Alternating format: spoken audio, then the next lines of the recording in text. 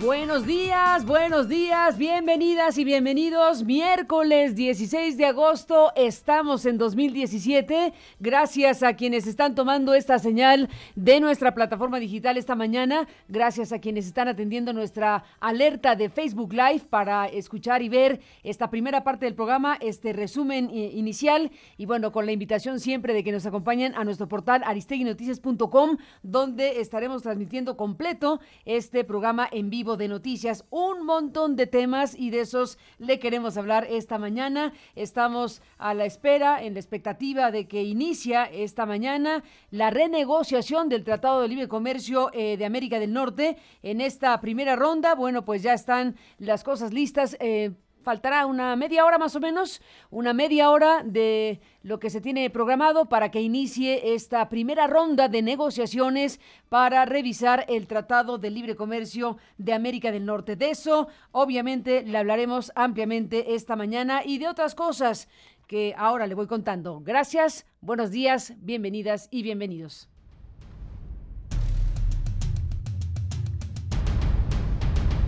Emilio Lozoya Austin comparecerá mañana ante la Procuraduría General de la República en calidad de imputado. El exdirector de Pemex deberá declarar sobre los presuntos sobornos por 10 millones de dólares que recibió o que habría recibido de Odebrecht, de acuerdo con las afirmaciones hechas por tres ex altos directivos de la constructora brasileña Odebrecht. Lozoya Austin acudirá a las instalaciones de la dependencia a las 12 del día y de acuerdo con su abogado Javier Cuello Trejo, acudirá sin un amparo para evitar ser detenido, ya que no tiene nada que ocultar y tampoco tiene miedo. Odebrecht México ofreció colaborar de forma directa con las autoridades mexicanas sobre los señalamientos hechos eh, por estos ex ejecutivos de la empresa contra el exdirector de Petróleos Mexicanos, Emilio Lozoya. En un comunicado del que le daremos lectura más adelante, aclaró que su ofrecimiento de colaboración tiene el objetivo de que los hechos cuestionados se esclarezcan mediante el procedimiento de investigaciones y las disposiciones legales aplicables en el ámbito nacional e internacional. La constructora brasileña dice que reafirma su confianza en el marco jurídico mexicano. Y bueno, como le decía yo hace un minuto, en Washington hoy inicia la renegociación del Tratado de Libre Comercio. En esta primera ronda, el secretario de Economía, Ildefonso Guajardo, el embajador Robert Lighthizer, el representante comercial de los Estados Unidos, y Chrystia Freeland, la ministra de Asuntos Exteriores de Canadá, se reunirán con sus respectivos equipos para posteriormente dar un mensaje conjunto. Este martes, en reunión previa entre Guajardo y la ministra canadiense, dijeron esperar un proceso constructivo, un proceso productivo, aunque el funcionario mexicano, bueno, pues no quiso pronunciarse sobre la palabra optimista, no, no concedió que estuviera en condición de optimismo, así que bueno, pues es parte de las crónicas y de la información que está surgiendo precisamente en el marco de esta renegociación que está por iniciar en unos minutos más. El senador republicano de Arizona, John McCain, pidió al presidente Donald Trump reconocer la importancia del acuerdo trilateral y no imponer barreras que dañen el comercio de la región se encuentra, bueno, pues este panorama evidentemente a flor de piel. Vamos viendo cómo se va a dar este proceso de negociación, que por lo que se aprecia va a ser rapidísimo o pretenden que sea rápido. Las mesas de negociación, bueno, pues son cortas, estimamos que es corto el tiempo, pero bueno, ya nos dirán los expertos qué es lo que se espera, qué es lo que se está jugando, qué es lo que está de por medio, cuáles son los ángulos principales de lo que una mañana como esta inicia en Washington para el Tratado de Libre Comercio. Está en la línea telefónica y le aprecio mucho que lo haga Luis de la Calle, que bueno, pues ha sido una pieza importantísima en todo este proceso de años respecto a la apertura comercial en México, Canadá y Estados Unidos. Luis, te saludo con gusto, buenos días y bienvenido. ¿Qué tal, querida Carmen? ¿Cómo estás? Ya, me, ya me dijiste viejo. ¿Por qué, Luis? Hace años en eso. Bueno, años pueden ser uno, dos, tres, cuatro años, no más que eso. no, ya son, ya, son 25 años. Ya son 25, eso es algo, ¿no te parece? No lo quiero decir así, pero es un cuarto de siglo, ¿te has dado cuenta? Sí, digo, es una... Durante 25 años y empieza hoy un proceso muy complicado, muy difícil, que también será histórico, y veremos qué tan lejos puede llegar. A ver qué tan lejos se puede llegar. Ese es eh, el gran asunto. ¿Hasta dónde estarán los tres países eh, dispuestos a negociar y renegociar? ¿Qué cosas, Luis, del Tratado de Libre Comercio, cuáles son los temas torales que se van a poner en la mesa, que van a hacer crujir o no crujir a los tres países? El problema un poco es que, comparado con hace 25 años, eh, en esa época fue una negociación muy dura, tú recordarás, Carmen, pero los tres gobiernos teníamos más o menos los mismos objetivos era crear un tratado ambicioso, con apertura comercial universal, sin excepciones, simétrica, eh, con periodos de transición. Y hoy Estados Unidos, por lo menos retóricamente, ha dicho que tiene un objetivo que es un poco contrario a, a este espíritu, que es reducir el déficit comercial que tiene, sobre todo con México.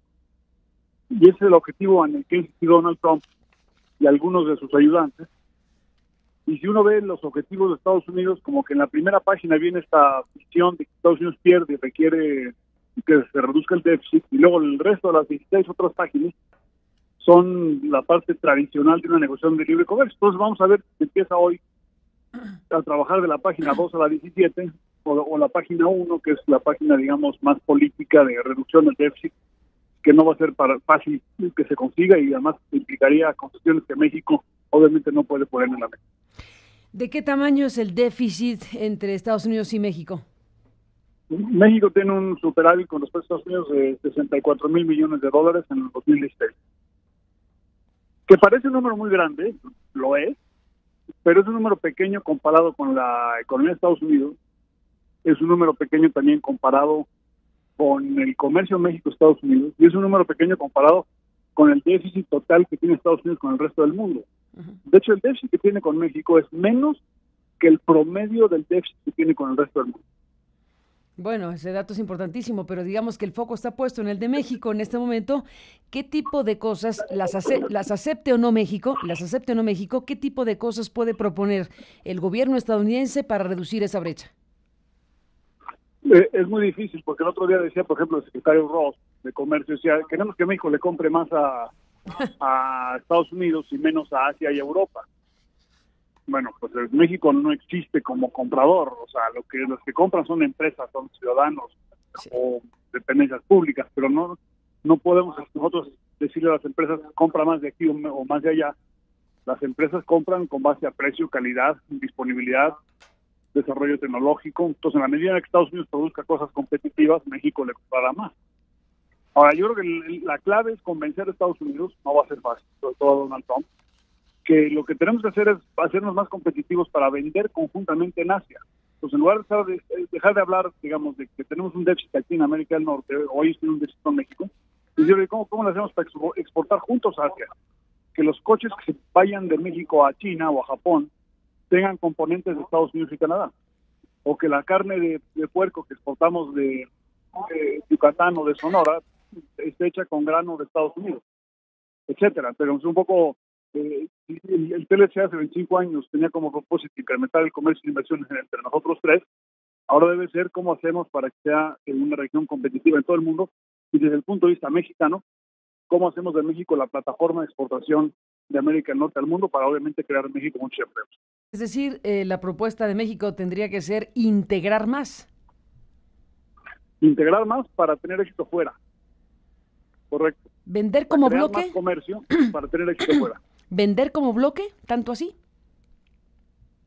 Eh, sí, en algunos sectores, efectivamente, vender como cuando cuando se vende un, una, un refrigerador eh, hecho en México, en América Latina o en Europa, eh, un porcentaje de ese refrigerador es de canadiense o estadounidense. De la misma manera que los aviones que se arman en Montreal eh, una parte importante de esos aviones es mexicana. Y se vende ese avión en África o se vende en Asia y estamos son exportaciones mexicanas a través de Canadá. Y al revés también será cierto. Ahora México como somos un país más joven y tenemos una mano de obra más abundante generalmente producimos bienes finales eh, línea blanca eh, televisores eh, tabletas teléfonos celulares coches etcétera y la exportación de todos esos al mundo entero tiene componentes de América del Norte. Luis de la Calle, imposible no recordar la famosa llamada telefónica entre Enrique Peña Nieto y Donald Trump que se dio a conocer hace algunos días, eh, en donde, bueno, pues ya supimos directamente qué le dijo uno, qué le dijo el otro, etcétera. Y bueno, ahí queda claro lo que tú estás planteando, este planteamiento de Donald, eh, de Donald Trump sobre el déficit.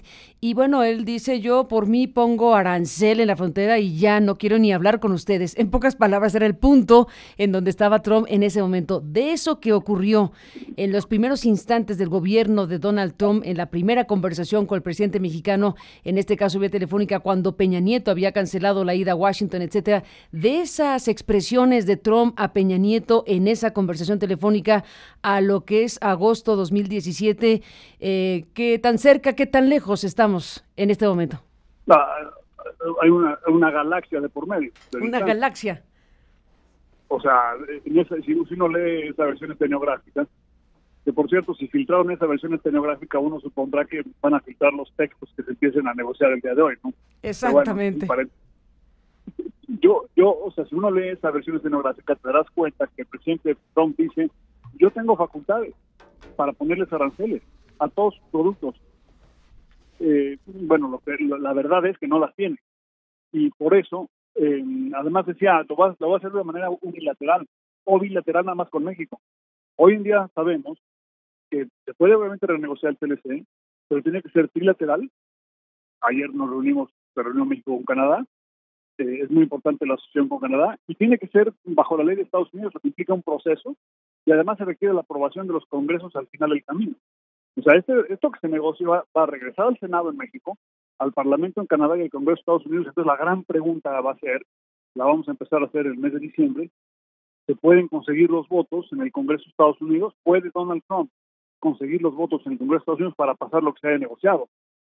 Según se ve el ambiente en Washington hoy en día, la, respuesta a esa pregunta es probablemente no, porque ha sido incapaz de conciliar con los demócratas y ahora incluso con el Partido Republicano eh, cualquier posición. Entonces, eh, hay, una, hay una etapa posterior a la negociación que va a ser eh, muy importante y de pronóstico reservado una vez que termine la parte técnica. Un pronóstico reservado. Eh, un último asunto, Luis, a reserva de que si no te importa, nos gustaría seguir conversando contigo en este proceso tan importante. Eh, resolución de controversias. Ese asunto que el eh, primer ministro eh, Trudeau dijo es una línea roja que no pretendemos cruzar. Esa resolución de controversias que está de cierta manera con los mecanismos del TLC que el gobierno de Estados Unidos pretende modificar. ¿Ese es un deal breaker, como dicen allá? Es un tema muy importante y puede ser un tema que termine con la negociación. Efectivamente, es, es la solución de controversias de capítulo 19 para casos de dumping. No son, no es todo el sistema de solución de controversias, solamente digamos un, pedazo. Es muy importante, es muy importante también para México. Eh, y vamos a ver qué, qué, qué tanto incita Estados Unidos o si solamente lo puso como una ficha de negociación para extraerle concesiones, sobre todo a Canadá. Mm. Eh, es muy importante obviamente que México y Canadá cierren filas en este y otros temas. Tenemos que negociar eh, ahí sí, digamos, como socios estratégicos de Canadá en muchas cosas. Eh, y vamos a ver si es un tema importante. Lo que no podemos aceptar, por supuesto, es que Estados Unidos dijera, oye, los paneles se aplican a México y a Canadá, pero no a Estados Unidos. Mm. ese sería, digamos, el, peor resultado posible de que no tuviéramos un resultado simétrico. O sea, Estados Unidos propone una cosa, le debe también aplicar a sus propios exportadores, por supuesto, y no solamente a los mexicanos y a los canadienses. Esperamos que ese no sea el caso, pero sí va a ser uno de los temas más complicados porque se arrinconó el gobierno de Estados Unidos al poner el texto tan fuerte diciendo queremos la eliminación del capítulo de Supremo. En el escenario está que se acabe el TLC y que entonces eh, lo que impere sean las reglas de la OMC. De tu análisis, de tu observación, claro que es mm, pues ahorita muy difícil saber, pero es una visión general. Eh, ¿Crees que sí hay un rango de posibilidad importante de que se termine el TLC y que entonces México, Canadá y Estados Unidos se atengan a las reglas del comercio internacional a través de la OMC? Es una posibilidad, pero yo creo que tiene muy baja probabilidad. Eh, es importantísimo que México tenga un pacto con Canadá. Eh, espero que ya lo tengan, en el sentido de que si Estados Unidos amenaza salirse o se sale del TLC, el TLC sigue en vigor entre Canadá y México, como dice el artículo 2205, que dice que cuando sale una parte, el TLC se mantiene en vigor entre las otras dos partes. Entonces el TLC seguiría en vigor en México, pero solamente con respecto a Canadá, pero es muy importante que así se haga y que fuera Estados Unidos en el que en el peor de los casos se saliera. Ahora, yo creo que eso no va a suceder porque Estados Unidos tiene intereses ofensivos muy grandes y México es el segundo mercado en el mundo para ellos, Canadá es el primero, y en cinco años México va a ser el mercado más grande del mundo para Estados Unidos, más grande que la Unión Europea completa. Entonces Estados Unidos no se va a dar un balazo en el pie para enfrentar aranceles de la OMC al entrar al mercado mexicano y al mercado canadiense. Pues Luis de la Calle, te agradezco muchísimo. Sé que estás por abordar un avión. Gracias por tomar esta llamada y seguimos en contacto si me lo permites. Un abrazo y buenos días. Me encantó, Carlos. Está muy importante. Hay que darle seguimiento, por supuesto. Seguro que sí. Estaremos hablando de ello. Gracias por estar aquí esta mañana. Buenos días. Gracias a Luis de la Calle por esta conversación. Bueno, pues sí, efectivamente es un tema sumamente importante este que se está por iniciar en unos 15 minutos, poco menos, 15 minutos espera que empiece esta eh, revisión, esta negociación, que se reúnan los tres, que se sienten ya los tres eh, equipos de los tres países, México, Estados Unidos y Canadá, para la revisión y la renegociación por mesas esta primera en Washington, habrá en México, habrá en Canadá, veremos cuánto dura, veremos qué se pone de por medio y bueno, pues de eso estaremos hablando esta mañana. Nuestro colega, por cierto, Jesús Esquivel, ya nos contará porque teníamos un enlace con él que ya no se pudo lograr eh, por razones precisamente del lugar donde estaba ubicado Jesús, eh, nuestro colega periodista eh, corresponsal de la revista Proceso y presencia fundamental de este espacio de noticias en vivo en esta plataforma digital. Bueno, en el Hotel Marriott, en el Hotel Marriott de Washington es que se desarrollarán estas negociaciones. En esta en una sala del Hotel Marriott es en donde están ya reunidas las tres delegaciones de los tres países del TLC.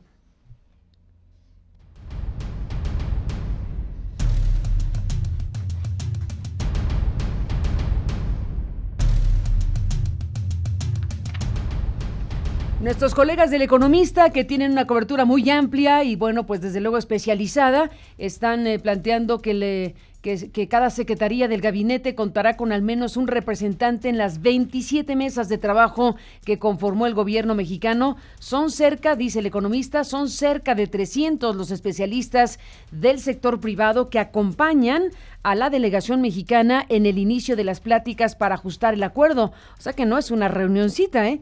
es un asunto grande. Estamos hablando precisamente de estos eh, eh, representantes del sector privado que están en primera fila viendo en primera fila lo que están por negociar los tres gobiernos. Representantes de prácticamente todo el gabinete federal participarán en la negociación del Tratado de Libre Comercio de América del Norte junto con estos 300 especialistas de la iniciativa privada de México en un proceso cuya primera ronda de negociaciones inicia en Washington. Así que bueno, pues eh, el gobierno mexicano ha conformado alrededor de 27 grupos de discusión o mesas de trabajo en las cuales habrá uno o dos representantes de la Secretaría de Economía y uno o más representantes del resto de las dependencias y organismos del Gobierno Federal de México, dependiendo del tema que se trate. Habrá, dice el economista, más de 27 grupos de discusión en diferentes áreas. El mismo presidente Enrique Peña Nieto instruyó en el gabinete la coordinación para que cada secretaría tenga un representante. Son muchos los que tienen que ver con esta negociación. Es parte de lo que ha dicho Ildefonso Guajardo, el secretario de Economía, que está ya en Washington a punto de iniciar estas conversaciones. Ya hay algunas imágenes eh, que se empiezan a circular precisamente de esto que son las conformaciones de las delegaciones de los tres países y lo que va a suceder en unos minutos más. Después de la pausa, hablaremos con Dolores Padierna, que se encuentra en la delegación correspondiente al Senado de la República. Bueno, como se ve desde el ámbito legislativo, lo que está por iniciar en 10 minutos más. Sigue toda la información a través de aristeguinoticias.com.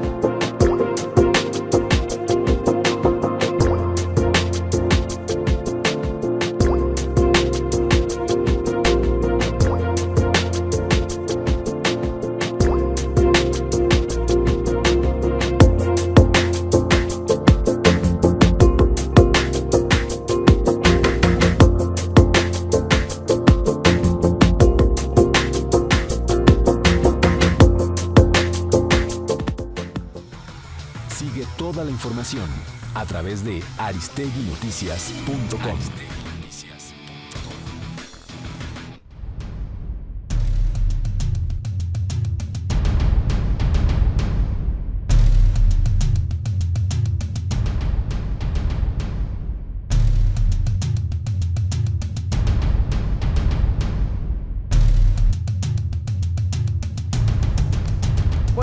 va conociendo la dinámica en la que van a trabajar los tres países, México, Estados Unidos y Canadá, en este proceso de renegociación. Habrá varias mesas, habrá diferentes temas segmentados, podrían estar en diferentes momentos discutiéndose temas relevantes para el acuerdo comercial. Y bueno, pues empezarán por la mañana, se espera que duren varias horas y se estima que van terminando por ahí de las 7 de la noche, según algunas estimaciones que se tienen precisamente sobre la dinámica de trabajo que está por iniciar en siete minutos más. 8 con 30 es la, eh, eh, el tiempo que se ha previsto precisamente para iniciar estos trabajos. Está en la línea telefónica y agradecemos que nos tome la llamada. Eh, se encuentra en Washington, precisamente en el marco de este inicio de renegociaciones. Dolores Padierna, que forma parte, bueno, pues del Congreso mexicano, que tendrá que ver, desde luego, en su momento con este proceso. Y te agradecemos, Dolores, que nos tomes la llamada telefónica esta mañana. Saludos, buenos días y bienvenida. Eh, saludos, muchas gracias eh, por esta entrevista, Carmen. En efecto, estamos aquí a punto de iniciar una reunión que para México cobra demasiada importancia. Y habría que primero señalar que esta renegociación del Tratado de Libre Comercio con América del Norte no figuraba en los planes del gobierno mexicano, es una imposición del gobierno norteamericano no se había tenido en mente, en, si uno revisa el Plan Nacional de Desarrollo del gobierno de Peña Nieto, eh, el acuerdo, el TPP, el acuerdo de asociación transpacífico, dijo que sería su negociación mundial más importante, asumiendo que, el Telecán pues continuaría sin cambio alguno. Esta negociación no es resultado pues del interés del Ejecutivo mexicano eh, sino de la nueva administración de Donald Trump. Desde 1993-94 eh, se habían negado explícitamente de mil maneras a realizar alguna evaluación pública, alguna evaluación de los costos, de los impactos de este tratado hacia nuestra población, nuestro país, nuestros sectores. Y de manera muy rápido yo diría que pues e, este tratado vino a beneficiar a muy pocos sectores, a muy pocas personas, a muy pocos hogares, a muy pocas empresas, a un solo sector, a dos ramas de la economía, a muy pocas entidades, unos cuantos puntos del norte del país. Todo lo demás está en el olvido.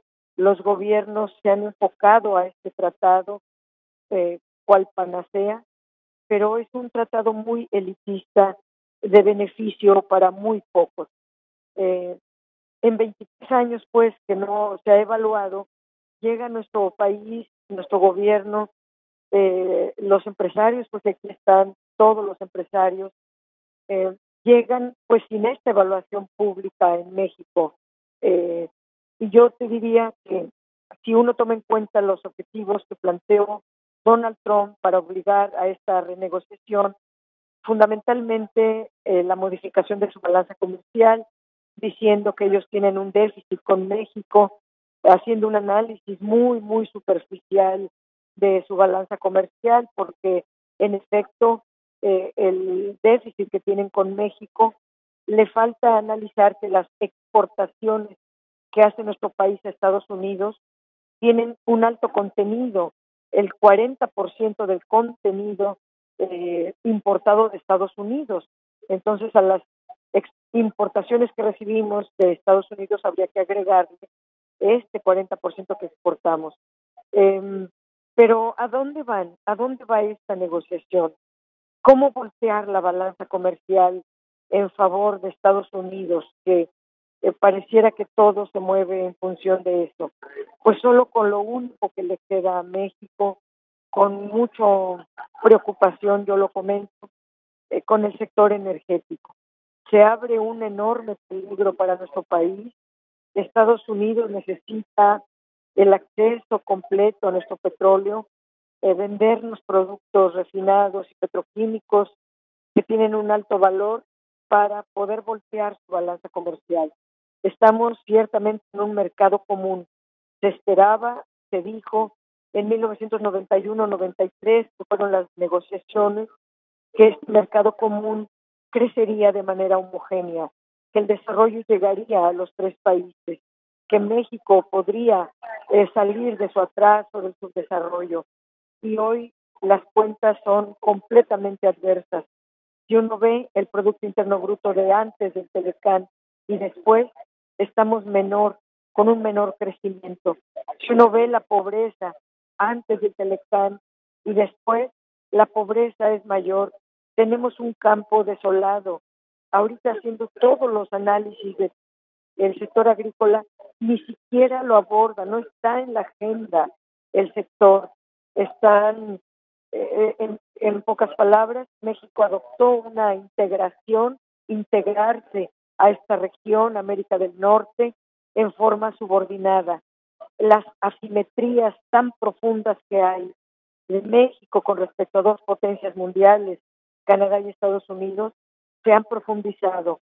Y en materia laboral, los bajos salarios han sido de manera indignante la única forma de, eh, de competencia, la competitividad que presenta México. México compite con bajos salarios, explotando a los trabajadores. Esto es lo único bueno que yo veo. Eh, esto y la migración son dos temas que yo veo muy buenos para abordarse aquí en el Tratado de Libre Comercio, en la renegociación, porque Estados Unidos está pidiendo la homologación de salarios eh, dice que tenemos una competencia desleal por los bajos salarios que se pagan en México y en eso tiene razón. Si hoy no eh, ponemos el énfasis en que México tiene que elevar su salario y eh, retomar todos los derechos laborales de los trabajadores, si esta vez no hablamos de una política migratoria que estaba comprometida desde 1991 si uno revisa los textos o el diario eh, de las negociaciones del Telecán 91-93, ahí está un debate muy fuerte donde Estados Unidos quiere la, el sector energético de México y eh, México dice no puedo porque mi constitución no lo permite y México pide una política migratoria y se acuerda que cuando haya un sector energético liberado, o sea, privatizado, entonces ellos podrán hacer una reforma migratoria. Ya desde hace tres años se liberó el sector energético nos han prometido una y otra vez la política migratoria y esta no llega.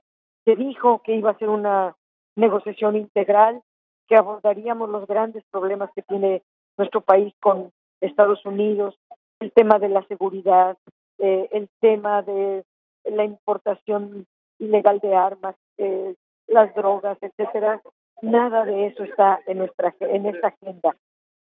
Eh, déjame decir ya, por último, muy rápido, que a 23 años de vigencia de este importante tratado, el gobierno ha decidido aprisionar eh, en un pequeñísimo grupo de mega empresarios, de grandes empresarios, y los más altos funcionarios de esta negociación. Uno se pregunta, Jaime Serrapuche, Jaime Sabludowski, Herminio Blanco, representan los intereses de nuestro país, nos pueden defender eh, con patriotismo, con el anhelo de superación, y son ellos los que representan eh, los intereses más elitistas. Ellos eran funcionarios cuando Carlos Salinas de Gortari aprobó y firmó este acuerdo. Y son ellos ahora en el sector privado, los que representan al sector privado. Pero recientemente el secretario de Economía de México los contrató como consultores para ser asesores del gobierno en esta negociación. ¿Qué podemos esperar de esta renegociación? Pues eh, yo creo que algo muy grave que es la entrega del sector energético. usted dirá que ya está liberalizado, que ya está libre mercado, pero para voltear la balanza comercial de Estados Unidos eh, se prepara una nueva oleada privatizadora eh, acelerada del sector energético, importar, em, eh, meter al Telecán, al sector energética, para, para acelerar la integración. están eliminando el candado del anexo 602.3 que quedó liberado a partir de la aprobación de la reforma energética en diciembre de 1993 que estaba eh, todo encapsulado eh, porque estaba reservado para México. Pero ahora este eh, Peña Nieto formó un Consejo de Negocios de Energía México-Estados Unidos que son fuertes lobistas, que es, un fuerte cabildeo para presentar recomendaciones a los gobiernos de México y de Estados Unidos. hubo una reunión en diciembre de 2016, otra muy recientemente, en junio de 2017, donde este grupo, este Consejo de Negocios, hizo varias recomendaciones, todas alabadas por Pedro Joaquín Codwell, que incluso él recomendó eh, poner un nuevo capítulo, no conformarse con votar el candado del anexo 602.3 del, del Telecán, sino abrir un nuevo capítulo eh, con las recomendaciones. Es decir, eh, ¿y qué, qué dicen estas recomendaciones? Todas van enfocadas a Pemex y a CFE. Reducir, dicen, a, a, cero las actividades del Estado en materia energética. ¿Cuáles son las que tiene el Estado en materia energética? Pues Pemex y CFE. Y ya se vence el plazo que se puso en la reforma energética de la ronda cero. Si durante el tiempo de vigencia de la ronda cero eh, México o Pemex no eh, explotó los campos que le tocaban y no lo han hecho, entonces todo eso se privatiza. Estamos a punto de que se cumpla una recomendación que todavía no se acuerda, pero ya va a pasar, que es reducir a cero, es decir, desaparecer las actividades productivas de la petrolera mexicana, eliminar todos los obstáculos al comercio de energéticos. Ahí sí, Donald Trump no dice no queremos tus productos México, no queremos a menos que se importen con un eh, 10, 15, 35%, como dijo en la llamada con Peña Nieto. Aquí están proponiendo eliminar los obstáculos al comercio eh, de energéticos, conseguir el acceso restricto a los recursos naturales de nuestro país, los convencionales, los no convencionales, plasmar pues un, capítulo energético están pidiendo garantizar una regulación imparcial, eh, eh, es decir, la regulación asimétrica, eh, la liberalización. Tengo, tengo que colgar. ¿Va a empezar esto? Perfecto. ¿Me disculpa? Bueno, estaremos al habla Dolores Padierna. Gracias por tomar la comunicación. Está iniciando ya, entonces. Gracias, Dolores. Estamos al habla. Buenos días. Y bueno, pues esta es la mirada de la senadora de la República que se encuentra en Washington. Aquí, bueno, pues se agrega también, desde luego, la revisión de todos los personajes que están en este momento llegando a esta sala. Está por iniciar. Eh, hay una imagen de una cadena de televisión eh, que estamos aquí observando, donde se muestra precisamente ya cómo ingresan a la sala, cómo ingresan a este salón del Hotel eh, Marriott, del Hotel Marriott en Washington. Ahí están las banderas de los tres países, ya eh, están tomando sus lugares. Aún no están los representantes de las tres delegaciones. Hay tres sillas, son tres, ¿verdad? O cuatro, son tres tres sillas por mesa, son tres mesitas. Le cuento a quienes están siguiendo esta señal vía audio, un saludo a quienes han optado por nuestras aplicaciones y por tuning para escuchar este programa de, em, plataforma digital. Y bueno, pues para quienes están viendo, compartimos esto que está transmitiendo la televisora CTV News, que es una cadena canadiense. Y bueno, pues están transmitiendo, la señal está en este momento abierta y la hemos retomado precisamente para seguir de cerca el momento, la escena de las, eh, de las em, situaciones, de la situación que está ahorita eh, instalada en Washington precisamente para el inicio de la renegociación. Em, cinco banderas por país. Eh, vemos aquí a la izquierda la bandera, bueno, a la izquierda o derecha, según se ponga la perspectiva, de Canadá, eh, Estados Unidos, las eh, banderas de Estados Unidos, las cinco banderas de Estados Unidos al centro, las cinco banderas de Canadá y de México flanqueando las banderas eh, estadounidenses, bueno, cada bandera desde luego del mismo tamaño que las otras, y las tres mesas que serán ocupadas en cualquier momento. Déjeme hacer una pausa y regresamos precisamente para seguir narrando y hablando con usted de este momento. Pues sí, puede ser un momento histórico en muchos sentidos, eh, porque estamos viendo si se ajusta positivamente para los tres países este tratado de libre comercio que ha dado el eje principal de la naturaleza comercial abierta de los tres países en los últimos 25 años, o hay un quiebre en términos de la negociación, todo está por saberse, todo está por verse. Hemos escuchado varias voces esta mañana sobre el tema y bueno, ya le iremos contando. Hacemos una pausa y regresamos. Está ya por iniciar esto que está eh, pues eh, formando parte fundamental de las noticias de estos momentos.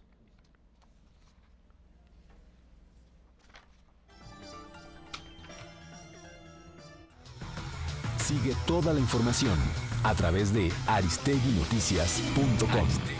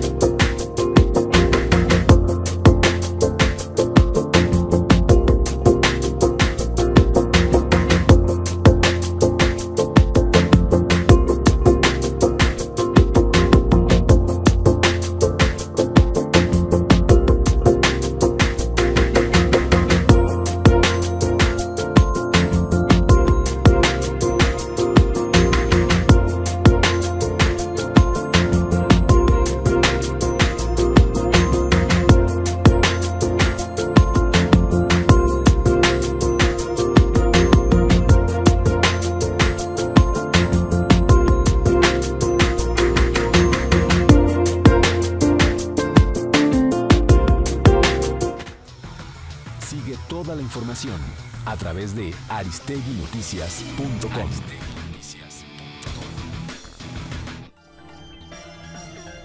Bueno, también le informamos esta mañana, además del Tratado de Libre Comercio, que es el tema principal en este momento de lo que está por ocurrir, 8 con 40, aún no arriban las personas que van a representar a México, Canadá y Estados Unidos a esta escena dentro de un salón del Hotel Marriott en Washington, Estados Unidos. Así que estaremos en ello y le iremos narrando. Le cuento también en los temas importantes que un juez, aquí en México, un juez federal, pidió a la Procuraduría General de la República reabrir las investigaciones sobre el caso Tlatlaya. El juzgado décimo cuarto de Distrito de Amparo en materia penal concedió un amparo a Clara Gómez, madre de una menor víctima de la masacre, en el que pide investigar a fondo la orden que recibieron los militares para abatir delincuentes en horas de la oscuridad en ese municipio del Estado de México.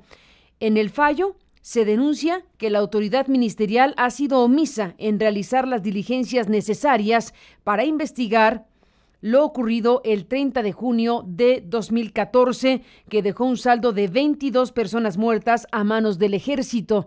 Estamos mostrando estas imágenes a las que tuvimos acceso a través de nuestra unidad de investigaciones especiales, este trabajo de nuestros colegas periodistas de esta unidad, que por cierto tendrán más información esta mañana. Sebastián Barragán, de nuestro equipo de trabajo, pues tiene una revisión muy importante sobre el caso Tlatlaya y de eso también hablaremos esta mañana, una vez que este juez federal le pide a la PGR que reabra las investigaciones del caso Tlatlaya, nada más ni nada menos.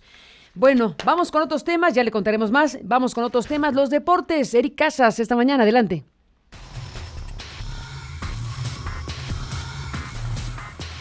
José Luis Sánchez presenta Deportes.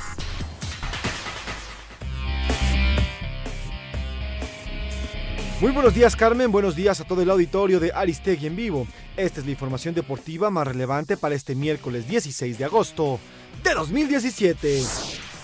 Arrancamos con el fútbol español y es que esta tarde el Barcelona y el Real Madrid disputarán el partido de vuelta de la Supercopa, envuelto en polémica, luego de que en el encuentro anterior el portugués Cristiano Ronaldo fue expulsado y castigado con cinco partidos. El enfrentamiento se llevará a cabo a las 4 de la tarde hora de la Ciudad de México, 11 de la noche para España. Y seguimos en el fútbol europeo y es que el día de ayer la UEFA anunció a los tres candidatos para el mejor jugador de la temporada. Se trata del italiano Gianluigi Buffon, portero de la Juve, el portugués Cristiano Ronaldo, delantero del Real Madrid, y Leo Messi, delantero del Barcelona. La terna fue elegida por 80 directores técnicos de la liga y 55 periodistas deportivos. El ganador será anunciado durante la ceremonia del sorteo de la fase de grupos de la Champions el próximo 24 de agosto en Mónaco. Para cerrar, volamos hasta las canchas nacionales y es que el director técnico del Cruz Azul, Paco Gemes, no deja de estar en el ojo del huracán.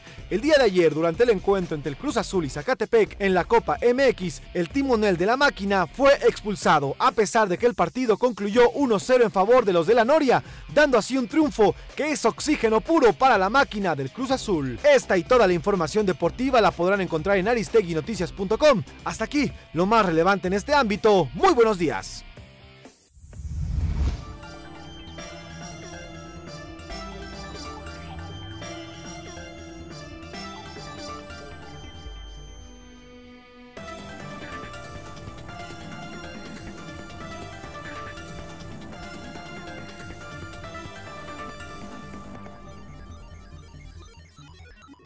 Bueno, ya empezó este eh, encuentro en eh, Washington, Estados Unidos.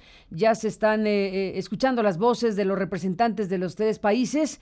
Bueno, estamos viendo la transmisión en vivo que está haciendo la cadena pública canadiense, la CBC News. Déjeme que corra un momento lo que está sucediendo ahí, bueno, en el idioma que esté, no sé si es francés, inglés, aquí lo vamos a pasar. Para y para Quiero reconocer la importancia de estas negociaciones del Trato de Libre Comercio de América del Norte. Canadá acoge con beneplácito la modernización del NAFTA para reflejar nuevas realidades y para integrar enfoques progresivos, libres y justos al comercio y a la inversión, incluso con respeto a las Freeland, la representante canadiense, haciendo uso de la palabra. Canada is and always has been a and trading nation. Our approach stems from one essential insight. We pursue trade free and fair, knowing it is not a zero sum game. Canada, and that brings me to NAFTA and the historic project on which we are embarking together Pues es una probadita de lo que está pasando ahora en Washington. Ya le iremos contando con más detalles sobre esto que acaba de empezar en la capital de los Estados Unidos.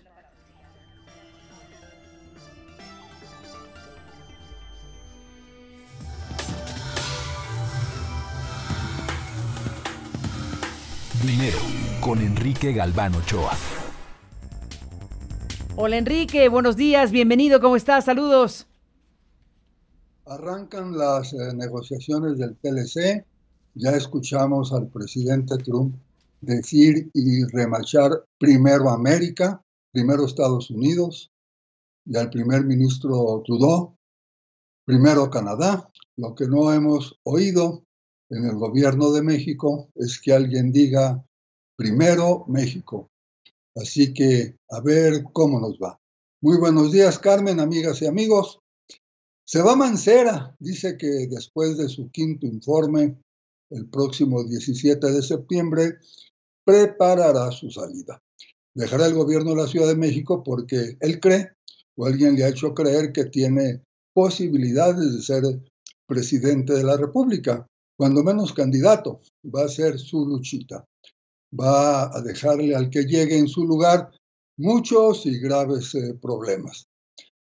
Me quiero referir a las fotomultas, una de las decisiones o imposiciones que más irritaron y siguen irritando a los automovilistas de la capital.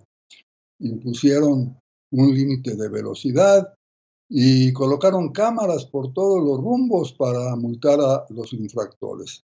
Mancera firmó un contrato muy generoso con la empresa Autotraffic, le dio a ganar el 46% de cada fotomulta.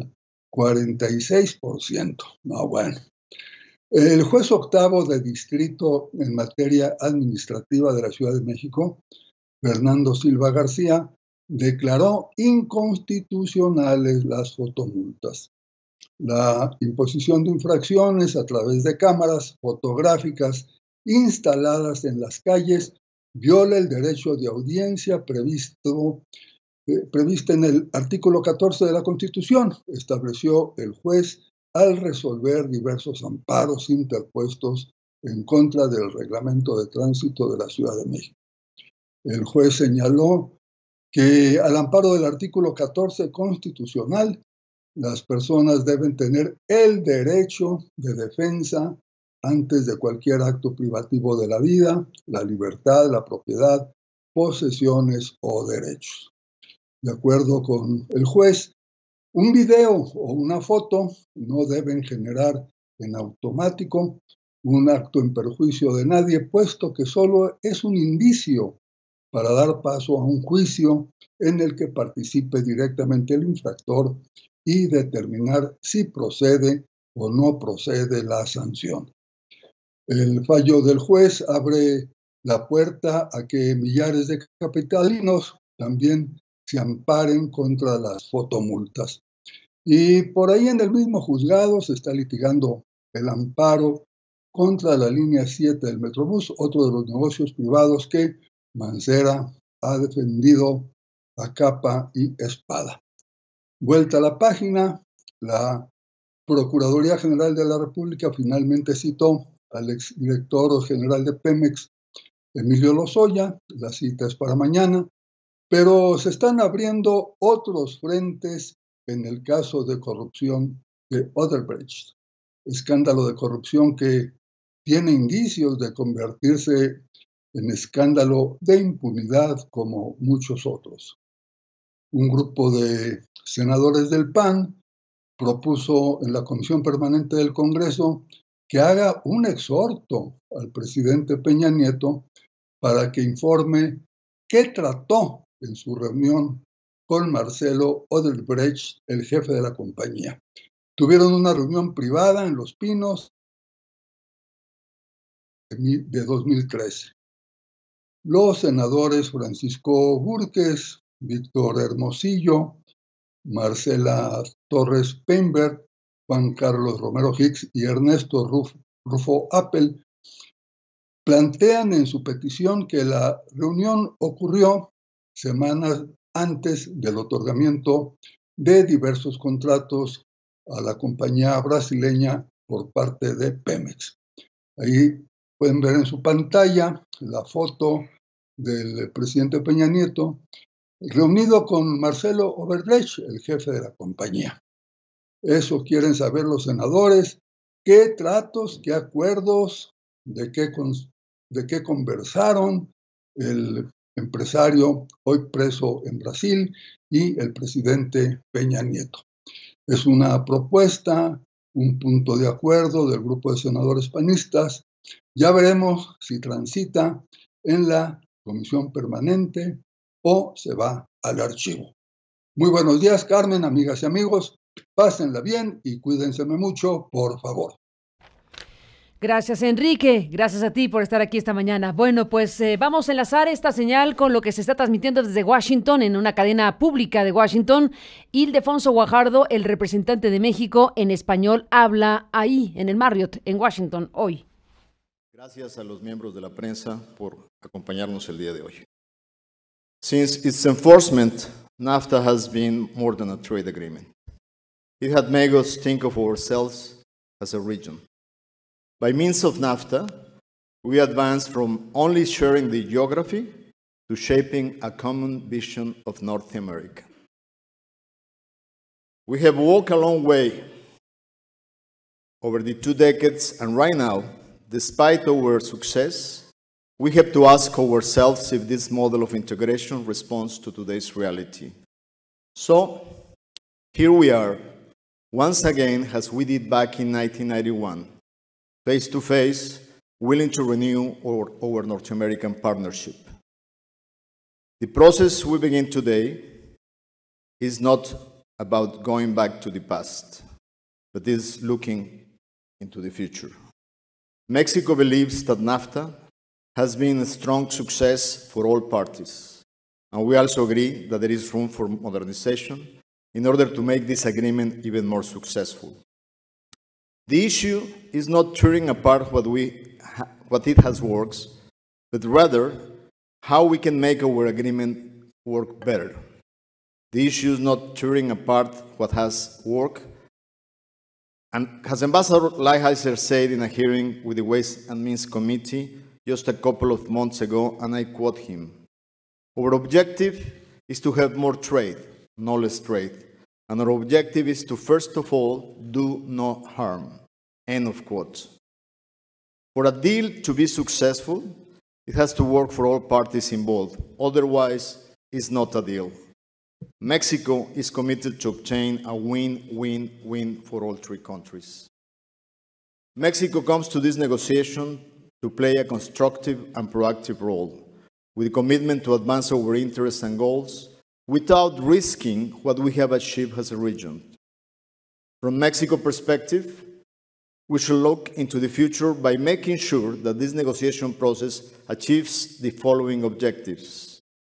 Strengthen North American competitiveness, advance towards a more inclusive regional trade, take advantage of the 21st century economy so we can embrace innovation and not stop innovation, and promote certainty for trade and investment in North America. Two decades ago, we were pioneers in shaping an agreement to change the international architecture of trade. This time, we have the chance to be pioneers again, reshaping the way we interact, redefining our region, reinventing ourselves to make a positive contribution to the international trading system. Let's not be mistaken. The first challenge that we have is to find a common ground between the interests of the three countries. And that can be a difficult process, no question.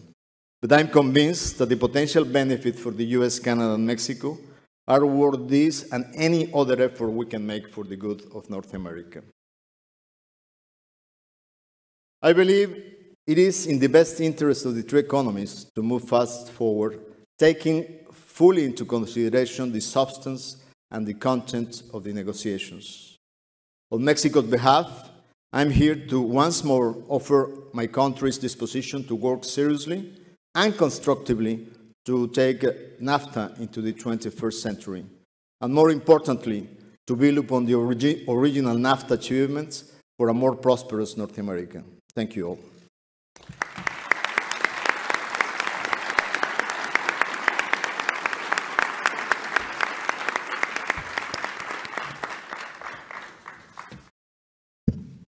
Thank you very much, Minister Freeland and Secretary Guajardo, for your comments, and would also like to thank you for Bueno, pues así están las cosas. Esta exposición del, del eh, em, secretario de Economía, secretario de Economía, Ildefonso Guajardo, eh, pensamos que era en español, solo fue un fragmento, ahora fue en inglés completo su speech y todo esto que acabamos de escuchar hace un momento. Y bueno, pues para las personas que hablan inglés lo habrán entendido plenamente, para los que no, ahora habremos de recuperar precisamente las partes sustantivas de lo que se está diciendo para seguirle informando esta mañana. Así que ya empezó esta negociación del TLC y ahora está hablando el representante estadounidense. Dejo correr un fragmento de esto que está sucediendo hoy en este lugar. Politicians have been promising to renegotiate NAFTA for years, but today President Trump is going to fulfill those promises. I want to thank members of Congress and their staffs who have helped lay the groundwork for these negotiations. We look forward to working with them now and in the future as things proceed. I would also like to, think, to thank the members of our advisory committees and other stakeholders who have given USTR their thoughts about how this agreement can be improved. We held three days of hearings and we received testimony and comments from thousands of stakeholders. Their suggestions are critical to our process and we appreciate everyone's help.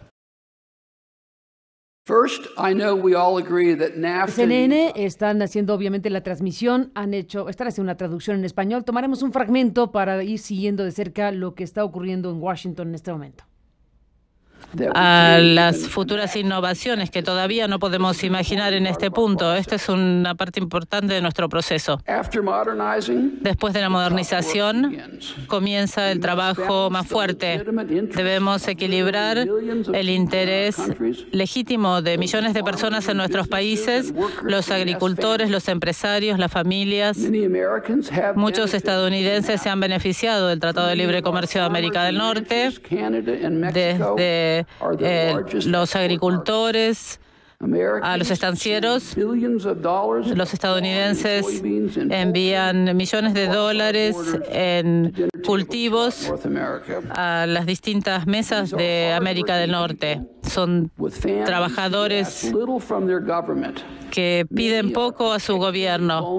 Muchos son muy vulnerables en el día de hoy por los bajos precios de los commodities.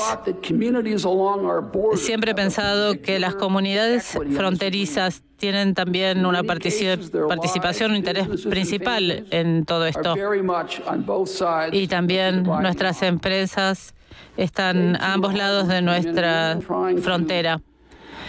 Hombres y mujeres que buscan criar a sus familias y acumular riqueza. Para incontables estadounidenses, este acuerdo ha fallado. No podemos olvidar los grandes déficits de comercio, la pérdida de empleos manufactureros debidos a los incentivos intencionales o no en este acuerdo. Los números son claros. El gobierno estadounidense ha certificado que 700.000 estadounidenses han perdido sus trabajos por los flujos cambiantes de empleo. Hay muchos que creen que estos números son muchos mayores. En 1993, cuando se aprobó el Tratado de Libre Comercio, Estados Unidos y México tenían un equilibrio comercial, pero en los últimos años se han acumulado 57 mil millones de dólares de déficit comercial.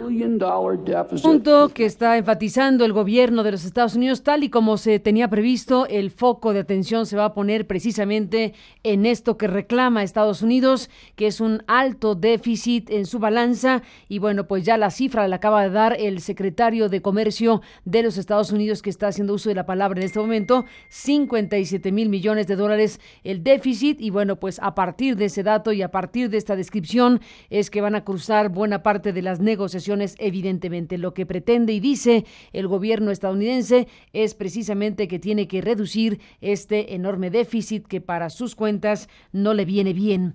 Estamos siguiendo de cerca, eh, bueno, este fue un fragmento de lo que está transmitiendo en vivo CNN con la traducción en español. Eh, en México lo que tenemos es la señal eh, tal cual la estábamos compartiendo usted, con usted de la televisión pública estadounidense, la televisión pública canadiense. En México la Secretaría de Economía en su página de internet tiene también la señal en inglés. Entonces, bueno, pues vamos siguiendo de cerca esta transmisión. Déjeme hacer una pausa, regresamos con este momento y volvemos con este y otros temas esta mañana.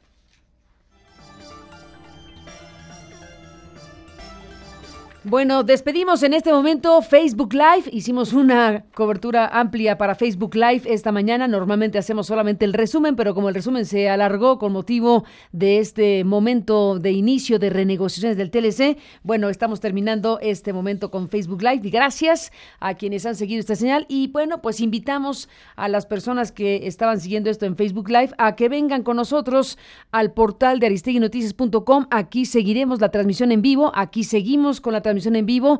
Después de este instante eh, tenemos los titulares. ¿Qué dice la prensa mexicana? ¿Qué dicen los principales eh, periódicos de México y también a nivel internacional? ¿Y qué siguen diciendo hoy en Washington del TLC? Otros temas también están aquí para usted esta mañana si nos acompaña. Está el caso Tlatlaya, está el caso Rafa Márquez, que tenemos cosas importantes sobre el asunto de Rafael Márquez y desde luego el caso Odebrecht, entre otras cosas. Así que aquí lo esperamos. Está nuestro link en la parte superior, ¿verdad? En la parte superior de la pantalla, en la parte superior de la pantalla pusimos un link. Si usted hace, si está en Facebook Live y hace clic, aquí lo esperamos en un instante.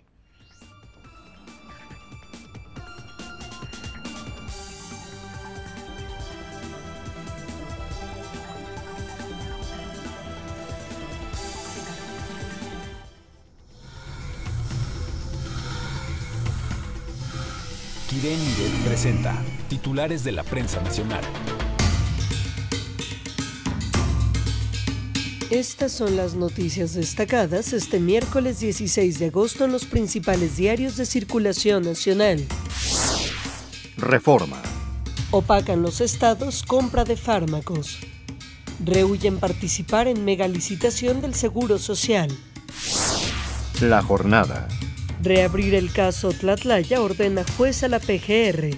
Pide investigación exhaustiva. El Universal.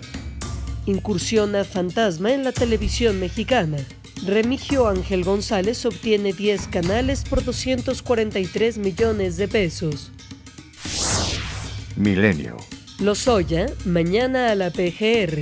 Odebrecht ofrece colaborador. El exdirector de Pemex acudirá como imputado y sin amparo. Excelsior. México alista otros TLC por si Estados Unidos se sale. Inicia renegociación comercial. El financiero. Arrancan con alianza México y Canadá. Guajardo y Freeland se reúnen en Washington. El economista. IED crece a pesar de amagos de Trump sumó 15.645 millones de dólares en el primer semestre. 52% viene de Estados Unidos. Sigue toda la información a través de aristeguinoticias.com.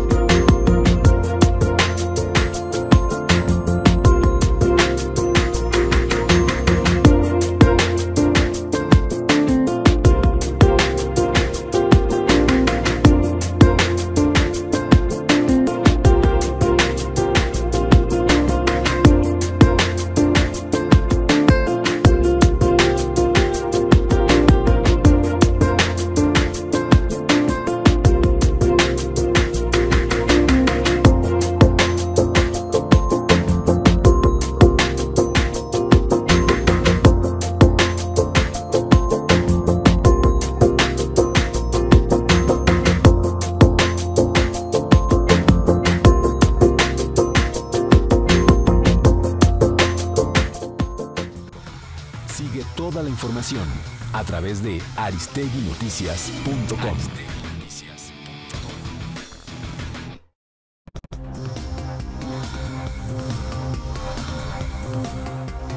La agenda del día con Isaías Robles. ¿Qué tal Carmen? Muy buenos días, buenos días a todos nuestros seguidores. Hoy un tema muy importante, la Suprema Corte de Justicia de la Nación va a debatir el proyecto de dictamen sobre la tarifa cero en telefonía móvil. Estaremos muy pendientes de esta información. El jefe de gobierno de la Ciudad de México, Miguel Ángel Mancera, preside el evento Donación de Vehículos del Gobierno de la Ciudad al Ayuntamiento de Centro en Villahermosa, Tabasco. A las 9.30, sesión extraordinaria del Consejo Consultivo del INAI para elegir a su presidente durante el periodo 2017-2020. También allí en el INAI, a las 10.30, se dará el banderazo de salida de la camioneta oficial de la Caravana por la Transparencia y la Privacidad y a las 11 de la mañana, sesión del Pleno de este instituto. A las 10, el Instituto Nacional Electoral realiza el segundo día de actividades y clausura del foro La Diáspora Mexicana y el Voto de Mexicanos Residentes en Estados Unidos en el auditorio del instituto.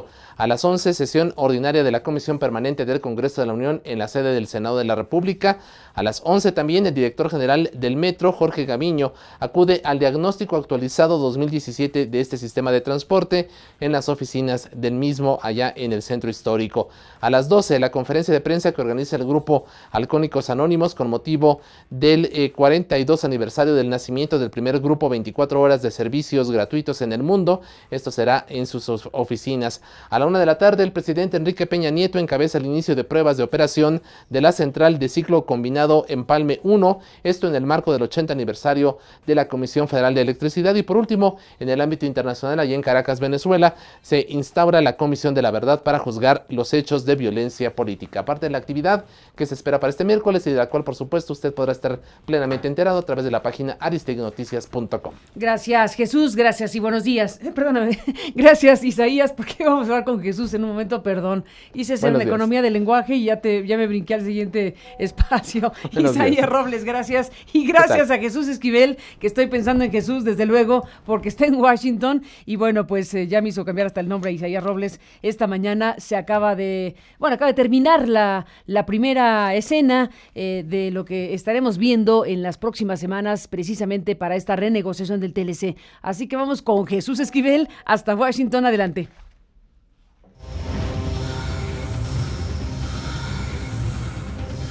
En línea desde Washington, con Jesús Esquivel.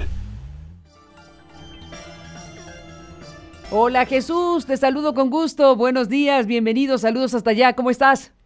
Buenos días. Eh, pues acaba de terminar la primera fase de esta inauguración de las renegociaciones del Tratado de Libre Comercio de América del Norte, en donde ya escuchamos al representante comercial de la Casa Blanca, Robert Lighthizer, decir que no va a ser difícil, pese a lo que había dicho la delegación mexicana y la delegación eh, canadiense. Va a ser difícil la negociación. Ha dicho que el presidente de los Estados Unidos, Donald Trump, quiere cumplir con su promesa de no solo modernizar al Tratado de Libre Comercio, sino modificarlo a los intereses de Estados Unidos.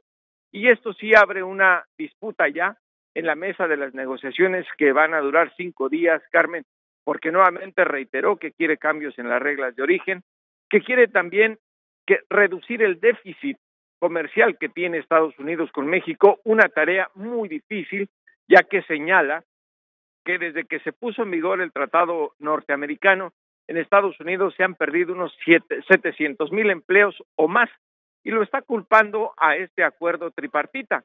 El gobierno mexicano y el gobierno de Canadá, Carmen, llegaron con un ámbito de amistad, es decir, queremos innovar al acuerdo, ajustarlo a lo que la economía del siglo XXI, pero tratando de respetar lo que ya ha funcionado en el acuerdo comercial que se empezó a negociar en 1991 y entró en vigor en el 94, Carmen.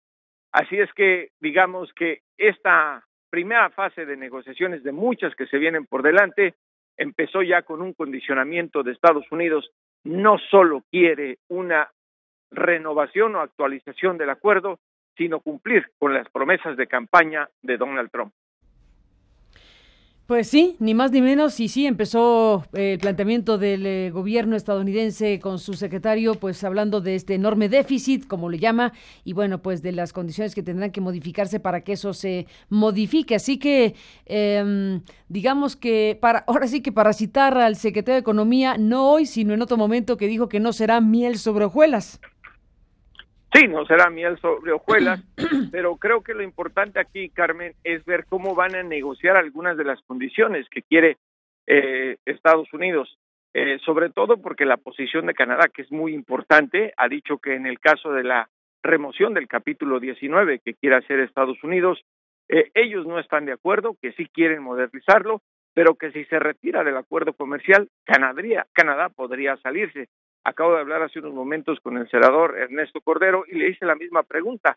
Le dije, ¿México estaría dispuesto a salirse? Sí, del acuerdo comercial si Estados Unidos no nos trata con pragmatismo y cometen locuras, pero sería muy costoso para el país. Vamos a ver, Carmen, en realidad, y qué se desarrollan en estas mesas de negociaciones que van a durar varios meses, sobre todo porque también hay empresarios cuyos intereses son, eh, digamos, primordiales para que funcionen las economías en materia comercial de América del Norte y tienen algo que decir. Integran un consejo de asesores para estos acuerdos comerciales que, Carmen, la verdad, con la posición del ITCIR, queda claro que no van a ser nada fáciles estas negociaciones.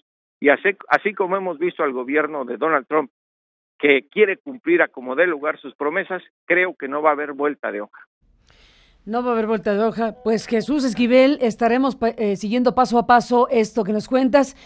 Terminó la reunión. Estás tú mismo en el hotel, eh, en hotel Marriott eh, siguiendo de cerca esta Marriott escena. Warman Park. En el Marriott, en el Marriott Warman Park. cerca del zoológico de la capital de los Estados Unidos.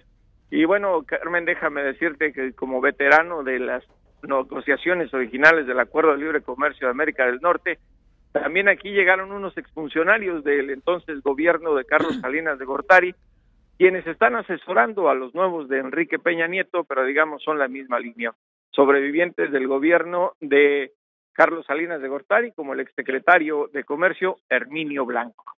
Oye, pues hace rato que hablamos con Dolores Padierna, la senadora mencionó a Herminio Blanco, mencionó también a Jaime Serrapuche y lo que ella dice es que fueron contratados pero por el pero por los empresarios, por la parte de los empresarios. De que la, bueno, sí, están, eh, están asesorando al Consejo Coordinador Empresarial, fue lo que me dijo Herminio, pero son muy amigos de Ildefonso Guajardo, son muy amigos de los funcionarios del gobierno de Enrique Peña Nieto. No creo y no dudo, yo a Herminio le pregunté eh, si les piden opinión, claro, para eso estamos. Así es que es, digamos que tienen en ese papel doble, Carmen, y creo que pues eh, se diga lo que se diga del acuerdo comercial, Herminio tiene algo de experiencia en negociar con Estados Unidos y sobre todo tomando en cuenta que en esos años, aunque, aunque no había una posición como la de Trump, el Congreso Federal estadounidense estaba dominado por los demócratas que se oponían de manera rotunda al acuerdo comercial.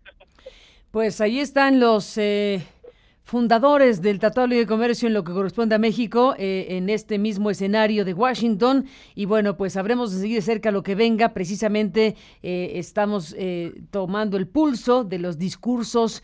¿Qué te pareció el de Ildefonso Guajardo en términos de su postura? Bueno, no dijo demasiado, pero digamos, para tu valoración, ¿qué te pareció el de México? Pues mira, muy mesurado, como ya lo dices, creo que con un tono de bastante amistad, diciendo México va a negociar, queremos actualizar este acuerdo, ajustarnos a lo, la economía, las economías del siglo XXI, pero tampoco venimos a hacer concesiones. Eh, queremos que se respete lo que ha funcionado para las economías norteamericanas en el acuerdo original y tal y como se negoció. Y bueno, creo que esa es una posición moderada. Hay que ver, porque no nos han dado a conocer las estrategias ni los puntos o los objetivos que quiere el gobierno mexicano, qué es lo que van a hacer en las mesas de negociaciones. A diferencia de México, Canadá y Estados Unidos, por las leyes comerciales que tienen esos países, ya dieron a conocer sus objetivos y también no hay que perder de vista otra cosa. El Parlamento canadiense y los congresos, el de México y el de Estados Unidos, también tienen que opinar y decidir en este acuerdo una vez que concluyan las negociaciones que tardarán muchos meses y no hay que perder de vista otra cosa, Carmen.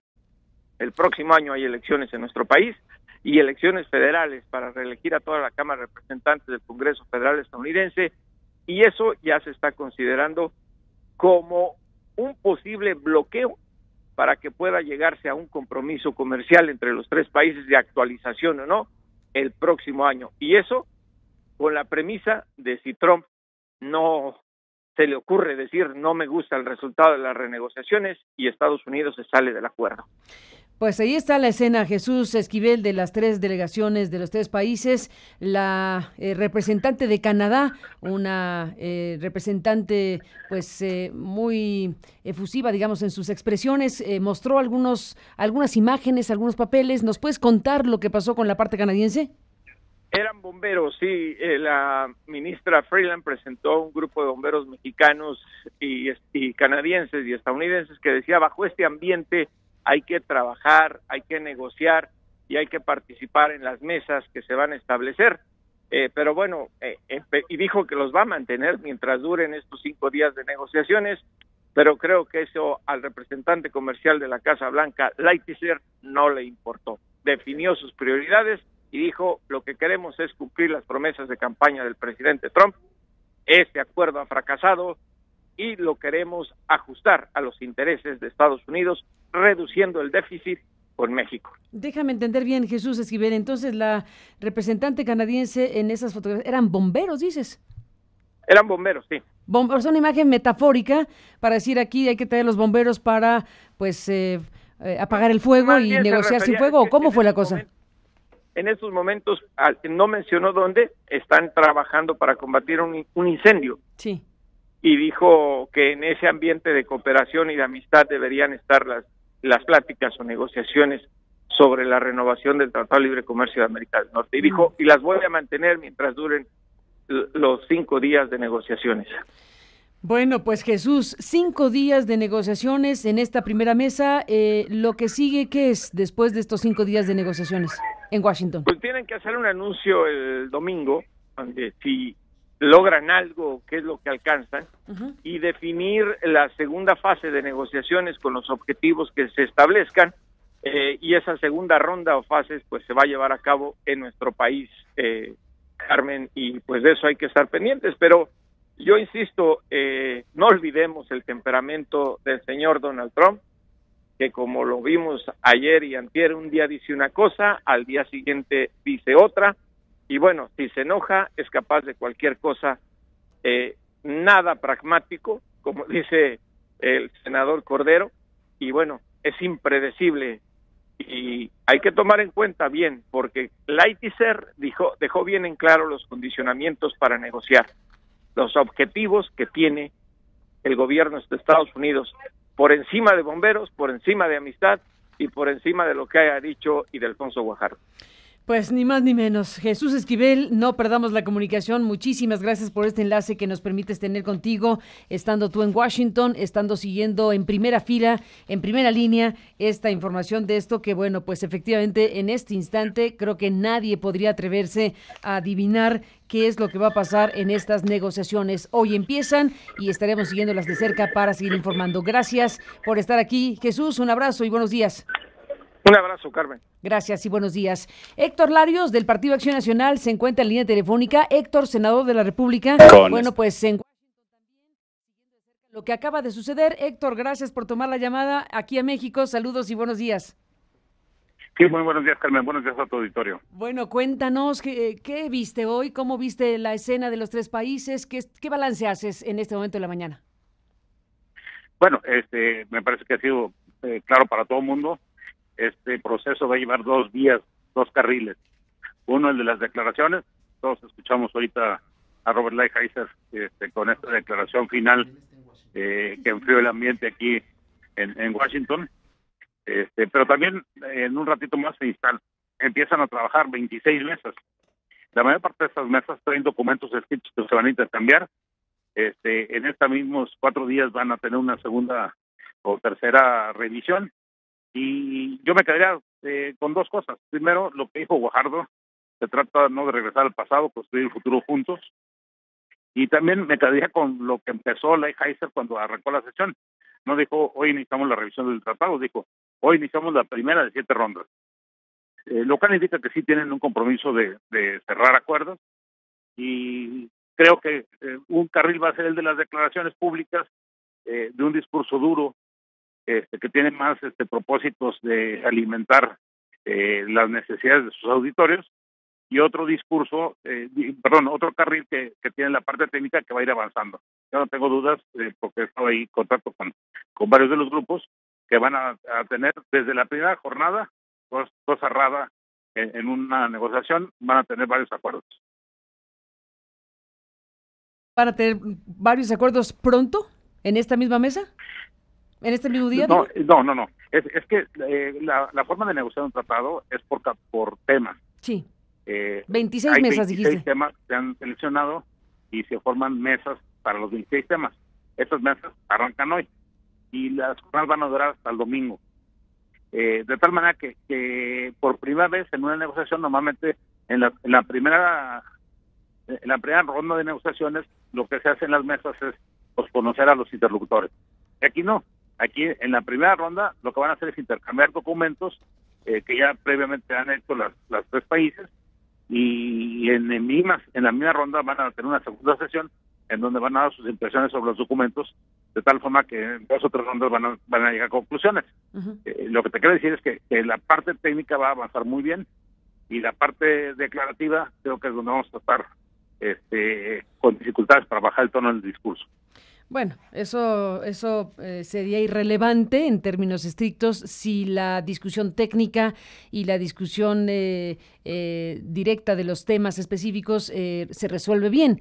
El discurso político o el discurso de, de, mayor volumen, bueno, podría ser parte decorativa, pero no creo que sea necesariamente solo una parte discursiva lo que se está planteando ahí. Donald Trump ha sido enfático, categórico y el propio secretario refuerza la idea de que hay un déficit muy grande y que está Estados Unidos lo quiere revisar porque eso no va más.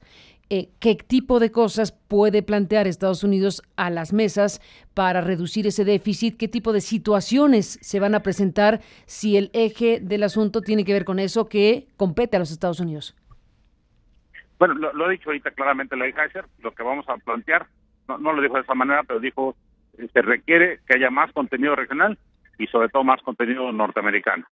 Entonces va a tratar de plantear que existan no reglas de origen de la región, sino que existan este, un porcentaje mínimo de componentes de Norteamérica. Eh, yo creo que ese es un tema eh, hartamente complicado, porque lo que significa es que le van a subir los precios a los norteamericanos, a los propios consumidores.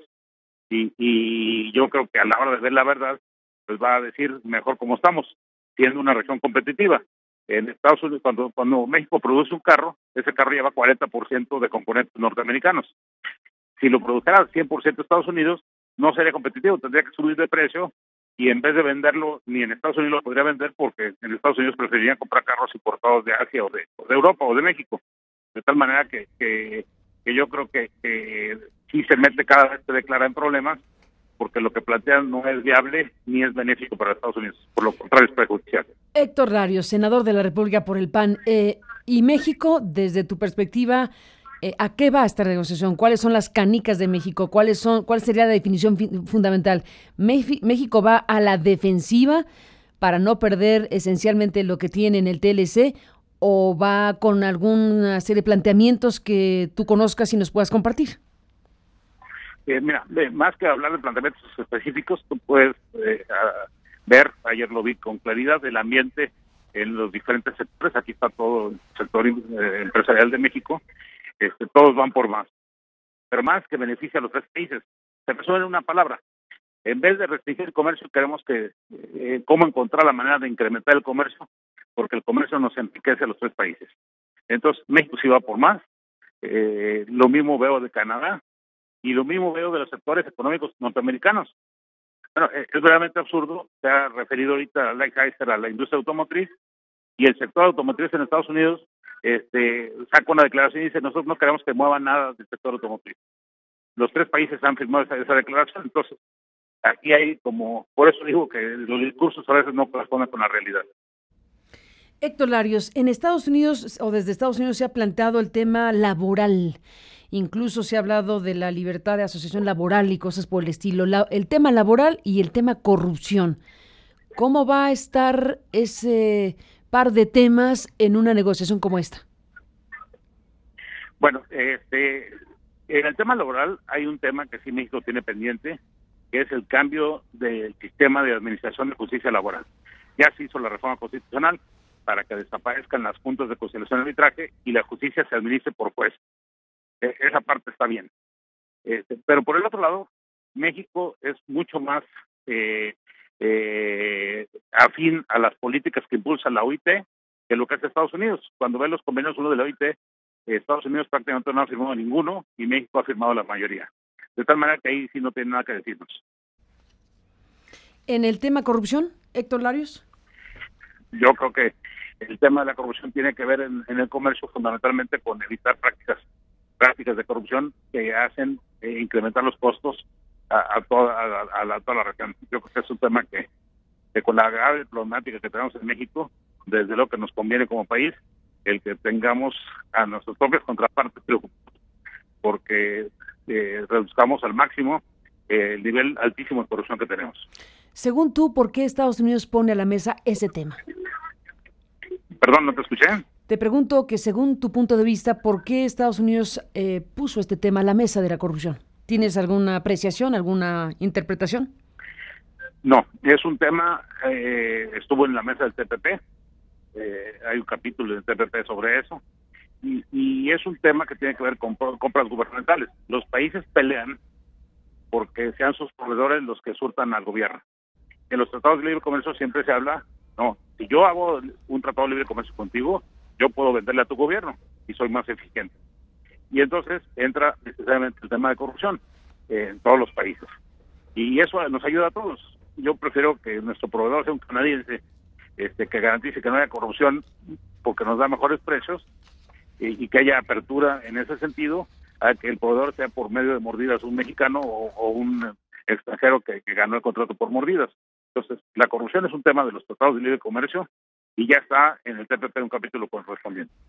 Pues eh, hablaremos más de esto, Héctor Lario, si me lo permites. Tú vas a estar ahí como parte de la, digamos, representación mexicana en lo que corresponde a la, al Poder Legislativo. Eh, ¿Cuántos senadores de la República están ahí?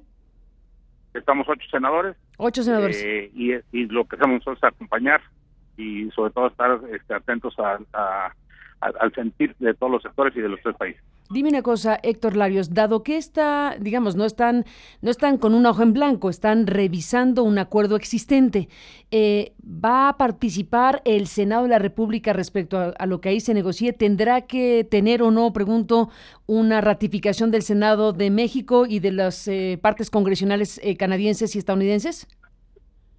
No, solamente la ley de Estados Unidos eh, obliga que antes de iniciar una negociación tenga autorización del Congreso. En el caso de México, no.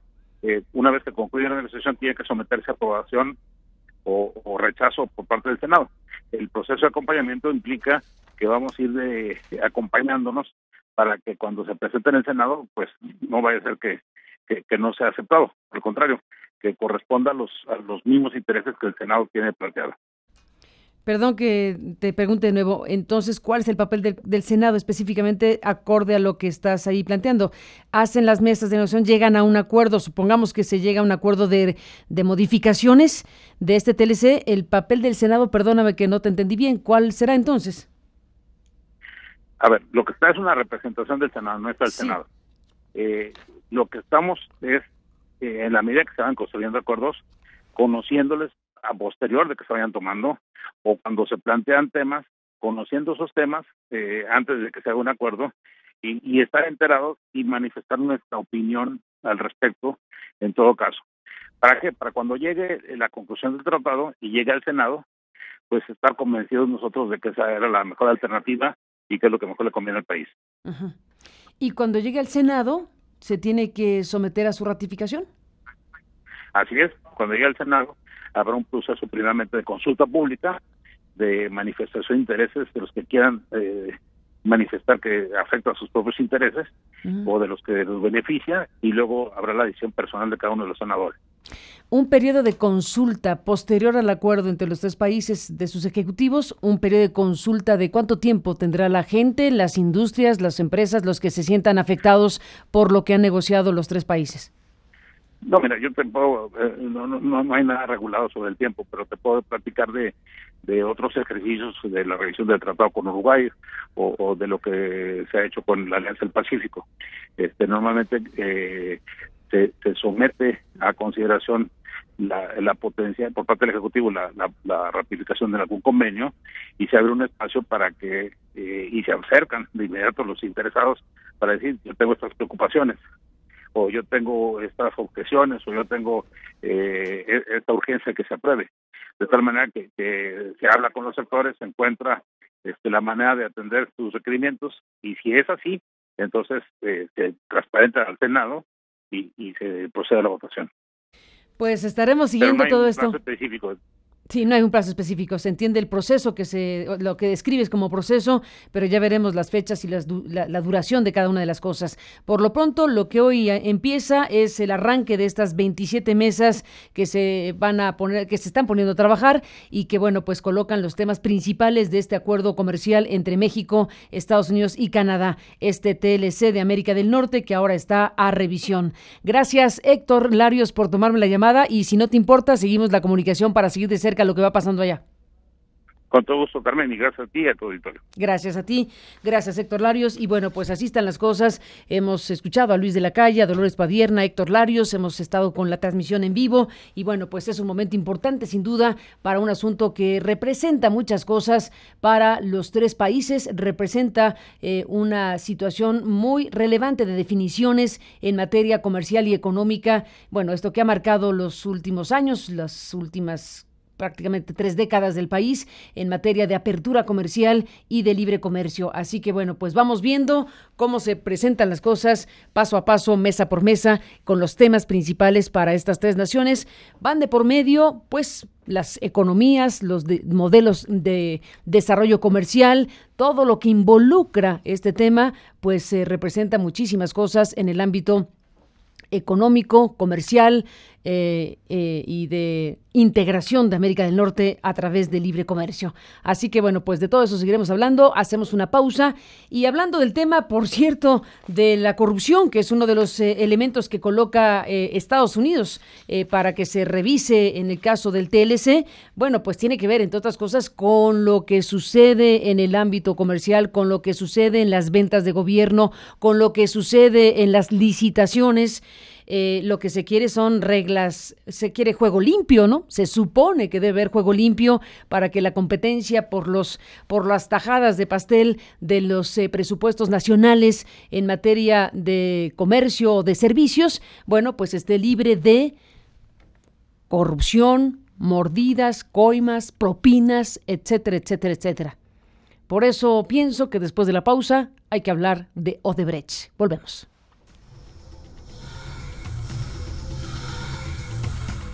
Irene Miret presenta titulares de la prensa internacional.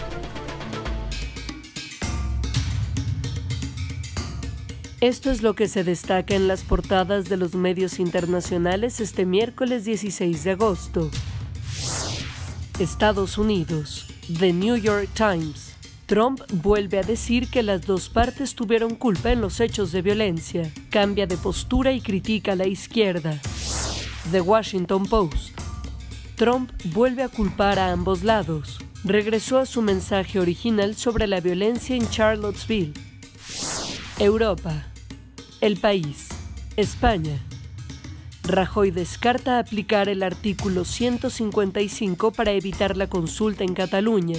El gobierno alega que no hay tiempo para emplear ese recurso constitucional. The Guardian. Reino Unido. Los jefes de la Unión Europea condenan la fantasía del plan del Reino Unido para reflejar la unión aduanera. Latinoamérica. Clarín. Argentina.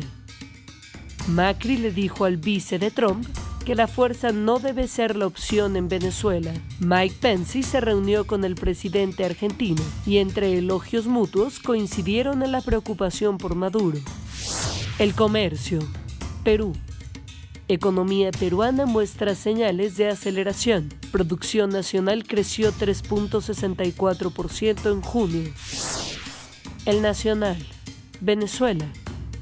A 2.04 millones de bolívares llegó la canasta básica en julio. La diferencia entre los precios controlados y los del mercado fue de 10.433%. Sigue toda la información a través de aristeguinoticias.com.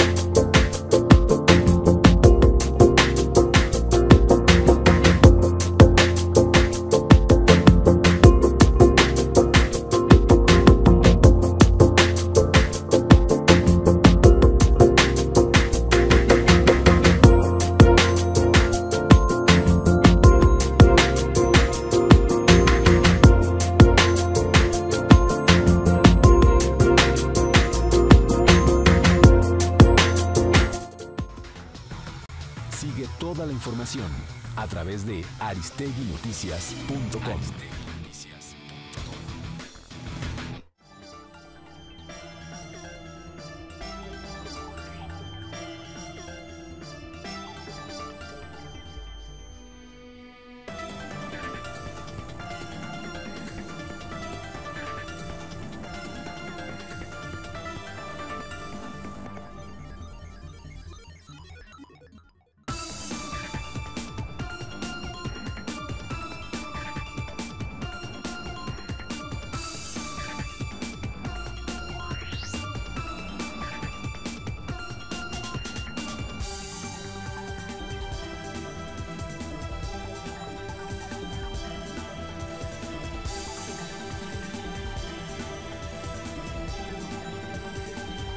Bueno, regresamos en esta transmisión en vivo de esta mañana con varios temas importantes. Ahora vamos con el tema Odebrecht, pero déjeme comentarle que en Los Pinos, Enrique Peña Nieto se reunió con Alfredo del Mazo. Con Alfredo del Mazo, pues en su calidad de gobernador electo del Estado de México, bueno, le dieron la constancia de mayoría, la constancia de mayoría a, Alfredo del Mazo. Eh, se reunió Peña Nieto con eh, eh, del Mazo pues antes de que se resuelvan las impugnaciones en el Tribunal Electoral del Poder Judicial de la Federación, lo cual sinceramente pues no es una buena idea desde el punto de vista desde el punto de vista de los procedimientos electorales, pues habría que esperarse a que termine el tribunal de revisar las impugnaciones que hay sobre lo que pasó en el Estado de México, pero tienen prisa en que eh, la elección quede en manos del gobernador eh, eh, que viene y que sea del signo del partido del presidente, evidentemente en el estado que lo vio nacer.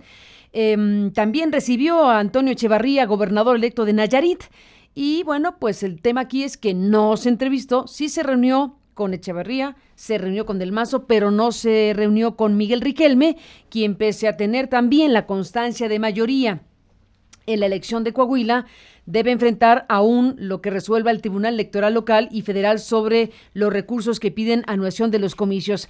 Es tanto como si el presidente de la República dijera, bueno, lo de Coahuila, pues si lo anulan, mejor ni me reúno y los otros dos los doy por buenos no interpretamos demasiado, pero desde luego tiene una carga política esta escena donde se ve a los dos gobernadores con, bueno, a los dos em, eh, personajes que han tenido las constancias de mayoría y no al de Coahuila. Así que ahí están las imágenes que lo dicen todo de lo que es la postura de la presidencia de la República sobre estas elecciones 2017.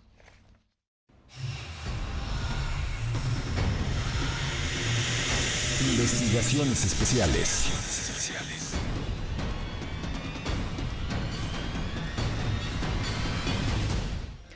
Sobre el tema Odebrecht tenemos una información eh, especial de nuestro colega Juan Omar Fierro. Antes de escuchar a Juan Omar, le digo que Odebrecht, la brasileña eh, gigante constructora de este país latinoamericano, bueno, pues eh, emitió un comunicado que dice lo siguiente. Constructora Norberto Odebrecht S.A. es respetuosa de las autoridades encargadas del sistema de procuración y administración de justicia. Asimismo, comprende que éstas tienen las atribuciones y facultades legales para evaluar cualquier relato o testimonio específico emanado de los ejecutivos y ex ejecutivos de la empresa. Odebrecht está colaborando con la justicia brasileña y con la de otros países en donde tiene operaciones.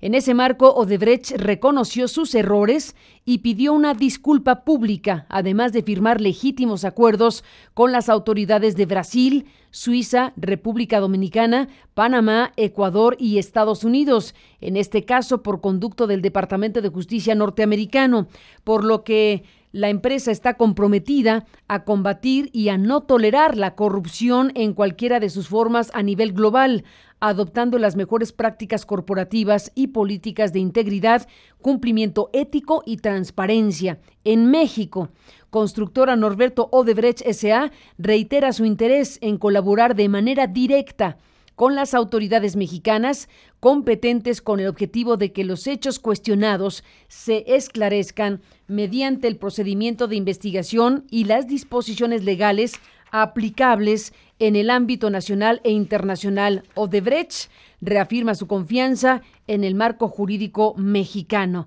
Es el mensaje de Odebrecht México pues una vez que se dio a conocer esta investigación de Alejandra Shanik y de Ignacio Rodríguez Reina y de los colegas de Mexicanos contra la Corrupción y la Impunidad con Raúl Olmos, estas informaciones que, bueno, han desatado desde luego un escándalo en México por lo que se dio a conocer de estos tres exfuncionarios de Odebrecht que han señalado directamente a Emilio Lozoya, el exdirector de Petróleos Mexicanos, como quien habría indicado las cuentas a las cuales depositaron eh, pues eh, cantidades millonarias de dólares, de dólares hasta por 10 millones de dólares en diferentes momentos y que bueno, pues eso forma parte de lo que ahora en México está causando este revuelo, obviamente porque el personaje en cuestión bueno, pues eh, un personaje cercano a la figura de Enrique Peña Nieto y parte de la campaña política de Enrique Peña Nieto en 2012, donde ocurrieron estos depósitos que habrían sido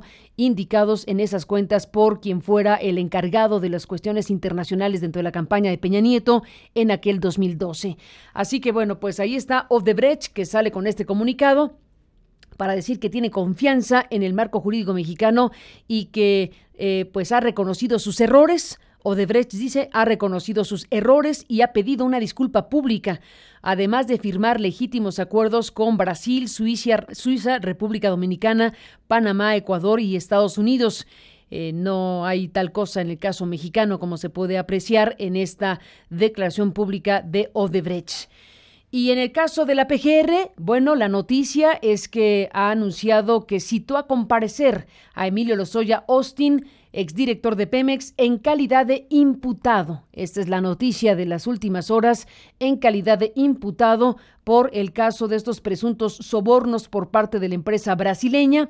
Eh, Emilio Lozoya tendrá que presentarse ante las autoridades federales de la PGR al mediodía de este jueves 17 de agosto, eh, según consta en el citatorio girado por la Ministerio Público de nombre Silvia García Ocampo.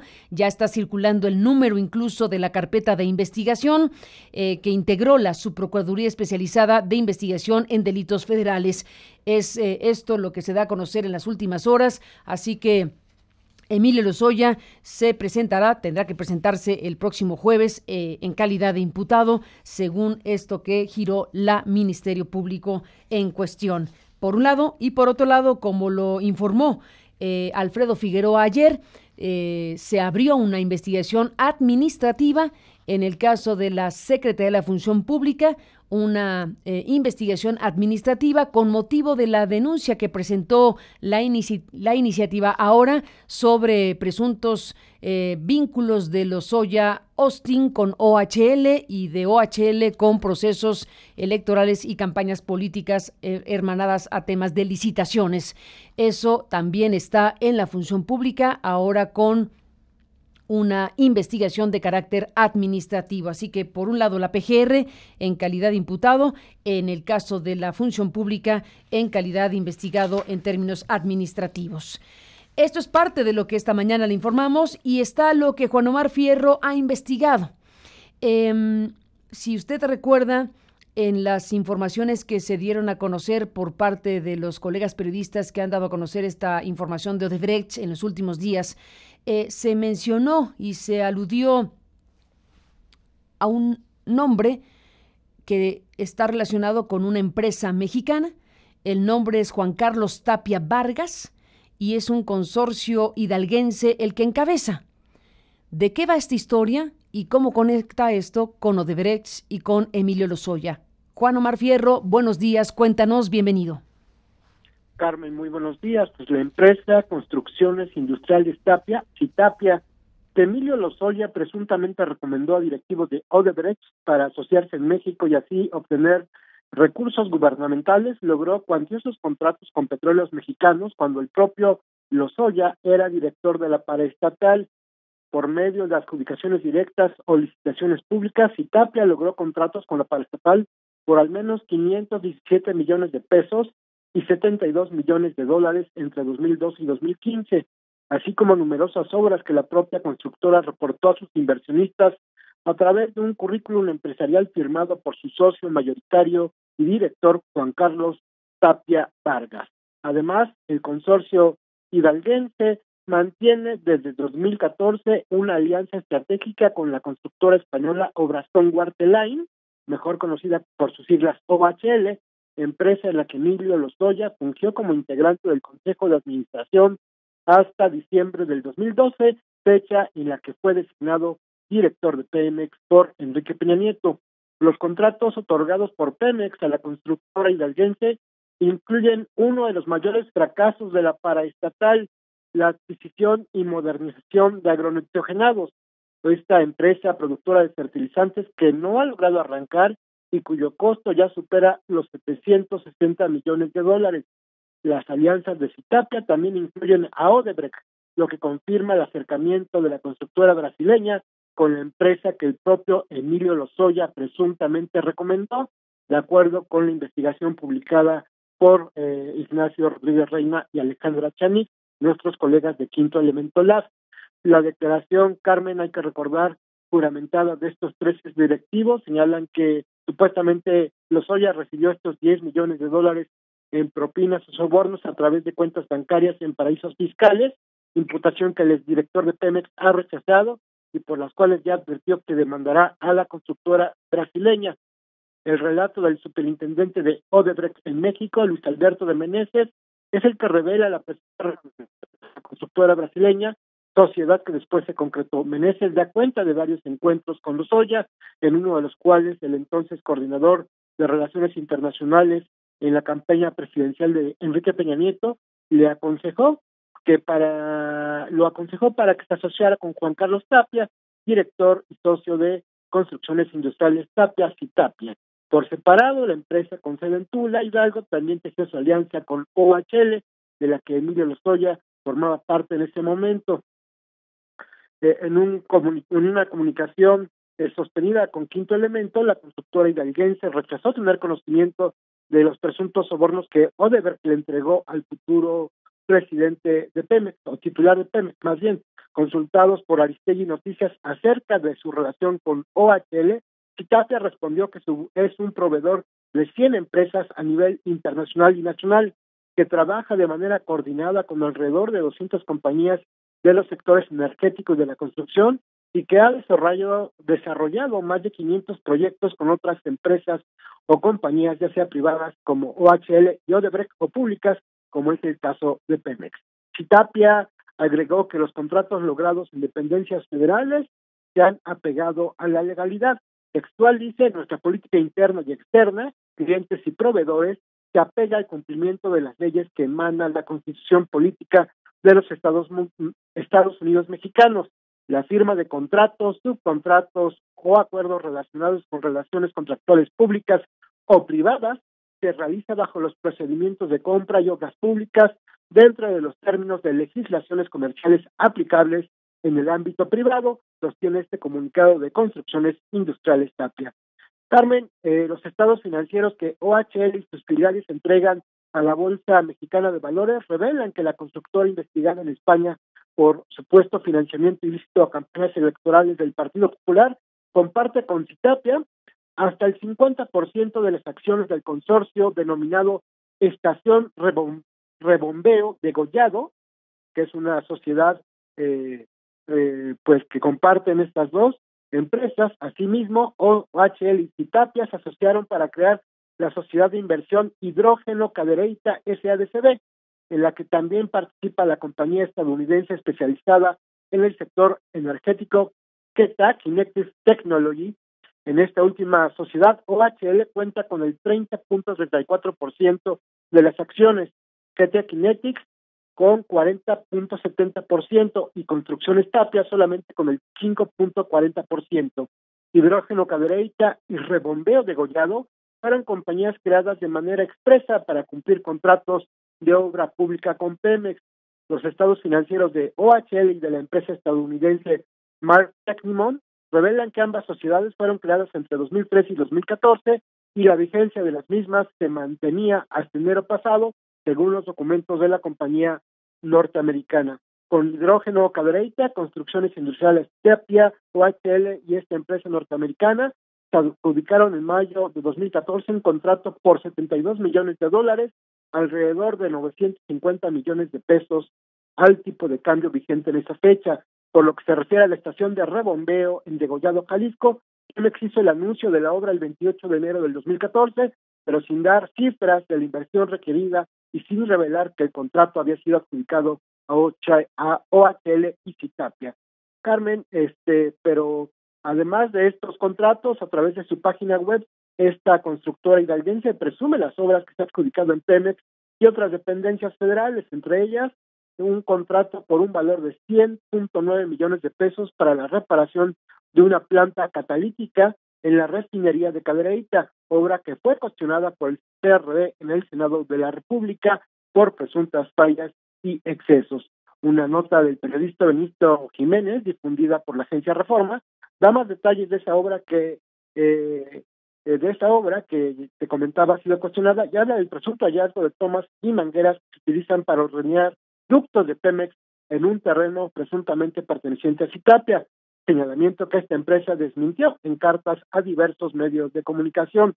Una revisión rápida de los contratos que Construcciones Industriales Tapia ha desarrollado para Pemex en calidad de subcontratista o contratista directo a partir del 2012 indica pues la siguiente lista son en total eh, pues alrededor de 10 contratos, dice que son la edificación de una planta de cogeneración de energía Nuevo Pemex Tabasco, la construcción de la terminal de almacenamiento y reparto de Pemex, TAR, ubicada en Tapachula, Chiapas, la rehabilitación de la planta reductora de viscosidad en la refinería Miguel Hidalgo de Tula de Allende, la reconstrucción de la refinería Héctor Lara Rosa en Cadereyta, Nuevo León, en calidad de subcontratista, la reconfiguración de estas plantas de urea de agronitrogenados, esta planta chitarra para la producción de fertilizantes que ha producido daños al erario público según la Auditoría Superior de la Federación, la reconfiguración de la refinería Lázaro Cárdenas en Minatitlán, Veracruz,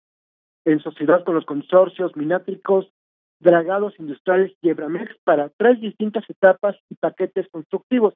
Es decir, que estamos hablando de tres contratos para este caso de Minatitlán. Así también arrojó un cuarto contrato en Minatitlán para la nueva construcción, para la construcción de nuevas instalaciones en esa misma refinería, esto en sociedad con Ica Flor Daniel de Grupo ICA, y finalmente la restauración de una caldera en Ciudad Madero, Tamaulipas. Estamos hablando de los contratos que la propia empresa da a conocer en su página web y en un informe empresarial que difundió eh, a través de Internet.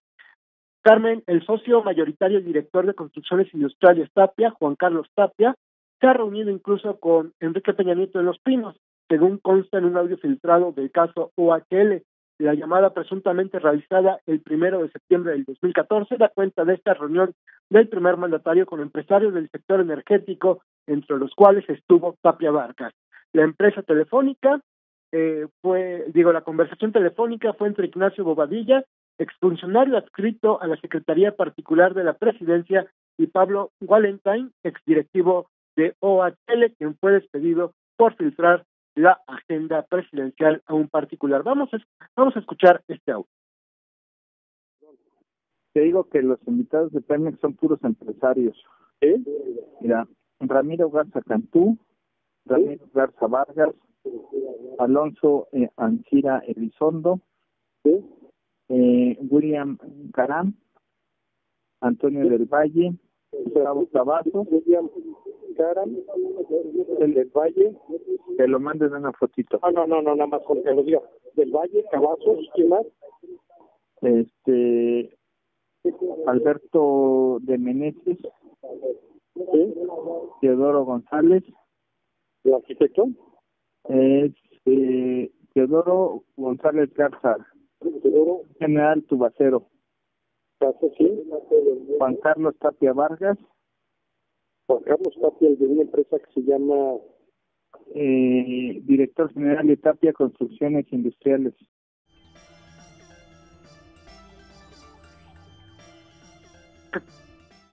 Carmen, pues una nota del diario La Jornada.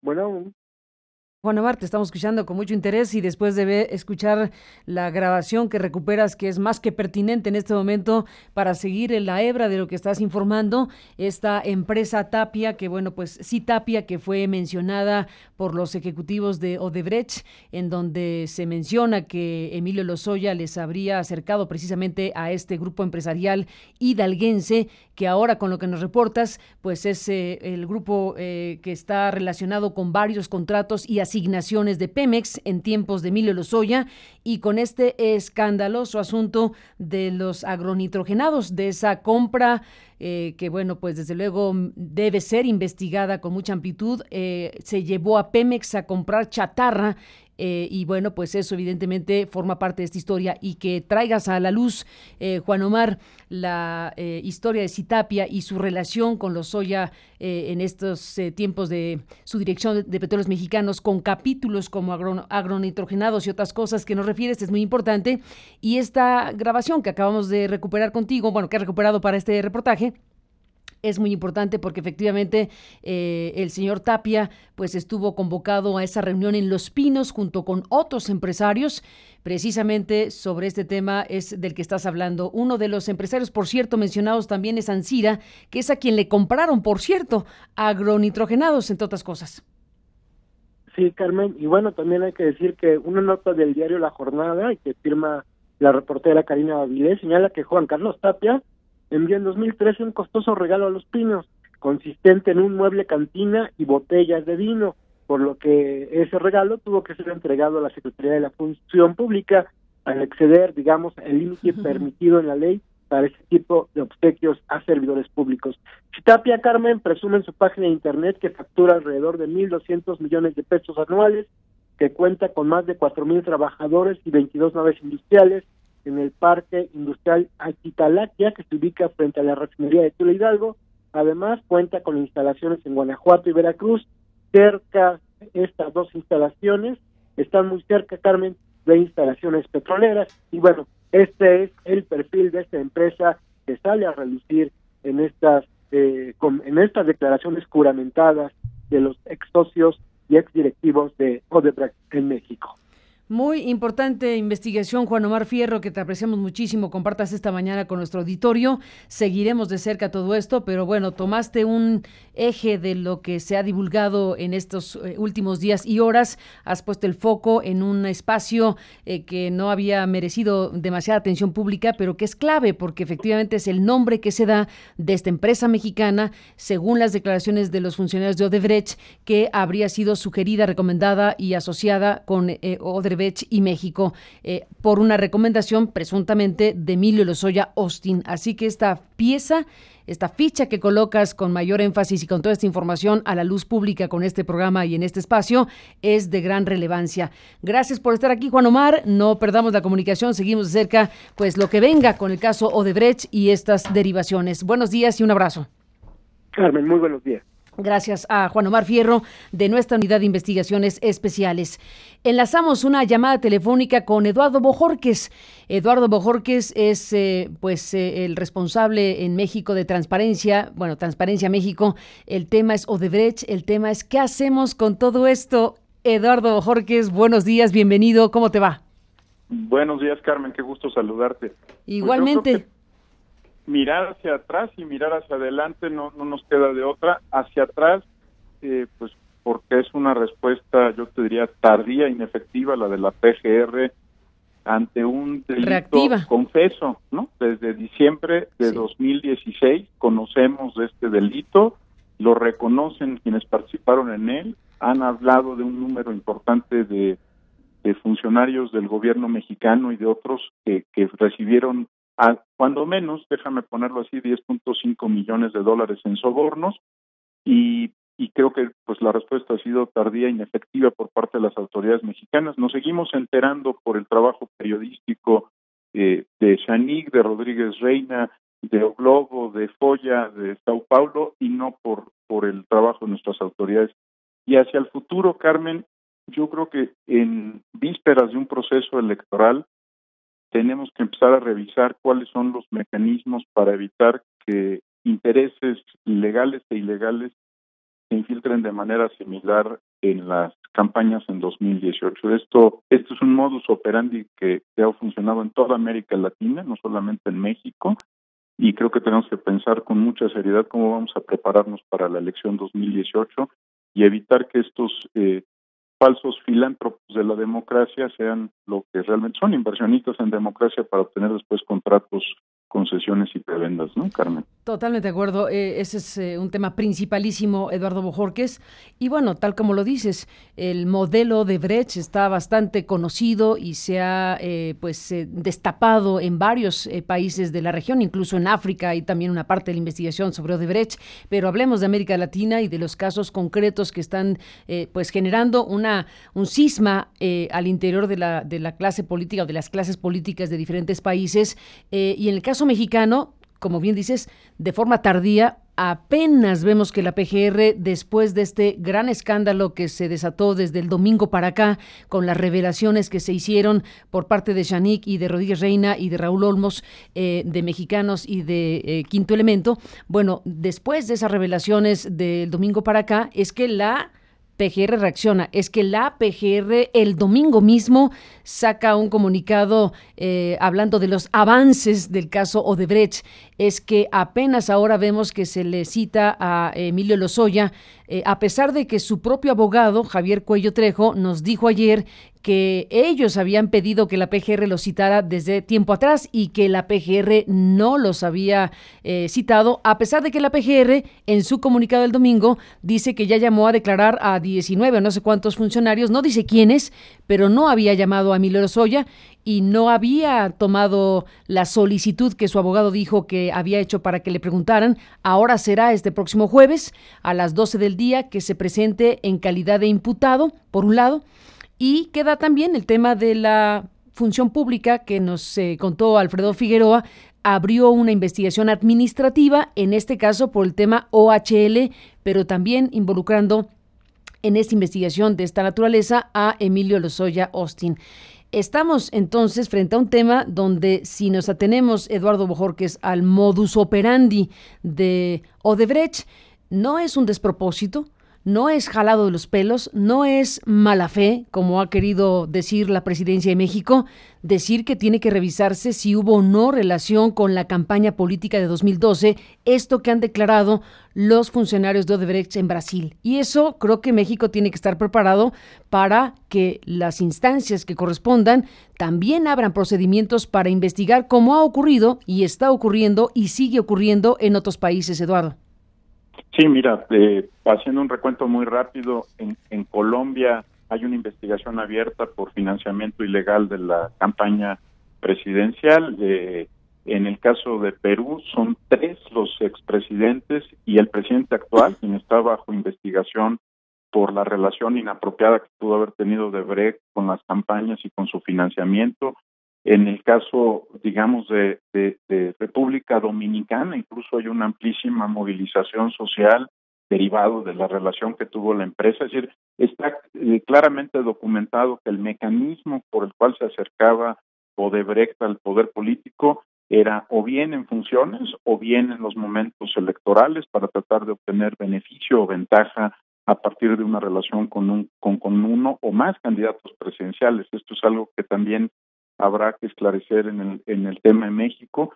Eh, el Departamento de Justicia, cuando libera el expediente en diciembre del año pasado, en el que se habla de varios funcionarios mexicanos o varios ciudadanos mexicanos involucrados en, en, estos eh, pagos irregulares, pues eh, estamos hablando de algo que ocurre no solamente durante una campaña presidencial, sino durante otra administración, Carmen. Y habría que ver si había funcionarios del sector de energía, como se mencionó en diciembre del año pasado, que estuvieran en funciones en ese momento, es decir, en la administración anterior, que, que también tuvieron algún trato preferencial o ilegal con esta, con esta compañía o con alguna de sus subsidiarias.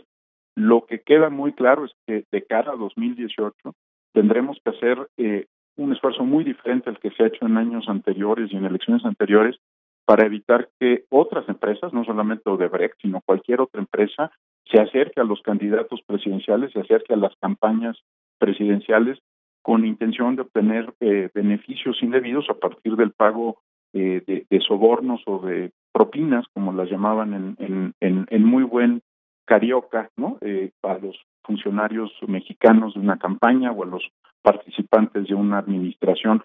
Eh, me queda claro, Carmen, que la observación electoral como la conocimos hasta hace algunos años eh, ha quedado atrás. No, no basta con, con que los ciudadanos se organicen para observar los procesos electorales el día de la jornada.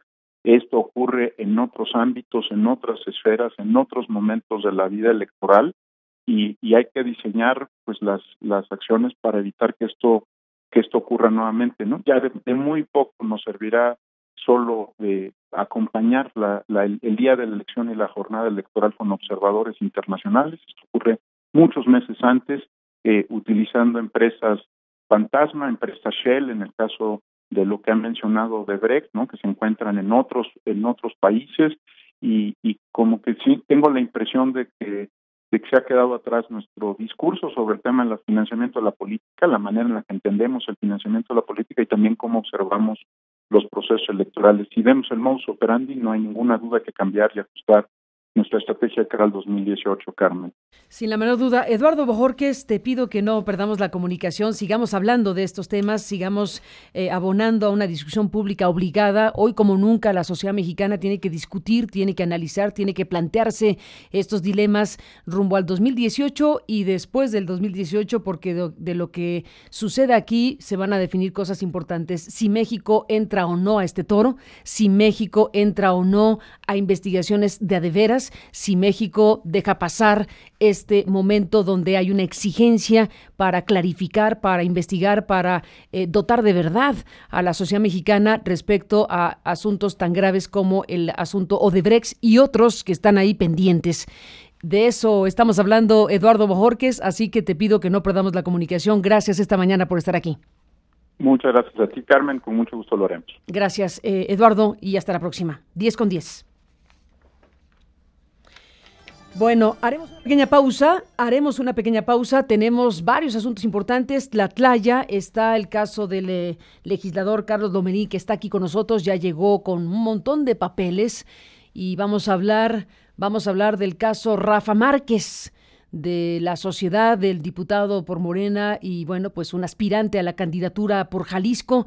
Eh, él eh, nos ofreció en una entrevista que tuvimos hace unos días que traería los documentos para eh, demostrar sus dichos y aquí está está con su conjunto de elementos para hablar del tema de su sociedad con eh, Rafael Márquez, el futbolista y seleccionado nacional, este nombre que apareció en el eh, informe del Departamento del Tesoro de los Estados Unidos hace unos días y que causó un revuelo y que está causando un revuelo bárbaro. Ya sabemos que aquí noticia mata noticia, pero no olvidemos el caso Rafa Márquez y el caso de Julián Álvarez.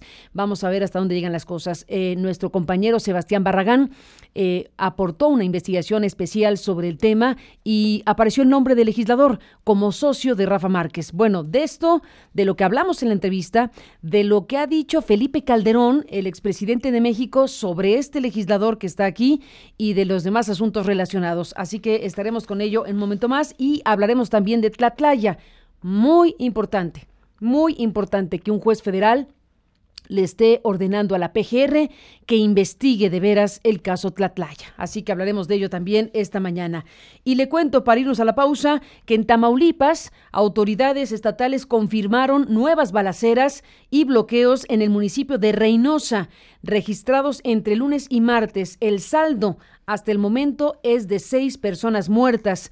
Los enfrentamientos en Tamaulipas fueron reportados por usuarios de redes sociales Así amanecieron ayer en este ayuntamiento tamaulipeco.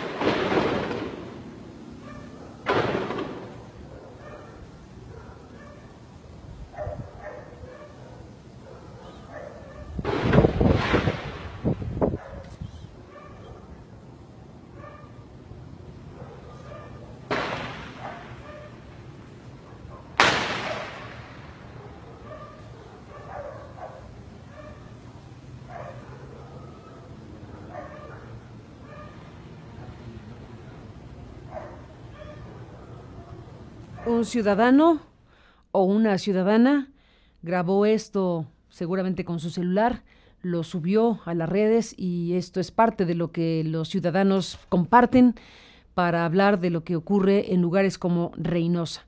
Esto que acabamos de ver y escuchar y que nos permitimos dejar completo el video porque nos da un acercamiento tan directo de lo que pasa en Reynosa y en otros lugares del país cuando la tranquilidad de un lugar se ve rota de esta manera, imagínese a los vecinos de ahí, con ese tipo de balacera, con ese tipo de detonaciones continuas, nuevas balaceras y bloqueos en el municipio de Reynosa se registraron entre lunes y martes. El saldo hasta el momento, seis personas muertas.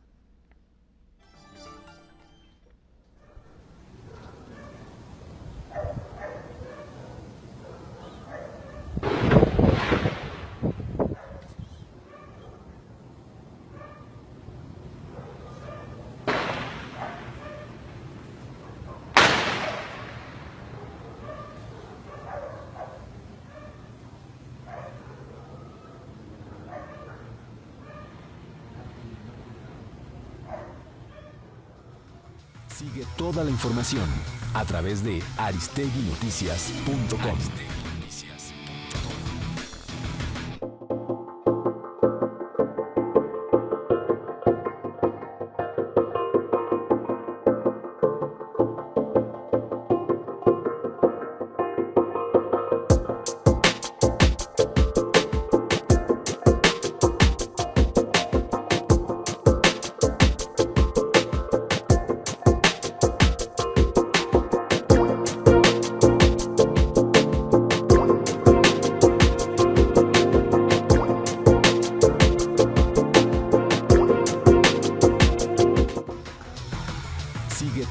información a través de aristeguinoticias.com.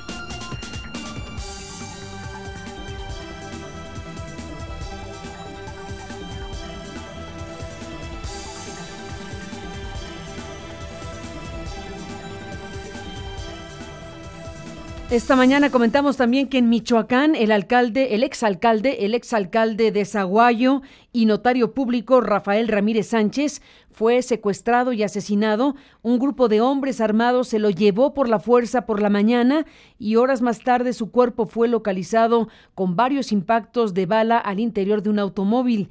El gobernador de Michoacán, Silvano Aureoles, condenó el crimen y se comprometió a llevar a los responsables ante la justicia. Ahí está un tuit donde lamenta y condena el homicidio del licenciado Rafael Ramírez Sánchez ocurrido en el municipio de Zaguayo. El exalcalde y notario público Rafael Ramírez Sánchez, secuestrado y asesinado ayer.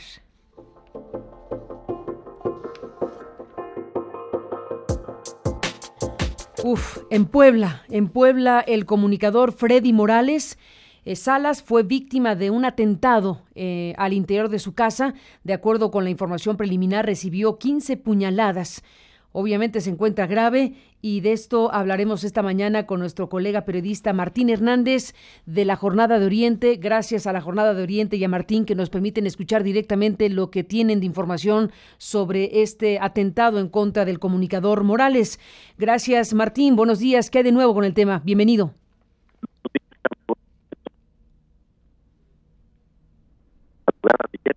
las 3.30 de la mañana Martín, eh, tuvimos, tenemos un problema. ¿Podrías empezar de nuevo tu información, si no te importa? Bueno, tenemos aquí un problema con la comunicación. Eh, colgamos y volvemos a marcar para escuchar a Martín Hernández de la Jornada de Oriente sobre este apuñalamiento del comunicador Freddy Morales. Pues eh, según las informaciones eh, que se tienen hasta este momento, recibió una puñalada en la garganta, otras 14 en otras partes del cuerpo, un ataque brutal, un ataque realmente a matar este que ha sufrido el colega Morales Salas. por cierto, que hay que decir que, que Freddy pues es una voz, una voz en Puebla que entre otras cosas ha denunciado la presencia de bandas de guachicoleros en la Sierra Norte del estado. Eh, está la información que circula del gobierno eh, de la Comisión de Protección a Personas y Defensoras de Derechos Humanos y Periodistas que dice establecimos contacto con hashtag Freddy Morales, informamos que realizó la denuncia, recibió atención médica, fue dado de alta de una herida menor. Eso es lo que dice protección a la prensa, pero las informaciones que circularon es que tenía 15 puñaladas. Realmente es muy distinta la versión de una eh, fuente y de la otra. Eh, vamos a ver si tenemos a Martín en la línea, nuestro colega Martín Hernández de la Jornada de Oriente, para que nos cuente de este tema. Martín, regresamos contigo. Esperemos escuchar bien tu voz. Buenos días nuevamente y bienvenido. Eh, Carmen, buenos días y buenos días a tu auditorio. Pues como bien informas, ayer al filo de las 3.30 de la madrugada, dos hombres ingresaron al, domicilio que también sirve de oficina para el periodista Freddy Eleazar Morales Salas. Él es eh, un comunicador que se desempeña en Menustiano Carranza un municipio ubicado en la Sierra Norte de Puebla, colindante con Veracruz. Participa en varios, varios medios de comunicación, particularmente en Enlace Serrano, Carmen, que es eh, un medio que da difusión a noticias que ocurren en la franja limítrofe entre Veracruz y Puebla. Eh, este comunicador, eh, Freddy Elazar Morales Salas, estaba durmiendo, era la madrugada, cuando estos dos hombres irrumpieron por la parte superior de su vivienda, ingresaron directamente a su cuarto, que daba una terraza, que era una terraza, y ahí intentaron matarlo, le propinaron, se sabe extraoficialmente, Carmen, 15 puñaladas en el pecho, en las piernas, los brazos, en el estómago. Eh, según una versión eh, que todavía no se confirmada, intentaron cortarle la yugular, no lo lograron porque él se defendió y también porque el secretario de eh, nuestro colega eh, pernoctaba abajo, insisto, este inmueble también es utilizado como oficina por parte de, de Freddy Lazar y bueno, logró intervenir a favor de, del comunicador. Los dos hombres trataron también de agredir al secretario de Lazar Morales, pero no, no lograron eh, eh, consumar ese atentado. Eh, los hombres huyeron, la gente de la comunidad salió a buscarlos, pero ya no los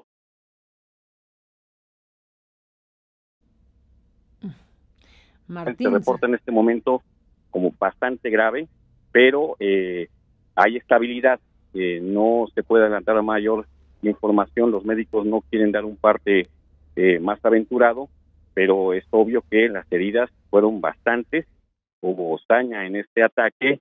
Y bueno, eh, la Fiscalía General del Estado ya informó que abrió la carpeta de, de investigación CDI 119 diagonal 2017 de Metraltoyuca y que solicitó a la Secretaría de Seguridad Pública establecer medidas cautelares, medidas de protección contra eh, este mes eh, un mecanismo de protección para periodistas y derechos y defensores de derechos humanos que es homólogo al de nivel federal. Eh, hay varias versiones, eh, o por lo menos hay dos versiones de cuáles pudieron ser los motivos de este ataque, Carmen. La primera, la que empezó a circular casi de inmediato que se supo sobre el atentado, es que este ataque podría haberse debido a la cobertura que Freddy Elazar Morales Salas ha realizado sobre el robo de hidrocarburos en esta región de la Sierra Norte de Puebla. Esta versión por la noche fue desmentida por el propio hijo de Freddy Elazar Morales Salas, diciendo que eh, su papá no ha dado cobertura eh, especial a este tipo de hechos, pero sí ha denunciado eh, abusos, atropellos de autoridades municipales de esa región de la Sierra Norte colindante con Veracruz y que esa podría ser una línea de investigación sobre estos hechos. Al respecto, Claudia Martínez, que es una activista de la representante del colectivo de alerta temprana para periodistas, ha dicho que es necesario establecer medidas de seguridad no solamente para Freddy, sino para el resto de los periodistas que están operando en las zonas donde hay mayor actividad de las bandas dedicadas al robo de hidrocarburos, en el centro del estado, el llamado Triángulo Rojo, que abarca al menos siete municipios, algunos hablan de hasta 14 municipios, y esta franja también de los límites de Puebla y Veracruz, donde hay una incidencia altísima también de robos, de robo de hidrocarburos a, a Pemex. Pues eh, Martín Hernández, te agradezco muchísimo la información que nos envías desde Puebla y bueno, desde luego condenamos, lamentamos y, todo lo que corresponda a este eh, atentado contra Freddy Morales, este colega radiofónico, este periodista radiofónico de esta zona de Venustiano Carranza en Puebla, que bueno, pues eh, se ha distinguido por su trabajo señalando, investigando y denunciando a los guachicoleros y al robo de combustible en la zona eh, entre Veracruz y Puebla. Y bueno, pues este ataque al interior de su casa, esto que se produjo dentro de su propio domicilio con estas puñaladas y con este querer acabar con la vida de este colega. Estaremos en comunicación, si me lo permites, Martín, para seguir paso a paso el estado de salud, las condiciones en las que se encuentra el colega Freddy Morales Salas allá en Puebla. Gracias por la información y no perdemos el contacto. Martín Hernández de la Jornada de Oriente, gracias por estar aquí. Gracias, Carmen. Buenos días. Buenos días, tremendo el asunto. Habremos de seguirlo de cerca porque esto de atacar a periodistas es algo realmente ya gravísimo en México. Es una crisis la que está atravesando México en esta materia. Eh, dígame si no, acaba la relatoría especial apenas, la relatoría especial de libertad de expresión de la Comisión Interamericana de Derechos Humanos. Edison lanza al cargo de esta relatoría condenando el asesinato del periodista Luciano Rivera este colega, director de la revista Dictamen, reportero de CNR TV Noticias en Baja California, y bueno, pues lo han asesinado también. Esto ha llevado, entre otros, al, al de la CID a pronunciarse y condenar este asesinato como tenemos que condenarlo todo mundo. Es evidente que no puede México seguir aguantando que se mate periodistas, que se atente contra los periodistas, que se agreda físicamente a los periodistas, como es el caso de Freddy Morales, como fue el caso del colega que perdió la vida, Luciano Rivera, como fue el caso de Javier Valdés. Apenas ayer se cumplieron tres meses del asesinato de Javier Valdés en eh, Sinaloa. Eh, hubo manifestaciones, rodearon el Palacio de Gobierno, exigen a las autoridades que esclarezcan el caso de Javier Valdés. En fin, solo por hablar de este último tramo respecto a los ataques a periodistas, Baja California, Puebla, Sinaloa, con estos tres casos que ilustran una situación ya sumamente grave que se ha prolongado por demasiados años y con toda la impunidad del caso, con toda la impunidad que ha acompañado los asesinatos de estos periodistas o las agresiones directas como la de Freddy Morales en Puebla, eh, límites con Veracruz. Son las 10 con 27. Hacemos un brevísimo puente, regresamos, estamos siguiendo de cerca el caso Tlatlaya. Oigan, muy importante la resolución judicial. El papel del Poder Judicial en el país, en el tiempo que vivimos, es fundamental. Que una instancia judicial federal le diga a la PGR lo que le dijo es decir, que revise el caso Tlatlaya, es decir, que se revise lo que ha sucedido y lo que no ha sucedido con el caso Tlatlaya, es sinceramente muy importante. Un juzgado federal le ordena a la Procuraduría General de la República que se reabra el caso Tlatlaya, que se investigue realmente lo sucedido en esa bodega de esa pequeña localidad em, en San Pedro de Limón, Estado de México, el 30 de junio de 2014. Y bueno, ahí está lo que quien fue a quejarse hoy tiene una respuesta de la justicia. Quien fue a decir no se investigó apropiadamente el caso Tlatlaya, ahora tiene una respuesta de la propia justicia federal. De eso hablaremos también esta mañana.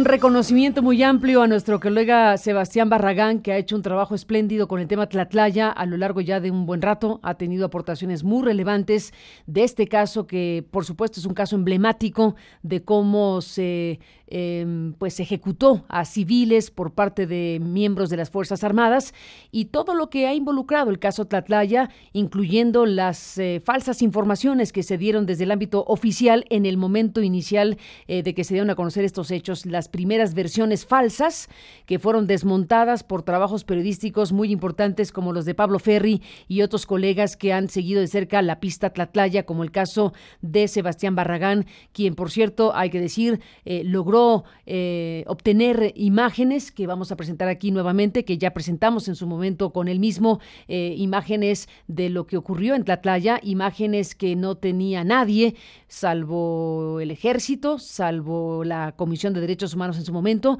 eh, y que, bueno, fueron obtenidas por Sebastián Barragán y que forman parte de lo que ilustra de una forma cruda o crudísima lo que ocurrió en esa bodega del Estado de México. Sebastián Barragán, hoy con esta noticia de que un ámbito de la justicia federal, de que un juzgado federal le indica a la PGR que debe revisar, reabrir el caso Tlatlaya. Buenos días y bienvenido. Carmen, muy buenos días, de verdad. Muchas gracias por los comentarios. Y bueno, vamos a pasar con dos informaciones relacionadas con el caso Tlatlaya, porque este martes se dio a conocer que un juez ordenó a la Procuraduría General de la República abrir e investigar a fondo los hechos acontecidos en Tlatlaya, Estado de México, el 30 de junio de 2014. En la sentencia de amparo, la jueza que llevó, a cabo, que llevó el caso concluyó que PGR fue omisa en realizar las diligencias necesarias para investigar los hechos, lo que viola los derechos constitucionales de las víctimas. En particular, subrayó que no se realizaron las diligencias para indagar la orden militar que instruyó abatir delincuentes en horas de oscuridad ni la cadena de mando responsable. Por ello, otorgó la protección de la justicia federal para que se reabran las investigaciones e incluso enumeró las obligaciones que tiene PGR. Primero, deberá establecer si existe alguna indagatoria que aún no haya sido consignada y además deberá informar cuáles son las diligencias que emprenderá, justificarlas y ponerles fecha. Y bueno, Carmen, en el trámite de este amparo, que pudimos revisar la sentencia el día de ayer, se presentaron una serie de hechos y elementos para comprobar que hubo violaciones a los derechos constitucionales. En esa lista de indicios se incluyó un, párrafo en el que la Comisión Nacional de los Derechos Humanos aportó a PGR un oficio en el que incluye un reportaje de Aristegui Noticias que comprobó que los cadáveres de nueve víctimas fueron movidos de su posición original al ser abatidos e incluso les colocaron armas de fuego. El reportaje del 6 de noviembre de 2016 documentó que la manipulación de la escena del crimen ocurrió mientras los elementos de Sedena esperaron la, llegada del Ministerio Público, que es la única autoridad encargada de investigar los hechos. Y bueno, Carmen, tenemos las imágenes en pantalla de lo que presentamos en ese mes de noviembre de 2016 y son precisamente estas fotos donde se aprecia que, bueno, cuando los militares llegaron a la escena de los hechos, tomaron imágenes de los cadáveres y seis horas después, cuando llegó el Ministerio Público, algunas armas estaban en otros lugares, estaban sembradas, incluso algunos cuerpos fueron movidos de su posición original al caer y estas imágenes las obtuvimos mediante una... Eh, una solicitud de información que se alargó y que finalmente resolvió el INAI. Bueno, para el Resolvió bien el INAI, muy bien el INAI porque finalmente permitió que se conocieran estas imágenes que lograste obtener después de los procedimientos correspondientes y que muestran claramente lo que ocurrió ahí. Y esta investigación periodística eh, que has realizado, Sebastián, bueno, efectivamente es tan importante, es tan relevante que está incorporada en el propio documento que se presentó por parte de esta organización del Estado, exactamente, de la CNDH. Exactamente. Aquí lo importante es señalar que estas imágenes que tomó Sedena en el lugar de los hechos no fueron entregadas a la CNDH en la investigación que realizó por violaciones graves a los derechos humanos y que finalmente derivó en una recomendación. Y bueno, como les decía, con estas imágenes en noviembre de 2016 logramos documentar la, la alteración del crimen en lo correspondiente a nueve cadáveres.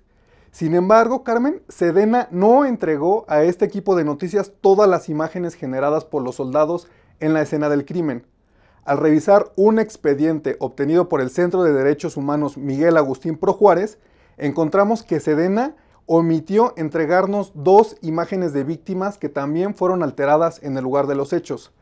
En el primer comparativo que vamos a presentar en este momento es la imagen que tenemos en pantalla. Se aprecia al joven que cayó junto a Erika, una de las víctimas cuya historia hemos cubierto a, lo largo de estos meses. Y bueno, en la imagen que generó Sedena, que tenemos a la izquierda, se aprecia que el joven quedó tirado con el brazo eh, izquierdo extendido, incluso se aprecia una, una herida de gran magnitud que es del, del, tipo de la CNDH que calificó como maniobras instintivas de defensa, y posteriormente en la imagen de la derecha, que es cuando llegaron los peritos de la Procuraduría General de Justicia del Estado de México, se aprecia que le colocaron un cargador de arma larga. Entonces vemos la diferencia, hay aproximadamente seis horas de diferencia entre estas imágenes. A la izquierda tenemos la imagen que tomó Sedena, donde se aprecia el cuerpo tirado, el joven con una, con una herida de maniobras instintivas de defensa y posteriormente le colocaron un cargador de arma larga. Y bueno, vamos a revelar un segundo comparativo. Sí, sí, son, son, todos jóvenes, este, algunos menores de edad. Y bueno, Carmen, tenemos otro comparativo. En esta otra imagen que no fue entregada por Sedena a este equipo de noticias, se aprecia a un hombre con camisa a cuadros tendido boca abajo.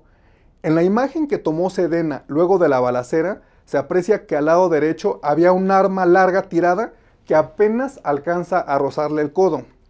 Sin embargo, en la imagen que tomaron los peritos de la Procuraduría Mexiquense, el arma ya aparece bajo el brazo, lo que indica que este cadáver, la posición del arma, también fue modificada por las autoridades.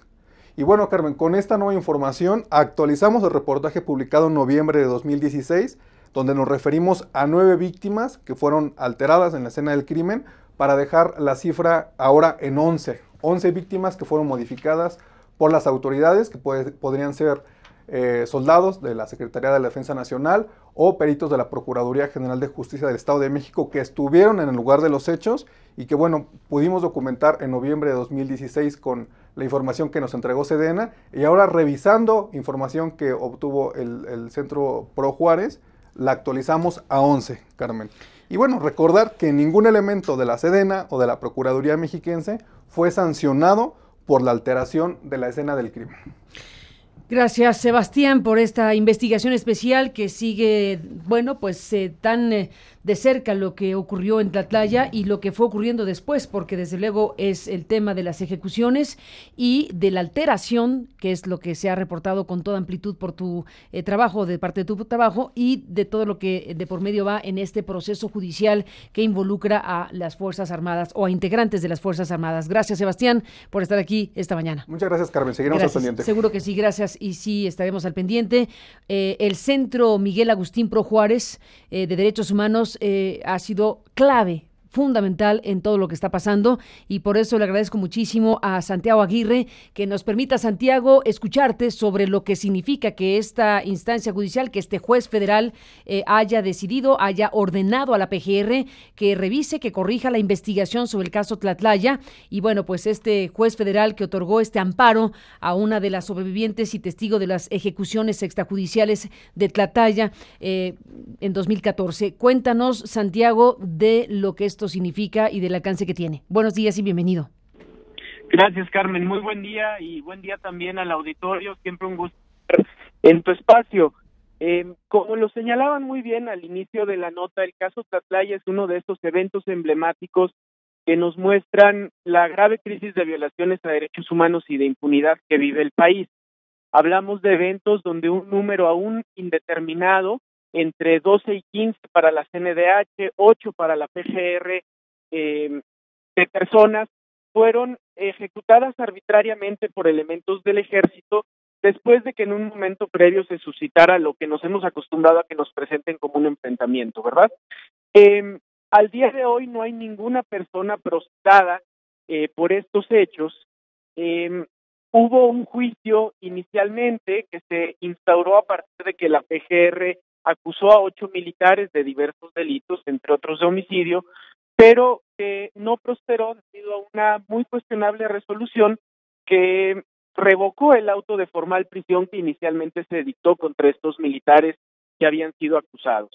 Em, el expediente fue reenviado a la PGR para que mejorara su investigación y nuevamente presentara cargos, y sin embargo la PGR ha sido omisa de cumplir con esta función de perfeccionar la investigación para que los hechos no queden impunes. Ante la pasividad de la Fiscalía, eh, fue necesario acudir a la justicia federal y hemos dado a conocer que un juez de amparo le ha ordenado a la PGR realizar una investigación que sea exhaustiva, que se ajuste al deber de debida diligencia y sobre todo que agote la indagatoria sobre la responsabilidad de la cadena de mando. Recordemos que en el caso Tlatlaya se logró documentar que existe una orden eh, recibida por la eh, unidad militar involucrada en los hechos, en la que unos días previos al evento se le instruyó a batir delincuentes en horas de oscuridad. Una orden que claramente es incompatible con el Estado de Derecho y que tendría que investigarse. Eh, es muy importante decir que la resolución del juez muestra cómo eh, en casos de graves violaciones a derechos humanos, pero podríamos decir lo mismo de los casos de impunidad eh, nuestras fiscalías no asumen como una obligación propia el deber de esclarecer.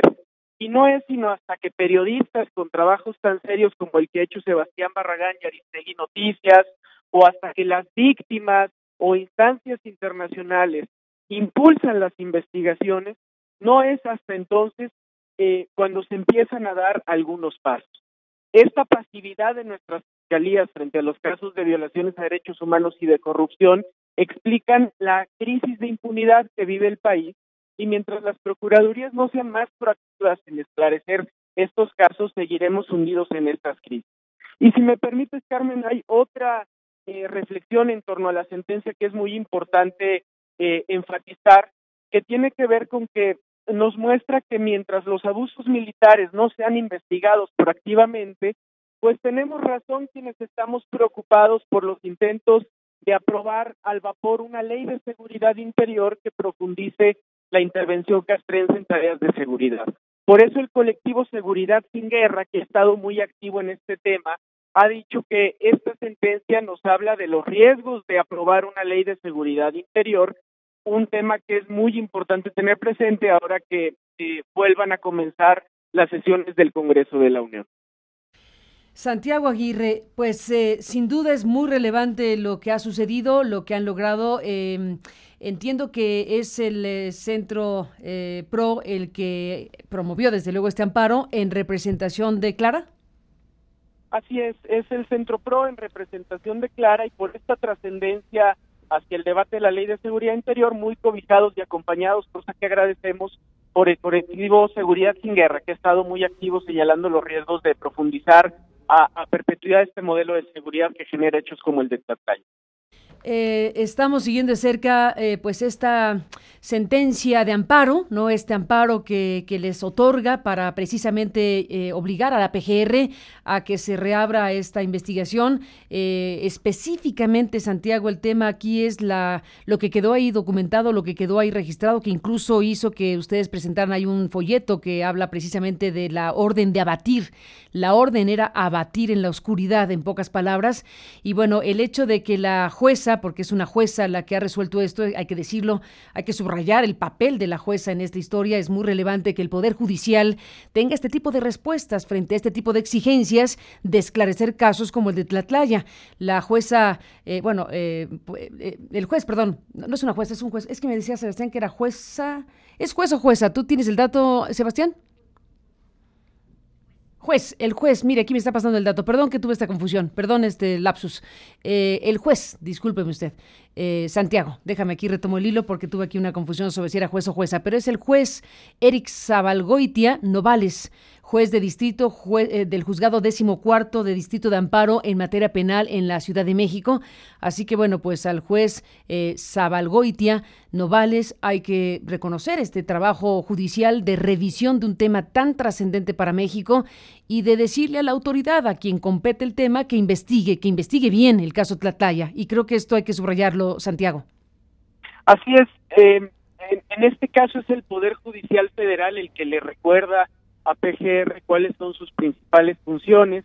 En otros casos son los periodistas y las periodistas, el sistema ombudsman, las instancias internacionales, las propias víctimas en sus movilizaciones, pero digamos que el factor común que estamos viendo en México es que tienen que generarse em, eh, observaciones externas sobre las investigaciones porque de lo contrario no están asumiendo nuestras fiscalías proactivamente sus deberes de esclarecer de forma cabal los casos que más le duelen a la sociedad de violaciones a derechos humanos, de corrupción.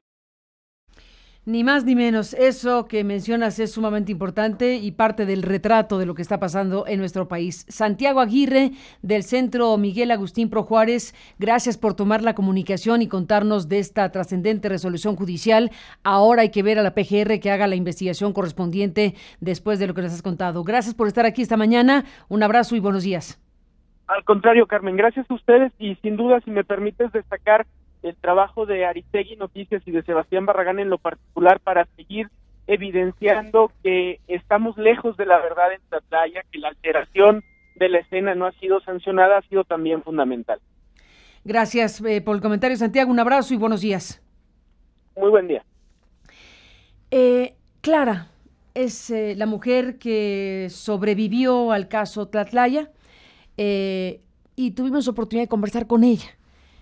En julio del año pasado tuvimos oportunidad de conversar en CNN en español con Clara Gómez González, una de las sobrevivientes de los hechos ocurridos en Tlatlaya. Clara es madre de Erika, esta muchacha adolescente que usted vio en las imágenes que quedó muerta en esta escena de Tlatlaya, una adolescente que es una de las 22 personas, bueno, una de las personas que murieron eh, a mano, bueno, que murieron en la escena de Tlatlaya. Eh, algunas eh, informaciones claras muestran precisamente que hubo ejecuciones ahí. Y bueno, es la investigación que se le pide a la PGR vuelva a ser. por las evidencias de que se sembraron evidencias falseadas, que se modificó la escena de lo sucedido. Eh, Sebastián Barragán ha aportado cosas fundamentales con este reportaje que ahora recuperamos esta mañana y que fue difundido en este espacio de noticias eh, hace algún tiempo. Ahora tiene mucho sentido volver a hablar de lo que Sebastián Barragán eh, ha dado a conocer a la opinión pública sobre cómo se sembraron las armas, sobre cómo se modificó la escena, sobre cómo se manipuló eh, todo lo que está ahí en las imágenes y en la narración de hechos de Sebastián Barragán y de este equipo de noticias de nuestra unidad de investigaciones especiales.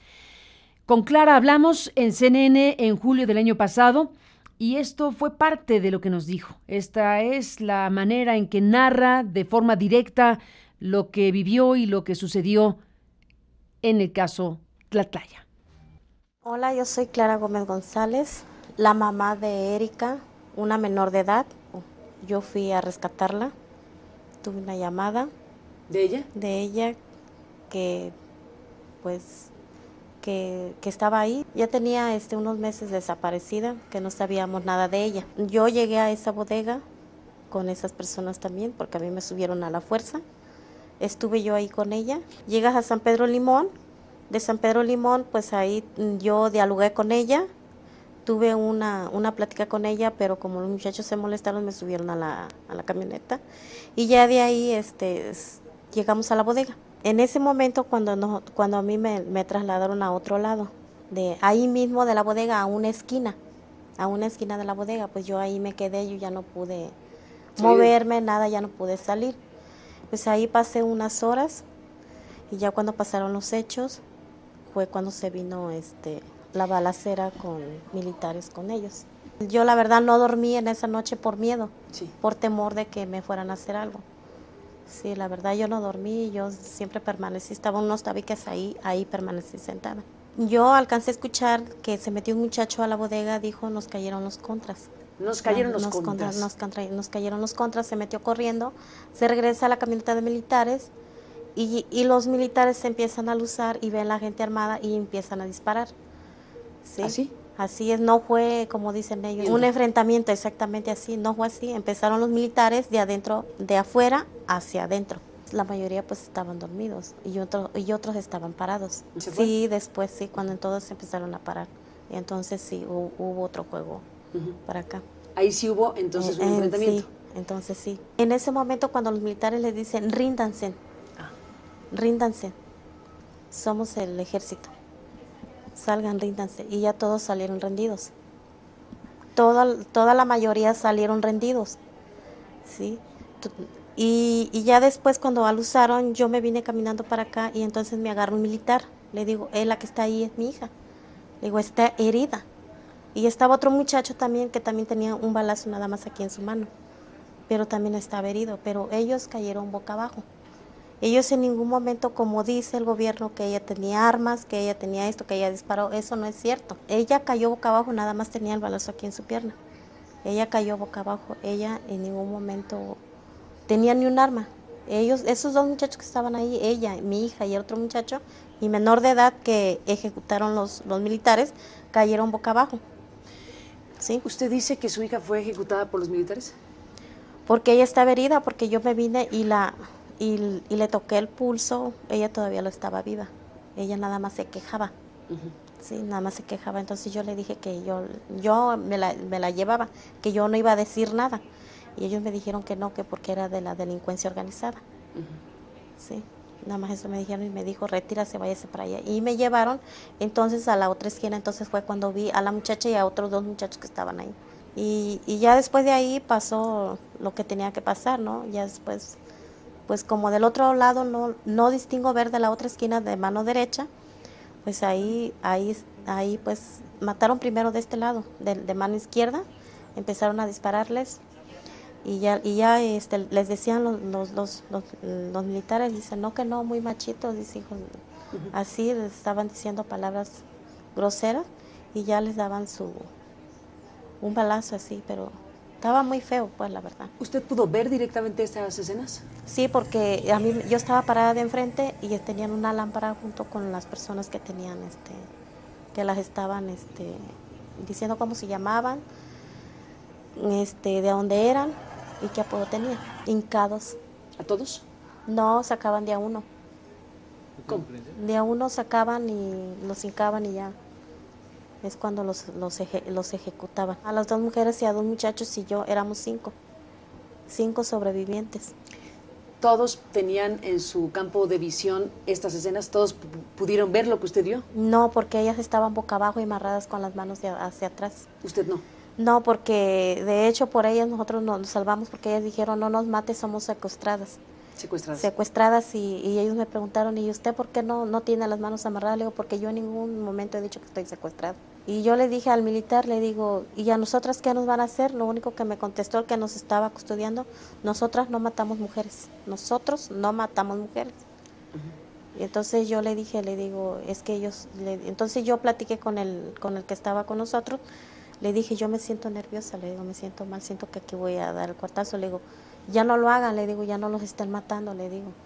¿Por qué lo hacen? Dice, porque esos perros no merecen vivir. Porque a nosotros no, no nos dejaron este, hablar, porque a nosotros nos amenazaron desde un principio que estábamos en la bodega. ¿Quién y cómo las amenazó? Que nos dijeron que no dijéramos nada, que, que no, y si uno pues le, le decíamos las cosas, decían que esa declaración que no les, que no les servía a ellos.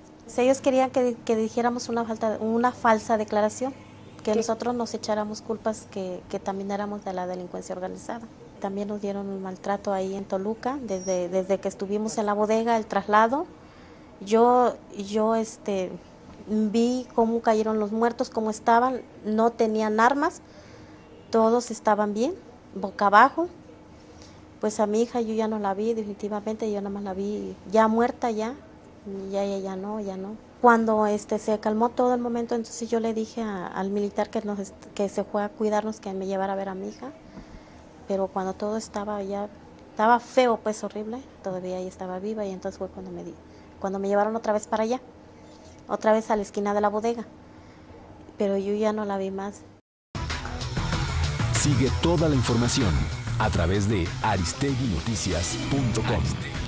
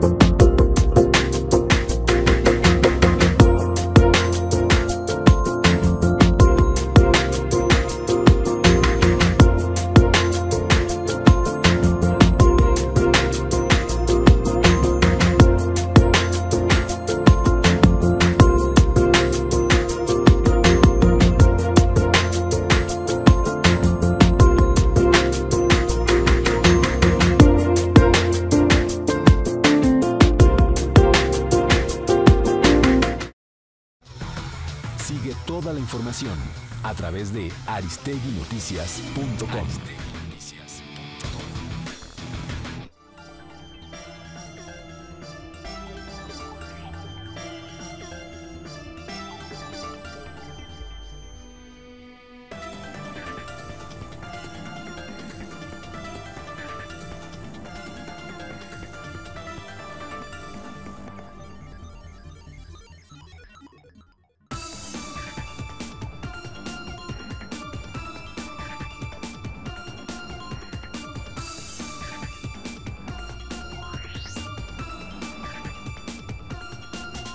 Bueno, nos sumamos al pesar, al duelo por la muerte de un gran, gran periodista, Jesús Aranda Terrones. Falleció este colega periodista de la jornada, un hombre de gran trayectoria, de un trabajo muy respetado, de un trabajo muy serio, de un trabajo muy importante eh, la jornada está ya confirmando el fallecimiento de Jesús. Esta madrugada, dice la nota de la jornada, esta madrugada falleció de causas naturales nuestro compañero reportero Jesús Aranda, quien había colaborado con esta casa editorial hasta 1993, periodista de larga trayectoria, se especializó en dos ámbitos que le apasionaron, las Fuerzas Armadas y la impartición de la justicia en México. De ahí que como parte de sus tareas destacara su columna Milicia y Justicia. Em, Alonso Urrutia está eh, firmando esta nota donde está dando cuenta precisamente de este fallecimiento. Eh, esta madrugada falleció de esta manera, aunque originalmente Aranda inició su carrera periodística en el Sol de México, su trayectoria profesional la desarrolló fundamentalmente en el diario La Jornada, hombre de trato amable. Fue un periodista crítico del desempeño de las Fuerzas Armadas, tanto de la Secretaría de la Defensa Nacional como de la Secretaría de Marina documentó en estos casi 25 años la historia castrense con sus excesos y sus aportes en las tareas de seguridad nacional. Aranda se desplazó en diversas ocasiones para la cobertura de algunos ejercicios militares y llegó a conocer con mayor profundidad la organización y operación de ambas dependencias. Recientemente, por cierto, recientemente a raíz de los cuestionamientos que desde su columna realizaba al desempeño del ejército mexicano, fue censurado y marginado de las convocatorias a los eventos públicos de la Secretaría de la Defensa Nacional, lo que motivó que interpusiera una queja ante la Comisión Nacional de Derechos Humanos por afectaciones a su desempeño profesional, todo lo cual desembocó en la recuperación de sus derechos como profesional. En paralelo, en la jornada también estaba asignado a la cobertura de la Suprema Corte de Justicia de la Nación, donde igualmente atestiguó la transición que ha tenido este máximo Tribunal de Justicia en México desde mediados de la década de los noventas, cubriendo los casos más controvertidos que en esa instancia se han, se han discutido en los últimos años. Este martes la jornada publica en su edición impresa sus dos últimas notas. Una tira la Suprema Corte de Justicia de la Nación recurso de la PGR contra la Carta Magna y dos, prevé la Suprema Corte de Justicia dar la razón a Telcel y retirar la tarifa cero. En Twitter, el ministro José Ramón Cosío lamentó el deceso de quien calificó querido amigo. En esa misma red social, el también ministro de la Corte, Arturo Saldívar, envió el pésame a la familia y amigos de Aranda Terrones. Hay ya muchos tweets, hay ya una gran conversación eh, sobre el trabajo, la trayectoria, eh, la tarea de un periodista tan respetado y serio como Jesús Aranda Terrones. Va a hacer falta, muchísima falta, su presencia en la jornada, su presencia cubriendo el tema de la milicia y el tema de la Suprema Corte de Justicia. El Consejo de la Judicatura Federal eh, ha emitido un comunicado, una, un tuit, Em, hay un dolor, desde luego, no solamente entre los periodistas, sino también entre el ámbito judicial, que saben lo que se pierde, saben la pérdida que representa este, esta muerte de Jesús Aranda Torres. La, el Consejo de la Judicatura Federal sube un tuit que dice, lamenta el Pleno del Consejo de la Judicatura el fallecimiento del periodista Jesús Aranda Torres, decano de la, de la Fuente Judicial por la jornada. La jornada sube un tuit que dice que en paz descanse, fallece el reportero de la jornada Jesús Aranda. José Ramón Cosío, lamento la muerte de Jesús Aranda, reportero de la jornada, decano de la fuente periodística de la Suprema Corte y querido amigo. Arturo Saldívar, ministro también. Mi más profundo pésame para la familia y amigos de Jesús Aranda, reportero de la jornada online, decano de la fuente en la Suprema Corte de Justicia. Blanche Petrich, colega periodista de la jornada, dice, otro gran vacío en nuestra redacción. Buen camino, Chucho. Julio Astillero, de la jornada, dice, ha muerto Jesús Aranda Terrones, compañero reportero de la jornada, especializado en asuntos de Suprema Corte y las Fuerzas Armadas. Eduardo Murillo, dice, decano de la Fuente de la Corte, compañero generoso, siempre te extrañaremos, que en paz descanse Jesús Aranda. Arturo Ángel, el periodista Jesús Aranda, experto en temas de la Corte y Fuerzas Armadas y quien escribía para la jornada, falleció esta madrugada. Y un tuit de la Suprema Corte que dice, el Pleno de la Suprema Corte de Justicia de la Nación, el Pleno de la arroba Suprema Corte de Justicia de la Nación, lamenta el fallecimiento de Jesús Aranda, reportero de la jornada, y expresa su pésame a familiares y amigos. Omar Sánchez de Tagle, otro colega periodista, dice muy mala noticia y una gran pérdida el fallecimiento del periodista Jesús Aranda. Un abrazo a su familia. Son los tweets que están circulando, eh, sumándose al duelo y al luto por la muerte de Jesús Aranda. Pues eh, estos tweets nos hablan del gran aprecio y el reconocimiento que incluso las instancias que eran observadas, eh, reportadas, criticadas incluso desde el ámbito periodístico, reconocen con este tuit el trabajo y la tarea de Jesús Aranda Terrones. Descanse en paz, Chucho.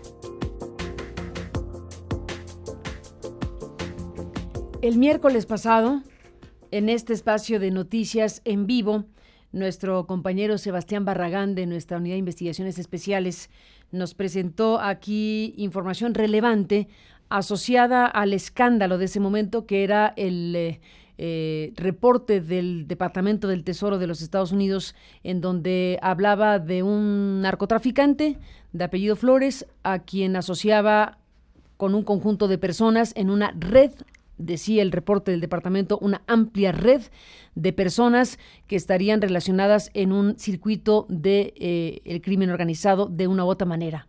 Nombres y apellidos, empresas que este departamento eh, del Tesoro de los Estados Unidos eh, pues se mostraba públicamente como lo suele hacer con este tipo de informaciones en donde coloca a un narcotraficante o presunto narcotraficante imputado y procesado con un conjunto de personas que no están en ese momento imputadas, pero que por una u otra razón las relaciona con ese individuo y toma acciones, entre comillas, preventivas para evitar que otros se relacionen con ellos.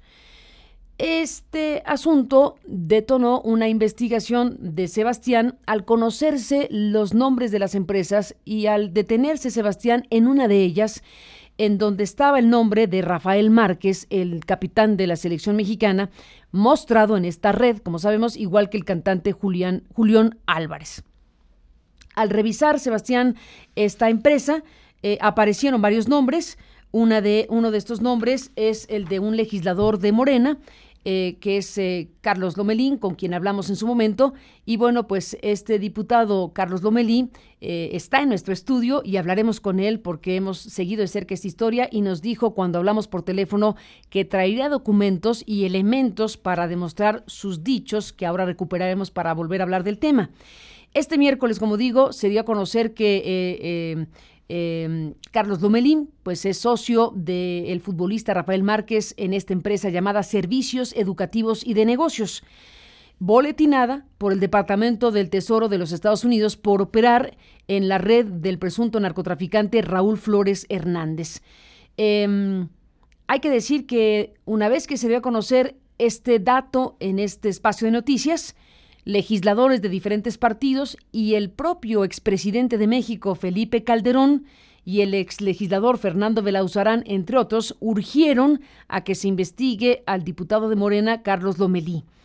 En entrevista con este mismo medio, eh, pues quien es socio de Rafael Márquez en un colegio de fútbol, eh, pues en su momento dijo no recordar eh, la creación de esa empresa, no recordar si había firmado eh, para formar parte de esta empresa que se creó, según su narración, para comprar camionetas que dieran servicio a los muchachos y niños que acuden a ese eh, colegio de fútbol, del cual también está relacionado con Rafael Márquez. Em, Felipe Calderón, el expresidente, publicó en su cuenta de Twitter que el ex jefe de gobierno, Marcelo Ebrard, otorgó contratos a una de las empresas de Lomelí. Marcelo Ebrard otorgó contratos a una de las empresas de Lomelí por 1.594 millones 579 mil pesos. La mayoría, bueno, pues es por asignación, según dijo Felipe Calderón en este tuit. Em, hay otros tweets, como digo, de Belauzarán, que también vamos a retomar para esta entrevista. Hay declaraciones de senadores como Luis Sánchez del PRD, que también vamos a recuperar para saber qué dice Lomelí Bolaños de todo esto. Y está el trabajo de investigación de Sebastián Barragán, que ahora nos presenta precisamente para hablar del tema nuevamente y retomar el hilo retomar el hilo de lo que informaste, Sebastián, en su momento sobre la asociación de esta empresa, Servicios Educativos y de Negocios, con Rafael Márquez eh, y el diputado por Morena, Carlos Domelí. Cuéntanos, Sebastián, nuevamente gracias por estar aquí ahora con este otro tema. Gracias, Carmen. Eh, bueno, el diputado Carlos Lomelí Baños presentó a Aristegui Noticias una serie de documentos que comproban que la Procuraduría General de la República investigó sus cuentas y aún así decidió no ejercer acción penal por el delito de operación con recursos de procedencia ilícita. Los documentos indican que entre 2008 y 2011 la PGR abrió una investigación derivada de la inclusión que hizo el Departamento del Tesoro de Estados Unidos de las empresas que tiene el Omelí en una red de lavado de dinero del cártel de los Amezcua. El documento, que es el que tenemos en pantalla, documenta que las empresas de, de Lomelí Baños presentaron información financiera, contable y fiscal que se contrastó con los informes de la Unidad de Inteligencia Financiera de la Secretaría de Hacienda. Con esta información se emitió un dictamen que concluye que los ingresos de Lomelí Baños son de sus empresas farmacéuticas y que este dinero no está involucrado con la organización delictiva de los Amezcua. Con estos elementos, y es precisamente el documento que tenemos en pantalla, se resolvió el no ejercicio de la acción penal por parte de la Procuraduría General de la República. Otro documento que presentó el diputado eh, son tres hojas que, eh, donde el Departamento del Tesoro de Estados Unidos acepta, es el que tenemos en pantalla en este momento, acepta quitarlo de la lista negra de la OFAC. El documento dice que llegó a esta conclusión tras revisar la información disponible en su plataforma y los documentos que apropió el propio empresario. El ahora diputado debió enviar en ese momento una carta donde aceptó los términos de remoción del listado, que entre otras cosas incluyen firmar no haber participado en ninguna actividad ilegal y además que ni él, ninguna de sus empresas, accionistas, oficinista, gerente o empleado participó en negocios con otras empresas enlistadas por la OFAC. El documento cierra diciendo que si descubren algún tipo de mentira o de información falsa en su declaración, lo volverán a incluir en el, en el, listado y es precisamente el documento que vemos en este momento que está en inglés y que eh, es del, del Departamento del Tesoro de los Estados Unidos. Y un tercer documento que presentó el diputado a Aristegui Noticias, o una tercera serie de documentos, se refieren a lo recabado en el registro público de Jalisco, donde la empresa Servicios Educativos y de Negocios este, bueno, pues todo su historial, donde aparece el diputado como accionista junto a Rafael Márquez, junto a otros, otras ocho personas, hay que decirlo. En el acta constitutiva, el notario público Eduardo González Batis anotó que los 10 accionistas manifestaron ser y luego cada uno describió su nombre, ciudad de origen, estado civil y domicilio. En esa parte se incluye a Carlos Lomelí Bolaños. Sin embargo, en la hoja siguiente, el notario, el notario público dio fe de que únicamente se recabaron nueve firmas, de, siendo un total de 10 accionistas. El documento, Carmen, esta versión del documento que nos envió el diputado no incluye las firmas autógrafas como tal, por lo cual no se puede saber quién faltó a esa reunión para poner la firma y son los documentos que estamos viendo, donde cada uno de los accionistas describió su lugar de origen, su estado civil, incluso su domicilio. Y en la hoja siguiente vemos que a pesar de que son 10 accionistas, el notario público únicamente da fe de 9 firmas. Pero por, esta versión del documento no incluye las firmas, no podemos saber quién fue el accionista faltante. Y eh, otro, otro documento que se incluye en este mismo listado documenta que la empresa no ha tenido movimientos desde su creación en el registro público como cambio de objeto de la sociedad, cambio de nacionalidad, transformación, fusión o modificación al contrato social. Y el paquete de documentos cierra con una serie de búsquedas en dos servicios de información legal, que son najiba.mx y el Buró de Investigaciones Legales, donde se concluye que la empresa no ha estado involucrada en problemas legales, que no tiene movimientos ante el SAT y que únicamente, como, único, como única información, es que está enlistada o boletinada por el Departamento del Tesoro del Gobierno de los Estados Unidos, Carmen. Es el reporte de los documentos que envió el diputado Lomelí a este equipo de noticias. Gracias, Sebastián, por esta información y que eh, recupera esencialmente los documentos que nos eh, prometió enviar y que nos envió precisamente el diputado por Morena, Carlos Lomelí, quien está aquí en este estudio. Y bueno, pues Carlos, gracias por venir aquí, gracias por seguir en esta serie de explicaciones que son obligadas una vez que eh, tu nombre apareció asociado al de Rafael Márquez en esta empresa y que teníamos el antecedente de que fuiste tú mismo presentado en esta lista negra, digámoslo así, en esta lista, en esta lista del Departamento del Tesoro hace algunos años. Nos has mostrado esto que ya explicó Sebastián. ¿Qué más tendrías que decir? ¿Qué más sabes de esa sociedad tuya con Rafael Márquez que no te acordabas hace unos días? Sí, Carmen, primeramente agradecerte, es un honor estar en tu programa. Eh, felicitar a Sebastián por la claridad con la que explica, decirle que nada más anexaría que la investigación de la Unidad Recursos de Procedencia Ilícita eh, fue a 10 años hacia atrás y concluye en el 2011. Eh, ¿Qué más encontramos que el notario Batis falleció? El motivo por el cual no tenemos la hoja de y no sabemos realmente, es más, no sé si fui yo el que faltó de firmar o sería cualquiera otro de los socios. cuando un notario fallece, se recogen los libros y va a un archivo eh, que controla el gobierno de los, de, los estados y en este caso no hemos tenido acceso y no hemos podido sacar esa copia para saber quién, qué, qué firma faltó. Así de claro, ¿no? Entonces, bueno, y hoy por hoy no sabes si, tú faltaste, si no faltaste. Eso no lo tienes claro. Pero algo que hay que señalar primeramente, no tengo ningún señalamiento ni por el Tesoro ni por ninguna persona. O sea, yo aparezco ahí como aparecen otras ocho empresarios. digamos aquí, ¿lo tuviste? Y se aclaró según el documento que acaba de referir. ¿El señalamiento que tuviste fue en qué año? El que yo tuve fue en el 2008. En 2008, que, bueno, déjame ir por partes, porque, bueno, sabes que termina la explicación y ahorita vamos por partes. Bueno, este, no, y nada más eh, eh, comentar a tu radio escuchas y a tu programa que eh, es un cascarón que quedó simplemente en la notaría, que nunca tuvo RFC, nunca tuvo chequeras, nunca tuvo movilidad, nunca ha, presentado una declaración. Entonces es realmente un cascarón de una empresa que se hizo con un notario y que ahí quedó. Pero ¿por qué la refiere el Departamento del Tesoro como una empresa boletinada asociada a este narcotraficante principal del cual deriva la red de la que se menciona? Tú no estás boletinado en el eh, informe del, Departamento del Tesoro, pero está la empresa de la que eres socio con Rafael Márquez, que es esa empresa de la que estamos hablando. Sí, yo creo que eh, cuando el Tesoro de los Estados Unidos manda este boletín, se hace una búsqueda en el registro público de la propiedad y todo aquello en donde se encuentre el nombre tanto de él como de Heredia, que es un era su apoderado, pues se boletinan para ah, como de manera precautoria para que sean los, los señalados quien tenga que aclarar esta situación y que muy seguramente lo van a hacer o ya están abocándose a eso.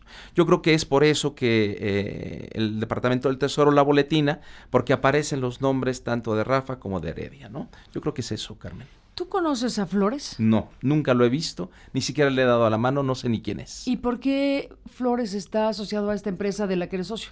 No, él no, no, no, no está asociado. Está, está en la red del asunto, está, está ah, el nombre, derivan los nombres que. Tú no estás en la lista de los nombres y de las fotografías de, de, esta red que dice amplia red de relacionados con el eh, narcotraficante. Es la empresa la que está asociada a esta red que informa el Departamento del Tesoro.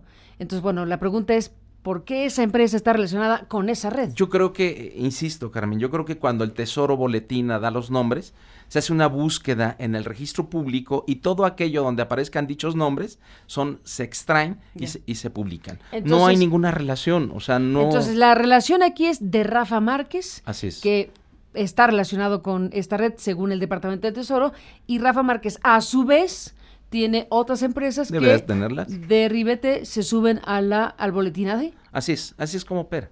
Y así es como sucede. Si tú te das cuenta, en el 2008 no solamente subió Lomedic, que es una de mis empresas, aparecieron otras empresas que están publicadas y que fueron analizadas y revisadas y que una vez que se determinó que no existe ningún recurso de procedencia ilícita, fueron liberadas, no hubo ningún tipo de acción penal y mucho menos, y fuimos sacados de la lista de OPAC. Déjame regresar a la charla que tuvimos por teléfono eh, y vamos a tener, por cierto, la presencia del senador Luis Sánchez del PRD, que es quien está, que es una de las voces que más eh, eh, eh, fuertemente ha exigido que se te investigue.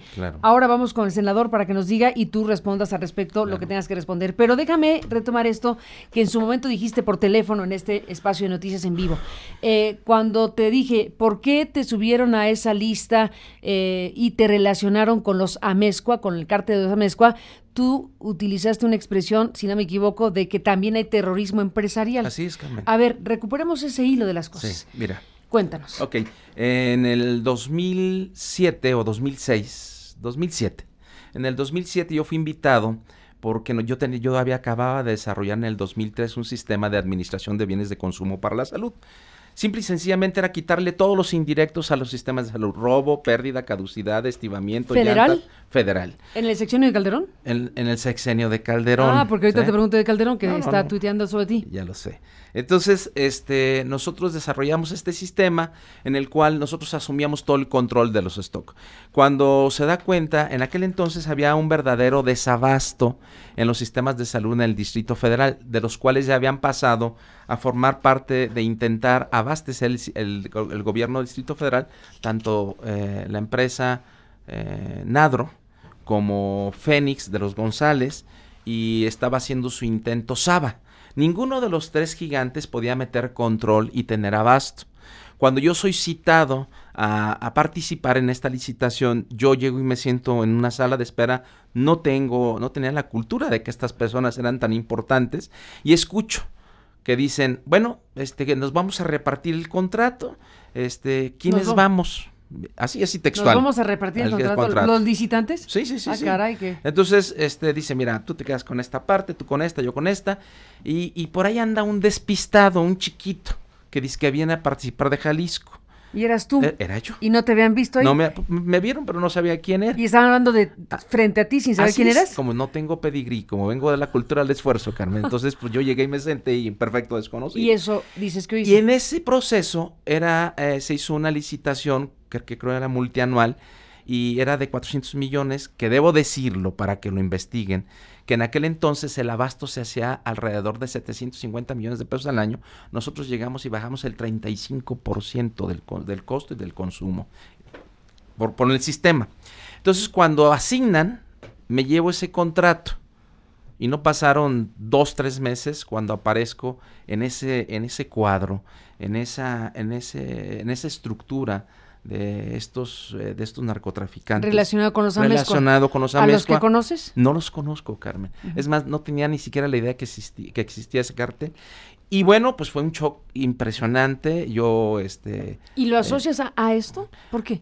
¿Qué, ¿Qué, tendría que ver el departamento, déjame, qué tendría que ver el Departamento del Tesoro con esa licitación que ganaste y que dices le comiste el mandado a los gigantes? Yo creo que las instituciones, Carmen, están eh, sobre, se constituyen en base a personas. Y las instituciones tienen derecho a equivocarse. Yo creo que filtraron información, construyeron información para que, pensando que con esto yo iba a salir corriendo. ¿Imputas a alguien? ahorita te voy a decir los nombres, porque además me lo dijo Marisela muy atentamente. Marisela Morales, la ex procuradora general de la República del de Felipe Calderón. Ah, a ver. Entonces, cuando, cuando sucede esto, eh, eh, bueno, pues yo, muy consternado, eh, no tenía la cultura. Mucha gente en el afán de ayudarte te decía, pues yo tengo este abogado que ha sacado a fulano, que ha... No, yo simplemente busqué a un abogado que no litigara penal, que tuviera un doctorado y le supliqué que llevara mi caso. Yo fui de los primeros mexicanos que aparecieron en la lista. Eh, Juan Soltero de Guadalajara. Es un hombre extraordinario con una gran capacidad. Les, le dije, oye Juan, por favor ayúdame. O sea, pero es que yo no litigo penal, ayúdame. Precisamente por eso. Porque yo no me puedo etiquetar. Yo no puedo ir con una persona que se dedique a sacar personas de la cárcel o, gente que haya lavado o gente que esté en el narco. Llevamos el juicio, yo salgo al día siguiente o a los dos días con un desplegado por toda la República eh, donde pido que el gobierno federal intervenga a mis empresas, los bienes míos y los de mis hijos, para que me regresen de la manera más breve el buen nombre mío y el de mis empresas. Eh, me, contesta, me llega una carta de Muriño eh, un día antes de que... De Muriño. De Muriño. Me dice, en base a su solicitud, nosotros aceptamos la unidad de investigación, le va, va a, pedirle lo, lo, necesario para hacer una investigación de usted, de su empresa y de todo lo relacionado con sus hijos al día siguiente sucede la desgracia de que él cae en el avión. No me digas. Claro, fue un día antes, el, 4, el 4 de octubre. ¿Pero por qué Muriño si era secretario de Gobernación? No, porque eh, la, ¿Tú le solicitud, la solicitud eh, que yo mandé a través de todos los medios publicada O sea, cuando, tú, cuando tú publicas en todos los medios el desplegado y dices, necesito que me ayuden para hacer esta investigación. El presidente, iba a Muriño, iba al secretario de Salud, a las Relaciones Exteriores, a todo mundo, a Derechos Humanos. Y te, y te contesta Juan Camilo Muriño, secretario de Gobernación, en una carta. Sí, una carta, así que decía, en base a tu solicitud que hiciste a través de todos los medios, hemos decidido que a través de la investigación de los recursos de procedencia ilícita se te haga una investigación de tus bienes eh, para determinar ¿Y tu familia? Que así es. Y al día siguiente es que es el accidente, bueno, lo que haya sido. Porque... así yo, el, día 5, yo recibí el 4, el 5 este, sucede esta desgracia. Y bueno, decirte que... Pero este bueno, murió Juan Camilo Mourinho pero el gobierno continuó, obviamente. ¿Qué sucedió con la investigación que te anunció Mourinho se estaba haciendo? Yo este, eh, tuve la oportunidad de declarar en, en, en dicho departamento de investigación por ahí el 22 de diciembre, el 21 22 de diciembre, fui, me puse a disposición, duré cuatro horas en mi declaración. Ellos me dijeron, ok, doctor, la verdad no sabíamos nada de usted, no lo teníamos en el radar. ¿Eres doctor? Soy, soy doctor. Soy, ¿Doctor en medicina? En medicina, sí. Entonces fui... ¿Por qué este, universidad? Eh, universidad de Guadalajara, una universidad pública. Entonces te dicen, doctor, estamos en esta investigación y... Este, le vamos a estar pidiendo papeles, todo notariado. Fueron tres camionetas, banner, durante todo este tiempo, aportando certificado con notario. Todo lo que me pedían tenía que ir certificado y con notario. Después de tres años, tengo la, la fortuna de que me citan a, nuevamente a, antes era Ciedo. Ahora sí. Era, Seido. A, y este tuve la fortuna de que me en ese momento estuviera ahí Marisela. Marisela Morales, la que después fue procuradora. Así es. En ese momento era la titular de la De CIEDO así es. y que le cambia a Seido. Ah. Eh, ¿Y qué pasa con Entonces Marisela me, Morales? Me, me dice, señor, aquí está el dictamen de la PGR. Este es el dictamen que hacen mis peritos para yo poder estampar la firma. Aquí va mi firma. Doctor, aquí está su dictamen. No encontramos, su vida no cuadró en los últimos 10 años por 60 mil pesos. Y este, O sea, cuidado. no, no cuadró por... O sea, toda la revisión to- que te de hicieron... 10 años. Había un desajuste de 60 mil pesos. 60 mil de alguna pesos, cosa. alguna cosa. Entonces me dice, y ponga, nomás póngase listo con estas gentes. Me da un papelito. En ese papelito venían los tres nombres de las personas. ¿Guardaste el papelito? No lo tengo. No, este, tenía un, fue un papelito, un posting. Un en post-it. ese- En ese, posting Un decía, posting que te decía la titular de CIEDO en ese e- momento. ellos nos pusieron a trabajar así. ¿Y los nombres son? Nadro, Fénix y Saba. Nadro, Fénix y Saba. Así es. Los que perdieron el contrato Así que es, tú ganaste. Así es. Entonces de ahí surge todo. Eh, un Bueno, a ver, mes- y yo te pregunté, ¿por qué apareció tu nombre en el Departamento del Tesoro en aquella lista relacionada con los Amezcua? Y tú dices, se pudo haber filtrado información sobre mí falsa creo. y se la estás imputando a estas tres gigantes yo de la farmacéutica mexicana. Yo solamente estoy ¿O qué estás diciendo? Lo que estoy diciendo es que cuesta mucho trabajo brincar a una mesa de la gente que crece, tiene pedigrí y que tiene los controles de estos negocios en el país y que cuando uno viene de abajo y por fortuna brinca esa mesa, regularmente te tiran un, te tiran un obús con una bazuca y esta mosca se les mueve. Te voy a decir un dato, Carmen, para que más o menos te des una idea. Cuando yo fui señalado tenía 480 trabajadores. Cuando terminó la investigación tenía 3.000 trabajadores. Cualquier empresa que se nutre de recursos de procedencia ilícita, lo primero que hacen es cerrarla y desaparecer.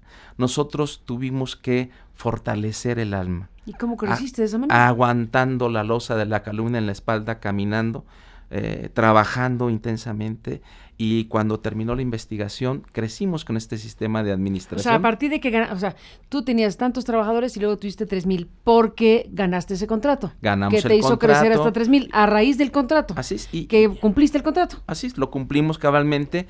Creo que en el periodo de, de- lo digo textual, en el, en el periodo de Marcelo Ebrard, este, nosotros establecimos la metodología para que hubiera un abasto suficiente.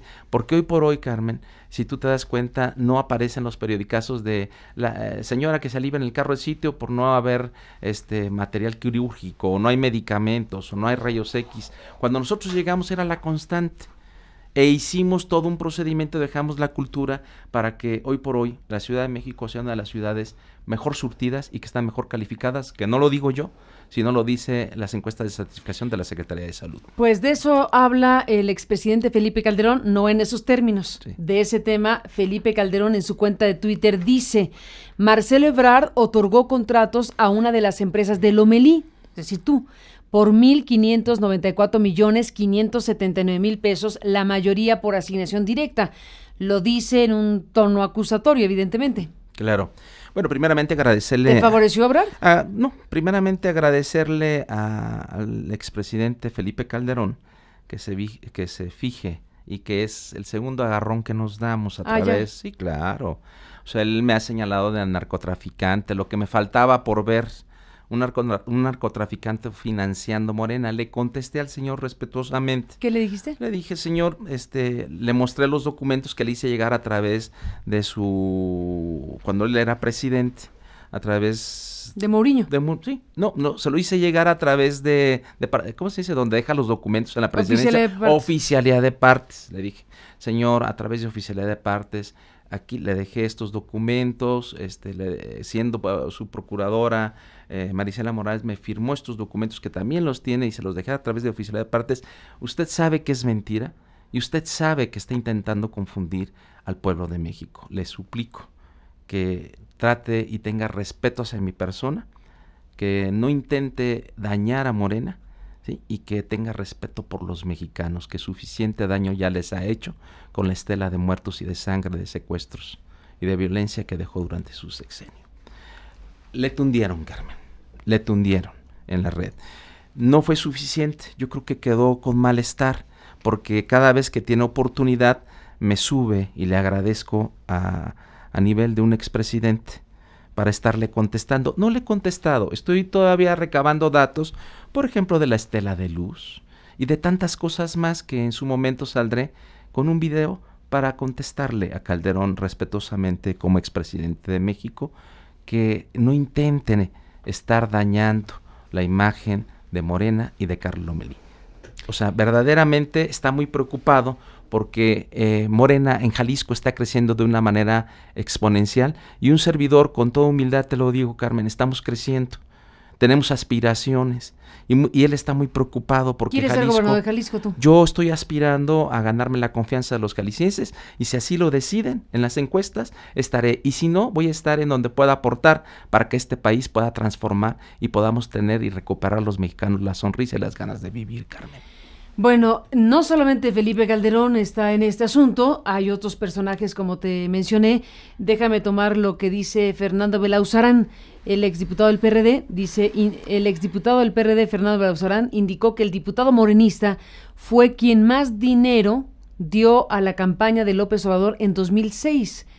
¿Diste dinero a la campaña de López Obrador? ¿Fuiste el que más lo dio? No, realmente eh, de esto se me ha venido acusando año con año. ¿no? Yo participo con Andrés Manuel desde el 2005. En el 2005, Carmen, tuve la... Dije, voy a cerrar mi cajón, aventé el control de la tele y voy a participar activamente para tratar de transformar y de frenar lo que está pasando en el país. Me sumo al movimiento de Andrés Manuel López Obrador. En el 2006 participé como candidato al Senado eh, por Jalisco eh, un día antes de la elección salgo en primera plana en el Universal dándole la mano o en el Reforma, no sé, dándole la mano a, la mano a Andrés Manuel, eh, empresario farmacéutico, financia López Obrador. No es así.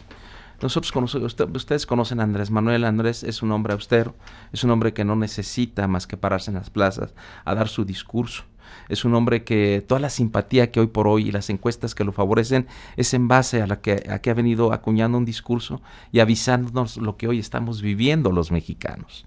Ese es parte del éxito de Andrés. En el caso de Belauzarán, este, en el 2006 le recuerdo que él participaba con Andrés.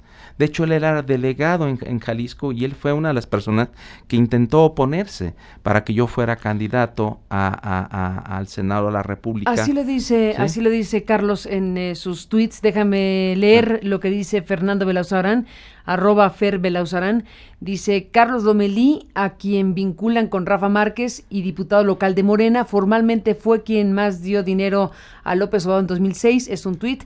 Otro, dice Belauzarán, conocí a Carlos Domelí en 2006, fui delegado de Jalisco, se movía en distintas camionetas, todas Homer, Homer, no pudimos quitarle la candidatura al Senado, Tres, Carlos Domelí, socio de presunta narcoempresa de Rafa Márquez, candidato pluri de Morena, pero no por tómbola, sino por el, sino por el dedito de López Obrador. Son los tweets que recuperamos de Venezuela. Es mentira. Yo llegué a la Cámara de Diputados, yo participé en el Distrito 4, que es uno de los distritos con mayor rezago social en Jalisco. Eh, quedó, eh, bueno, realmente el distrito se ganó, pero se perdió en la mesa. Eh, había una diferencia de 180 votos y llegó Pluri por Movimiento Ciudadano, no fue por el dedito de Andrés Manuel. Trae mucho dolor porque está fuera de este movimiento que está que encabeza Andrés. Andrés, ah, claro, e, eso es, eso es, habla de un dolor profundo porque no se han podido incrustar o no han encontrado el lugar más que otorgando la dignidad y prestándose a, lo que les pide el gobierno federal. Entonces ya no hayan donde, no, no, no tienen cabida porque perdieron la dignidad y la moral, la moral en el transcurso de su vida política y hoy se dedican a enlodar a enlodar textualmente. O sea, efectivamente yo fui candidato en el 2006, sí tenía una Hummer, nunca he, nunca he ocultado lo que tengo porque son de procedencia lícita. Sí, y realmente... ¿Una Hummer, no varias Hummers, como aquí dice? No, no, era una, era una y de las más modestitas, ¿no? Pero bueno, el señor este, le pone de más. No, yo creo que hay un gran dolor en su comentario. Ellos han perdido la dignidad y el respeto a la política en su caminar por, por lo, todo lo que han hecho, prestarse a la firma del pacto por México, prestarse a, votar en contra de las iniciativas que van, eh, que dañan a los mexicanos, eh, darle la espalda a la izquierda, darle la espalda a su origen, verdaderamente no me preocupa ni me voy a ocupar en seguir hablando de estas personas que verdaderamente lo único que han hecho es deteriorar las izquierdas y que muy seguramente, al igual que la, empresa, que eh, en, caso van a quedarse con un cascarón con el PRD. Eh, legisladores del PAN y del PRD están pidiendo que se abra una investigación en torno tuyo. Estamos siguiendo de cerca, por ejemplo, lo que dijo el diputado del PAN, Santiago Taboada, quien dijo que la PGR debe actuar en este asunto ante los señalamientos de actividades de lavado de dinero. El senador perredista Luis Sánchez eh, llamó a investigar a fondo este asunto e ir a las últimas consecuencias. Y bueno, es al senador Sánchez a quien hemos invitado esta mañana, pues para que diga lo que tenga que decir respecto al tema y tú tengas que y tú respondas lo que tengas que responder respecto a este tema. Si te parece, saludo al senador Luis Sánchez del PRD. Luis, senador, buenos días y bienvenido. ¿Cómo estás? Buenos días, Carmen. Qué gusto saludarte y saludo también al diputado Carlos Lomé. De eso estamos hablando eh, de Carlos Domelí con él aquí. Eh, te agradezco que hayas estado en la línea escuchando lo que ha dicho esta mañana en este espacio eh, Carlos Lomelí. esto que, bueno, pues lo coloca en la escena pública después de que nuestro colega Sebastián Barragán de nuestra Unidad de Investigaciones Especiales identificó que esa empresa de Rafa Márquez, pues también tenía otros socios, uno de los cuales es Carlos Lomelí y lo que hemos aquí seguido de cerca. Bueno, en todo este contexto de cosas, senador, ¿Qué es lo que tienes que decir al respecto de Carlos Lomelí y de la situación derivada de lo que publicó el Departamento del Tesoro de los Estados Unidos? Lista en la que no se encuentra Lomelí, sino una empresa que es eh, sociedad eh, de Rafa Márquez y de otros, y donde está también el eh, em, empresario y diputado Carlos Lomelí. ¿Qué tienes que decir, senador? Sí, Carmen, con todo gusto. Mira, cuando algunos medios de comunicación preguntan mi opinión al respecto a este eh, involucramiento del Departamento del Tesoro por medio de la OFAC, a personajes como los que acabas de referir, a Rafa Márquez, a Julián Álvarez, a estas empresas que se mencionan y donde pues también está aparece el nombre de el diputado Carlos Lomelí. Lo que digo es que me saltan dos eh, asuntos. A ver, la primero es que no es la primera vez que la OFAC incluye en su lista negra a eh, Carlos Lomeli, ¿no? Ya, como él lo refirió, allá por el 2008 o 2011, estuvo también involucrado en una investigación similar y ahora, bueno, pues eh, en esta otra ocasión, en, en esta misma lista de empresas, se había involucrado su nombre. Eso fue lo primero que me salta a la vista. Y lo segundo es que no había escuchado al diputado Lomelí, eh, pues, una declaración pública, ¿no? Donde eh, diera a conocer su postura. Hasta el día de ayer, hasta el día de ayer, justamente, en que él dice que, bueno, pues que sí que hay un terrorismo empresarial. Él dice que eh, le pidieron que no hablara, ¿no? Este, que, no aportara esa cortina de humo que él dice se le estaría utilizando a él para formar y cubrir lo de Odebrecht, una declaración que me parece un tanto exagerada, pero que pues es eh, eh, su aclaración que él hace, ¿no? De por qué no había salido antes a aclarar esta situación. Decirte, Carmen, que ser millonario en México pues no es un delito, por supuesto, ni en ninguna parte del mundo sí, pero que sí estamos obligados a aclarar cuando pues hay una un, involucramiento de este de esta magnitud que no es cualquier cosa y que pues sí me llamaba la atención que no lo hubiese hecho. Bueno pues, él ya dio sus argumentos. Yo sí creo que la PGR en este caso como en muchos otros debe eh, ir al fondo de esto salió eh, Rafa Márquez, ¿no? Él dijo, bueno, yo voy a la PGR, me pongo a disposición de ellas. Julián no lo hizo así.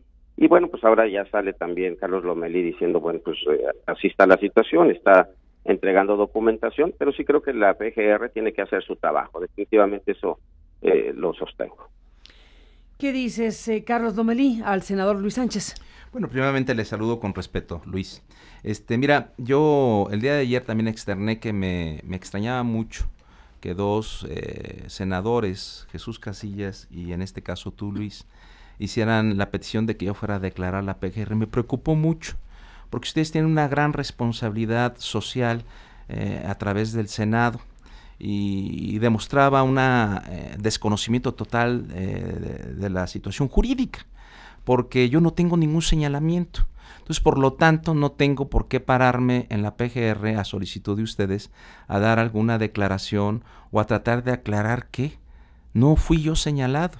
Hay otros ocho empresarios en esa acta que es un cascarón de una empresa que se constituyó en el 2009 y que realmente yo no tengo ninguna relación con esta persona que está detenida, no la conozco, no existe ni siquiera, nunca le he dado la mano y verdaderamente la intención de salir eh, a dar hoy conocimiento de todo esto eh, es parte de lo que a mí me, es de mi interés, pero también te quiero confesar y aportar algo, mi querido Luis. Eh, a raíz de que soy diputado federal desde el 2015, tengo ocho auditorías de manera continua y permanente. O sea, eso se llama persecución política. En la Cámara de Diputados yo tengo, estuve en dos eh, comisiones, en la Comisión de Hacienda y de Economía. Y verdaderamente me sorprendió mucho que a raíz de que yo tomo protesta, al siguiente 30 días me llegan auditorías en donde ya cumplieron el, término legal y lo que hicieron fue ampliarla otro año más. Eh, yo creo que estas son pruebas de ácido que tenemos, tenemos que pasar todos los funcionarios, no solamente de ser investigados por PGR, no solamente de someterse a una investigación por el Tesoro de los Estados Unidos, sino tener ocho auditorías de manera permanente, eso nos hace ser asiados y manejarnos con verdad y con transparencia, no solamente como personas, sino como empresarios. Y por último, eh, eh, créemelo que en México no solamente existe el terrorismo empresarial, sino también la persecución política, que estoy seguro que hoy por hoy lo que están intentando hacer eh, el gobierno federal es tratar de, hacernos ver igual. O sea, lo que sucede en el gobierno federal es indefendible. Y ahorita hay toda una campaña orquestada hacia Morena para decir, miren, somos, somos iguales. No, no somos iguales. En Morena se maneja con mucha transparencia, con mucha dignidad. Estamos intentando regresarle a la política la dignidad y la verdad. Yo te quiero decir que cuando se planteó lo de 3 de 3, que ha sido un escándalo, yo eh, de manera voluntaria eh, hice mi 3 de 3 con verdad, con valentía, a pesar de que se expone uno a los riesgos de la inseguridad en México. Y no solamente eso, el año pasado la actualicé ¿quién en su sano juicio, cuando tiene eh, bienes de procedencia ilícita, los publica, los hace públicos? Y pareciera que lo que uno hace para debería de ser uno ejemplo nacional para los políticos, bueno, pues lo toman para hacer escaño y tratar de atacar a un servidor. Yo nada más compartirte que no vamos a ir a la PGR, que no estamos citados, que no somos señalados y que no tenemos, que, estamos tranquilos, que si hay alguien que nos estaba supervisando y vigilando es el propio gobierno federal, que mantenemos ocho auditorías de manera continua y que estamos tranquilos porque somos gente que nos manejamos con la verdad y que lo hemos demostrado no solamente al paso del tiempo, sino eh, manifestando un 3 de 3 completo y exhaustivo en el cual eh, está a disposición de todos. Senador Luis Sánchez, ¿qué dices, senador?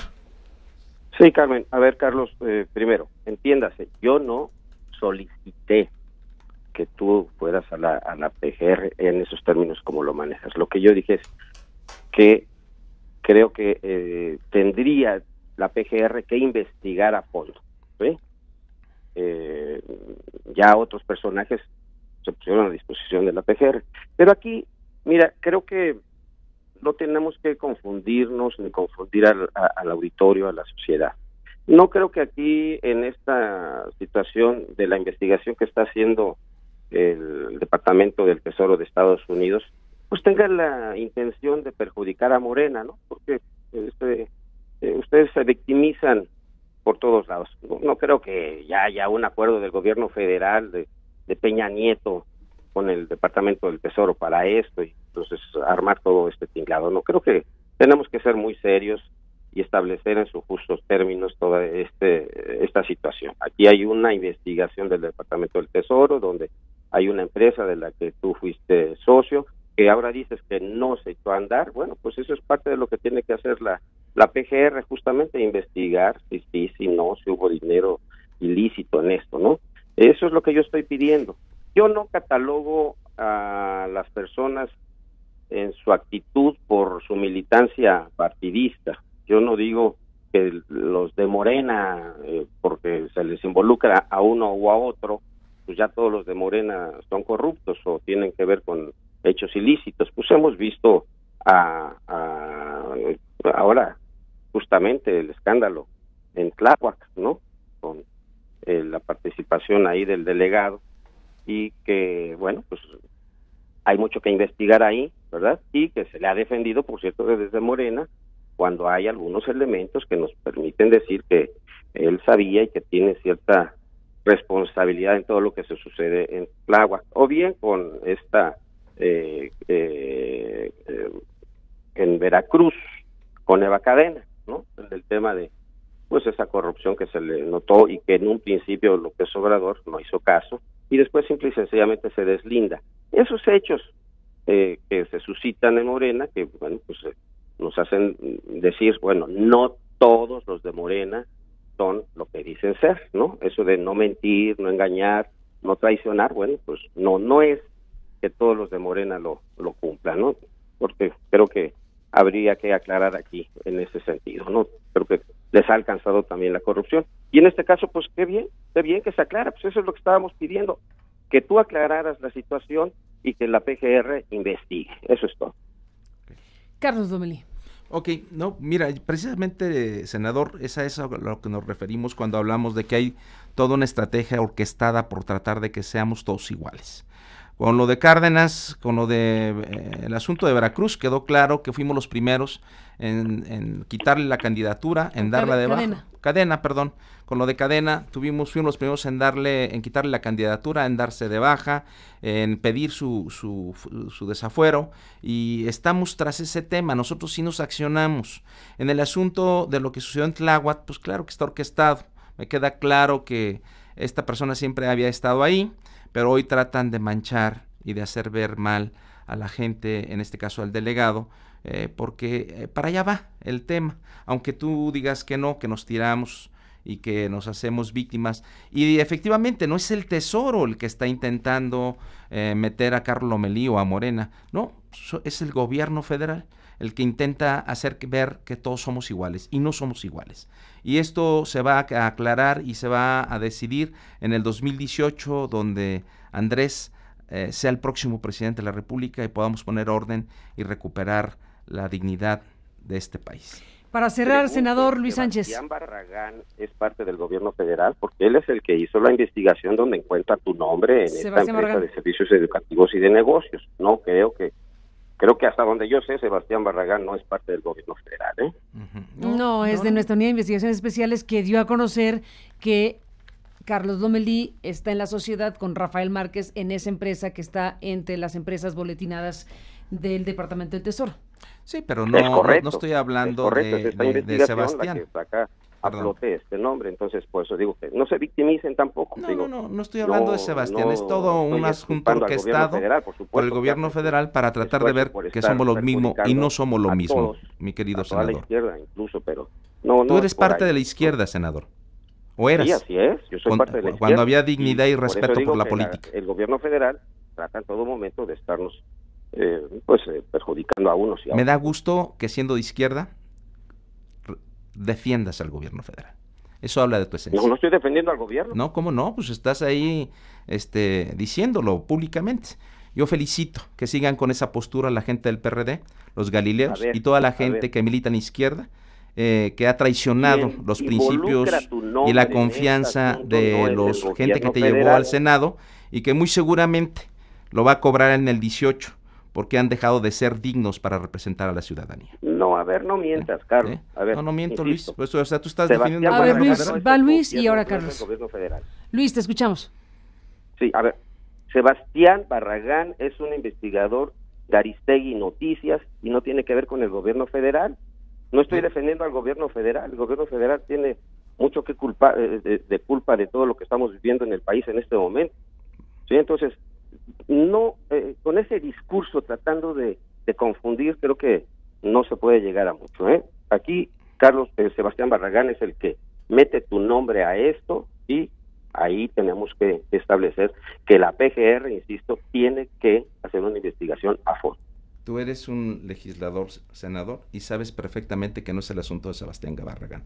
No se ocupa mucho, eh, muchos años de militancia en la política para darse cuenta de que esto está orquestado. No estoy hablando de, de Sebastián, de todo lo que ha sucedido posterior a la publicación de Sebastián. Pero bueno, yo te dejo en, en, en esa, con esa nubosidad en tu cabeza, esperando que algún día se disipe para que podamos representar dignamente al pueblo de México desde el Senado. Para cerrar, senador Luis Sánchez, ¿con qué te despides? Bueno, pues eh, aunque eh, Carlos eh, Lomelí eh, diga que eh, pues no tiene nada que ver, está bien, esa es su palabra.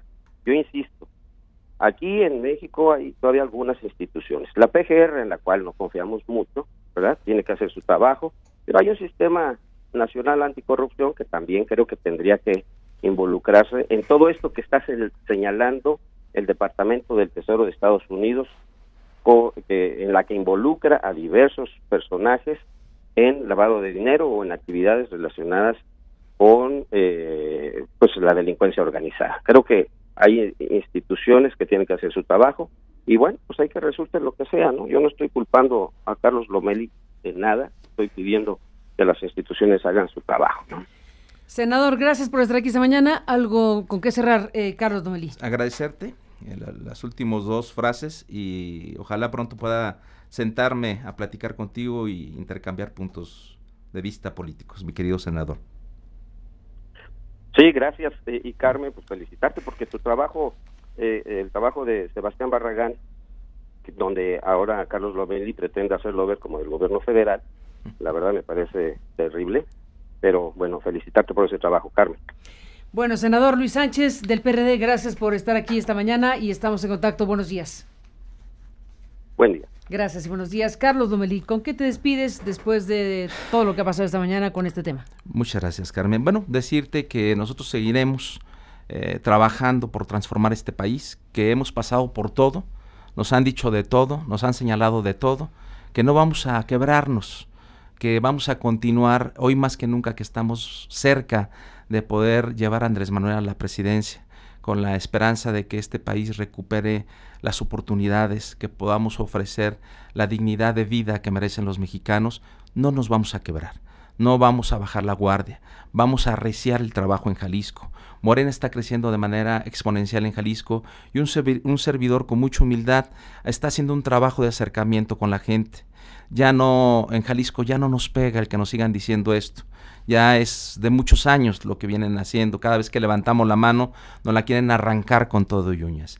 Nosotros vamos a luchar por transformar este país, por llevar esa ola de esperanza y de transformación que tanto le hace falta, de justicia, y que los mexicanos puedan recuperar la sonrisa, las ganas de vivir y poder salir sin temor a la calle.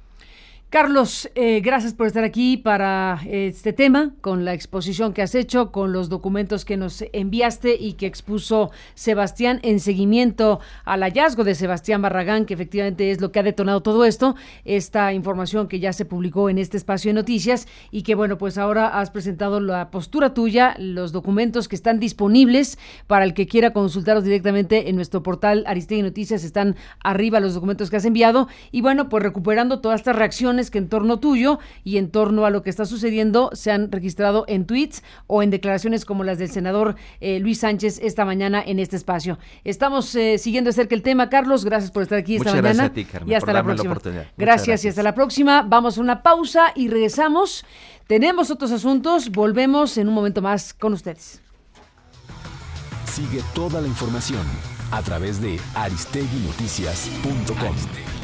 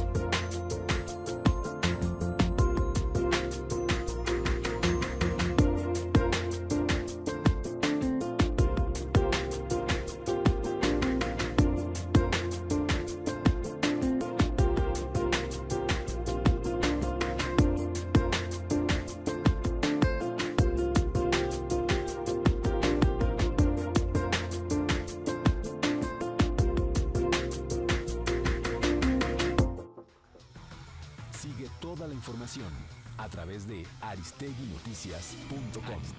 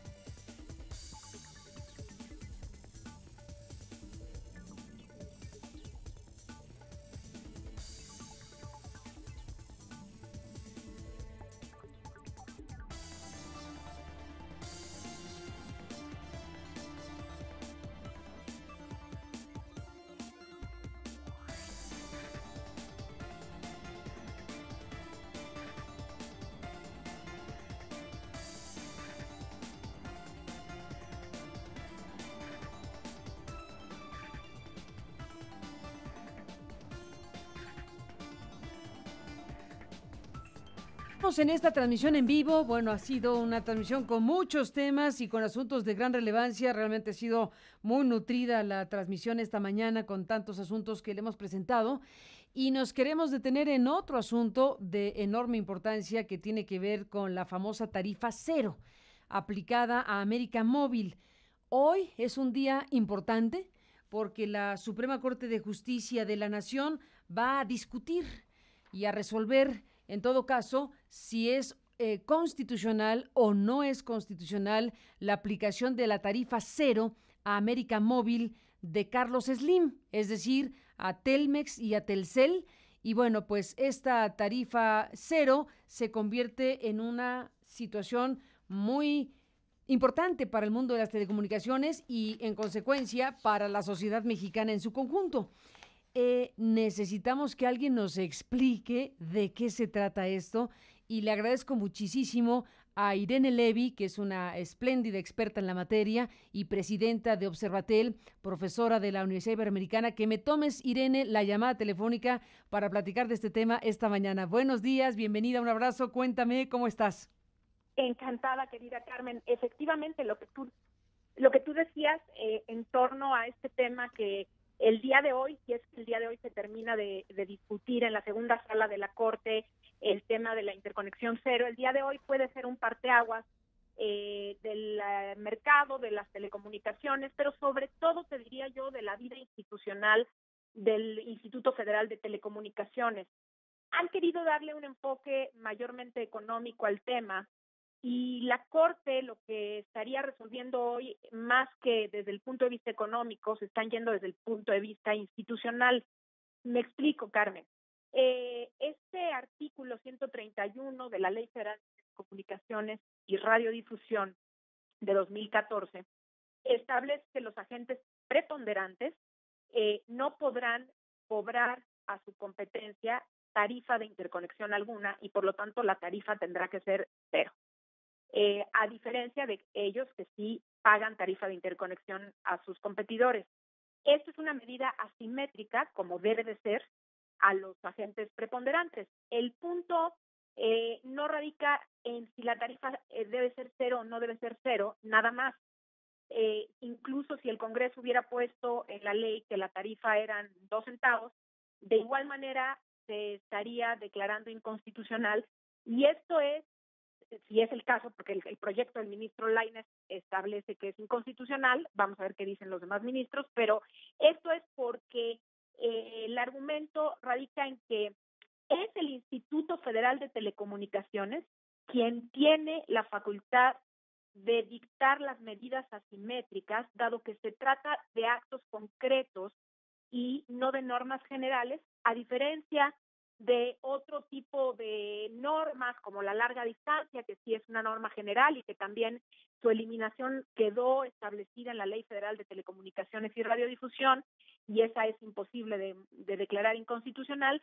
En este caso, lo que estaría diciendo la Corte es el Congreso está invadiendo facultades del instituto porque es el instituto el que tiene la facultad de dictar este tipo de medidas asimétricas que son concretas y que son dinámicas y que cambian con el tiempo. Esta es la facultad regulatoria que le dio la Constitución en 2013 directamente al instituto y que en 2014 el Congreso de la Unión le quita a través de esta ley eh, eh, para establecer una, una tarifa en concreto y con ello pues lo, lo ata de mano para cambiar la tarifa de interconexión y con ello para regular las condiciones del mercado de las telecomunicaciones. Es por ello que el día de hoy, de fallarse a favor del ministro Laines, eh, de estar de acuerdo el resto de los ministros o la mayoría de los ministros, estarían dando un eh, apoyo muy fuerte al Instituto Federal de Telecomunicaciones y sería un precedente importante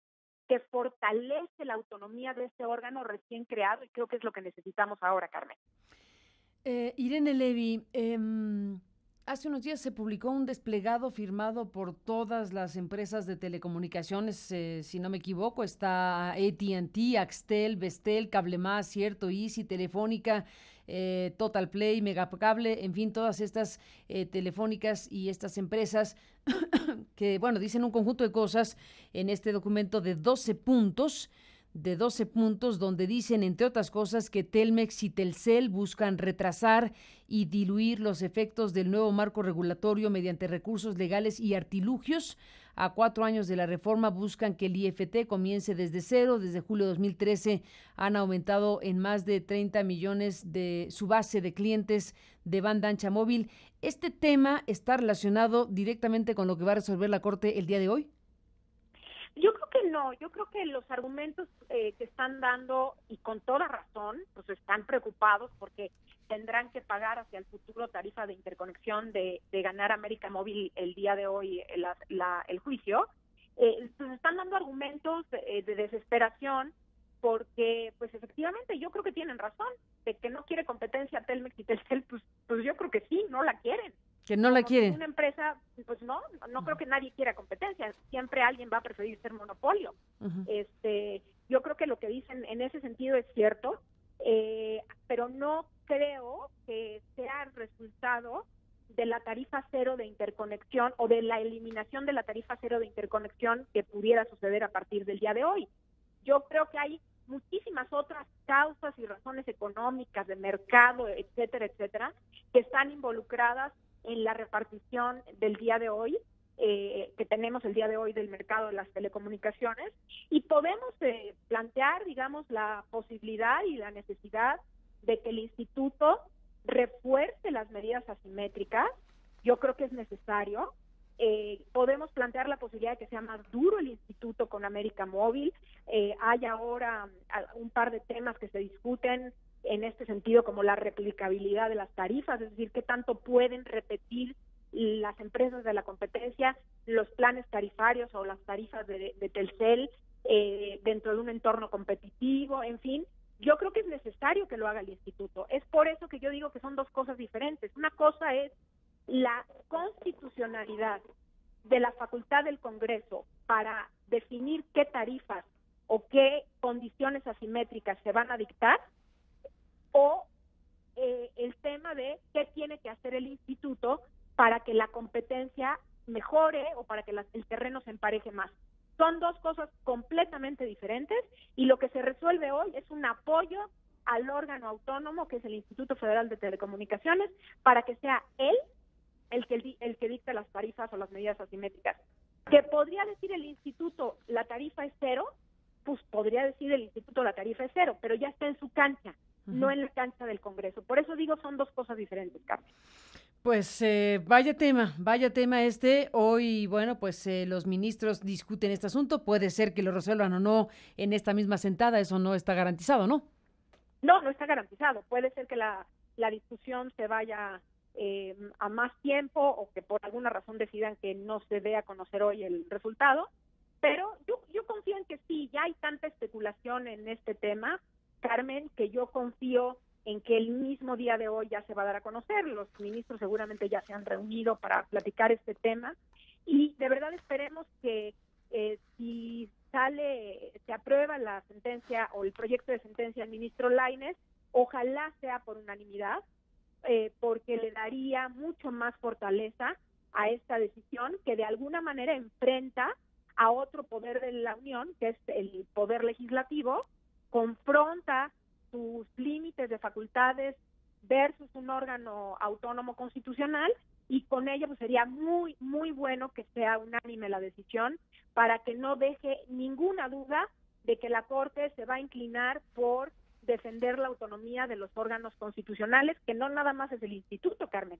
Está el INE, el Banco de México, el INAI, en fin, el, eh, es, es la misma COFESE. Es necesario que la Corte tenga criterios uniformes respecto al apoyo que dará a las facultades de estos órganos para que no se intente debilitarlos más y que en, cualquier especulación o intentona de, debilitarlos la piensen dos veces antes de, de intentarlo porque sepan que el Poder Judicial los va a apoyar en su institucionalidad. Necesitamos construir, Carmen, instituciones serias, instituciones fuertes. De lo contrario, pues volvamos entonces a que estas decisiones se toman en los se tomen en los órganos políticos como las secretarías de Estado eh, o la presidencia o el propio Congreso que finalmente pues sigue siendo un órgano político eh, que fue donde se tomó la decisión de la tarifa cero. Es por eso que se crea un, un instituto autónomo Carmen para arrancar de las coyunturas políticas y electorales decisiones de tal envergadura como esta en un sector tan complicado como el de telecomunicación. Entonces, Irene Levy, aquí el tema principal que tú estás destacando es, independientemente de lo que se resuelva respecto a tarifa cero sí o tarifa cero no, es la instancia competente para decidirlo. Es correcto. Y una vez que eso ocurra... por eso se ha confundido mucho eh, con argumentos que si con esto la larga distancia va a regresar, en fin, todos estos son tapadas de ahogados que yo entiendo y entiendo que la competencia esté molesta porque pues estaban ahorrando una cantidad importante que por cierto el ministro Laines no obliga a compensar los años anteriores eh, a América Móvil por la interconexión no cobrada. Este es, un punto a destacar. De alguna manera, eh, esta propuesta de Laines es una propuesta salomónica que intenta dejar a todos contentos este, y les evita pagar millones de dólares a la, a la competencia América Móvil y dice, bueno, olvidémonos del pasado, vamos hacia el futuro con la, con la tarifa que fije el instituto y de ser así, bueno, pues el instituto tendrá que fijar la tarifa que se aplicará hacia el futuro. Eso es lo que tendría que pasar si se aprueba tal cual la, el proyecto del ministro Javier Lainez. Y si no fuera así, entonces, ¿qué le tocaría al Congreso decidirlo? Eh, depende qué defina eh, la sala. Si la sala eh, tiene mayoría de votos en contra del proyecto del ministro Laines, cosa que no creo que suceda, pero si es así, tendrán que turnarle eh, la elaboración de un nuevo proyecto a otro ministro para que con la eh, decisión o la orientación de la mayoría de la sala se elabore un nuevo proyecto. Ese sería, eso sería lo que pasaría en caso de que no estuviera la mayoría de acuerdo con el sentido sobre todo ese sentido, Carmen, pudieran no estar de acuerdo con algunos detalles, en caso, en ese caso, pues elaboran un voto particular o concurrente, pero si no están de acuerdo con el sentido del proyecto la mayoría, tendría que elaborarse otro proyecto. Pero dudo mucho que esto pase. Yo creo que eh, ya está muy platicado, es un tema muy delicado y yo creo que el mismo día de hoy se resuelve. Esperemos. Pues estaremos eh, al pendiente. Irene Levy, gracias como siempre por estar aquí en este espacio para poder oírte y escuchar lo que pues estás revisando de un tema tan importante como este. Veremos qué resulta de la discusión dentro de la Suprema Corte de Justicia y ya lo iremos platicando. Gracias Irene por estar aquí esta mañana. Un abrazo y hasta la próxima. Al contrario, querida Carmen, te mando un abrazote y el agradecimiento es mío. Gracias a Irene Levy, la presidenta de Observatel y profesora universitaria de, eh, profesora de la Universidad Iberoamericana y una de las voces más calificadas, sin duda, en México en materia de telecomunicaciones. Bueno, ahí están los temas relacionados con este asunto de la tarifa cero y hay otro asunto que también hay que seguir muy de cerca que tiene que ver con el proceso de licitación que se ha desarrollado por el espectro radioeléctrico y la televisión digital y las eh, frecuencias que se han estado pues eh, asignando. Ya le contamos que Radio Centro y Milenio eh, lograron ganar una frecuencia para televisión en la capital de la República Mexicana, entre otras cosas como los anuncios de estos últimos días. Bueno, ahora está otro tema que, bueno, llama la atención que hay dos notas una en Reforma y otra en el Universal que nosotros hemos detectado eh, relacionadas con lo que está pasando en esta en este proceso eh, precisamente de la licitación para los canales de televisión canales de televisión que se están licitando en este momento. Y bueno pues el tema aquí es que estas dos notas voy a ir por la nota de Reforma esta que estamos viendo en la pantalla es la del Universal. Bueno a ver el Universal está acá. Dice me la pones ahí a ver, Javi, ¿podemos poner la imagen? Ahí está. Dice el Universal, incursiona, entre comillas, fantasma en la televisión mexicana. Se le involucra en lavado en Guatemala y en Panama Papers. Remigio Ángel González gana 10 canales de televisión por 243 millones de pesos. Y bueno, pues viene toda una información de este diario sobre este personaje que efectivamente es un mexicano que tiene una gran influencia en Centroamérica, que tiene una presencia muy poderosa en Centroamérica con canales de televisión. Remigio Ángel González González, identificado como el zar de las televisoras en el centro y Sudamérica, propietario de al menos 45 estaciones de televisión en 16 países del continente, incluida, incluidas cinco en el sureste mexicano, podría convertirse a través de una empresa llamada Telsusa en el ganador de al menos siete de la, en el ganador al menos de siete de las 29 zonas donde se licitarán los 31 canales de televisión abierta digital a través del Instituto Federal de Telecomunicaciones. Esto es lo que dice eh, la nota de la redacción de El Universal sobre este personaje y su intervención, su bueno, su participación en este proceso licitatorio que está teniendo lugar en estos precisos momentos.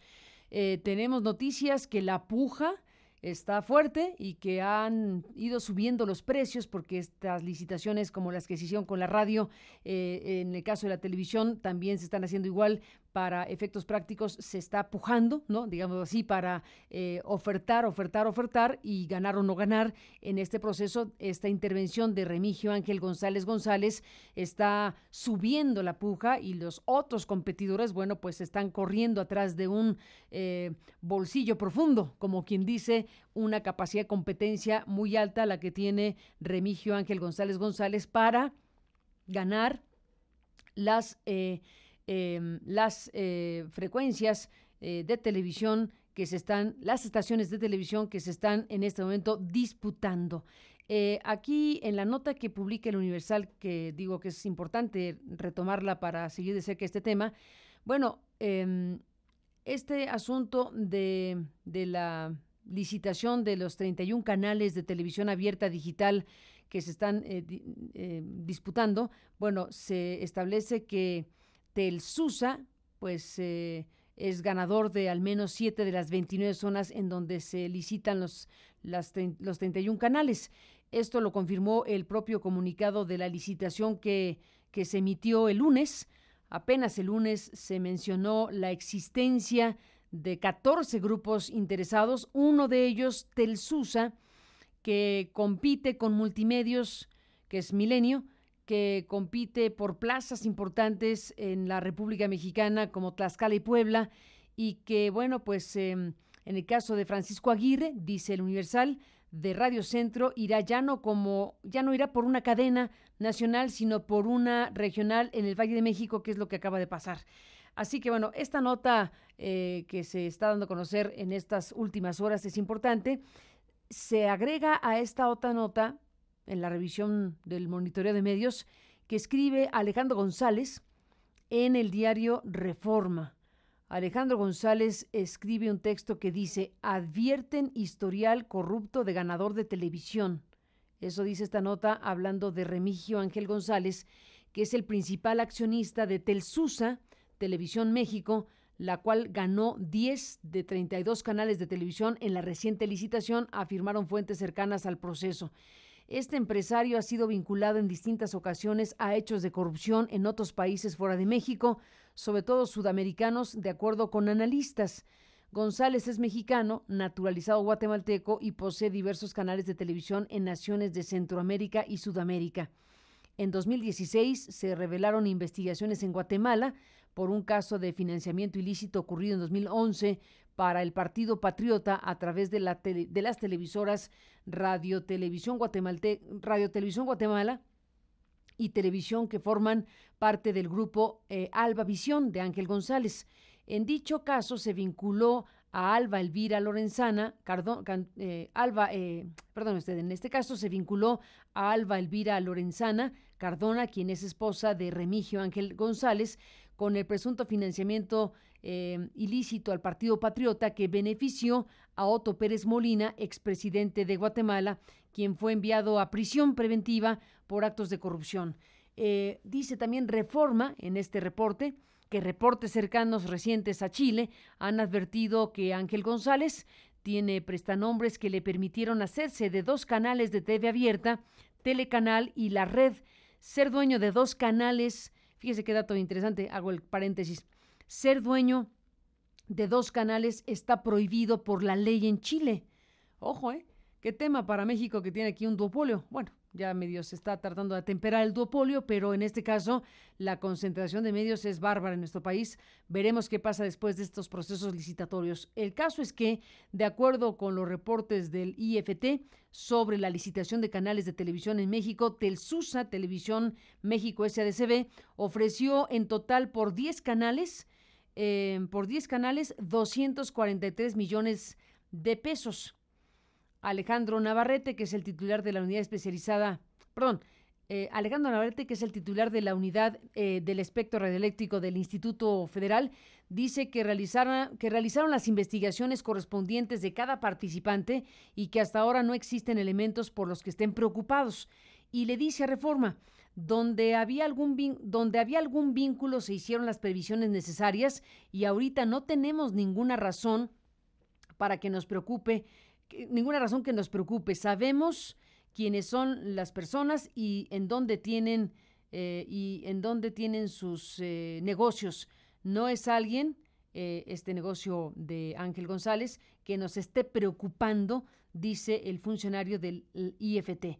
Pero bueno, está este informe, este, esta nota de reforma, está la nota del Universal que pone la atención, el foco de atención en este personaje, Remigio Ángel González, pues este zar de las televisoras en Centroamérica, de origen mexicano, nacido en México, y que es efectivamente una figura muy poderosa, silencioso, le llaman una especie de fantasma de los negocios, pero con un alto impacto su presencia en Centroamérica y en algunos países de, Sudamérica como Chile. La primera subasta de mediano plazo presentada ayer por la Secretaría de Energía, bueno, es otro tema, eh, déjenme aquí cambiar el tema, esto no es relacionado con esta nota que lo seguí leyendo y no era este el tema, pero bueno, cerramos con esto que le menciono y que está mencionado por eh, reforma de la declaración de Alejandro Navarrete que dice que no tiene ninguna preocupación el IFT en torno a Remigio Ángel González, a quien las notas periodísticas relacionan de la manera que le acabo de leer. Así que bueno, pues ahí está el tema. Son las 12 con 22 en el tiempo del centro de la República Mexicana. Una pequeña pausa y regresamos en la parte final, algunos otros temas después de los muchos que le hemos presentado esta mañana.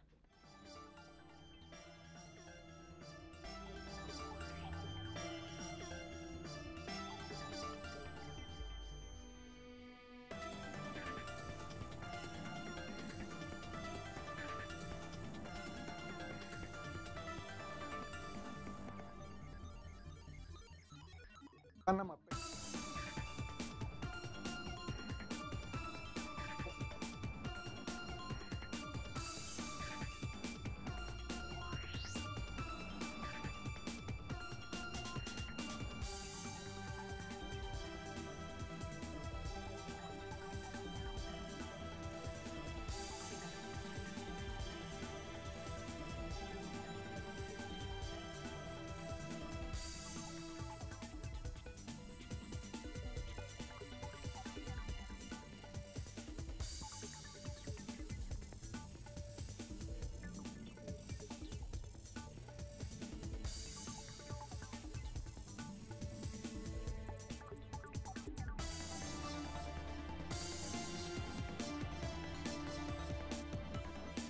Bueno, regresamos esta mañana. Bueno, Sebastián Barragán, has roto récord esta mañana con temas importantísimos y aportaciones de primer nivel con tus trabajos periodísticos. Bueno, muy importante lo que se presentó esta mañana sobre el tema Tlatlaya, desde luego.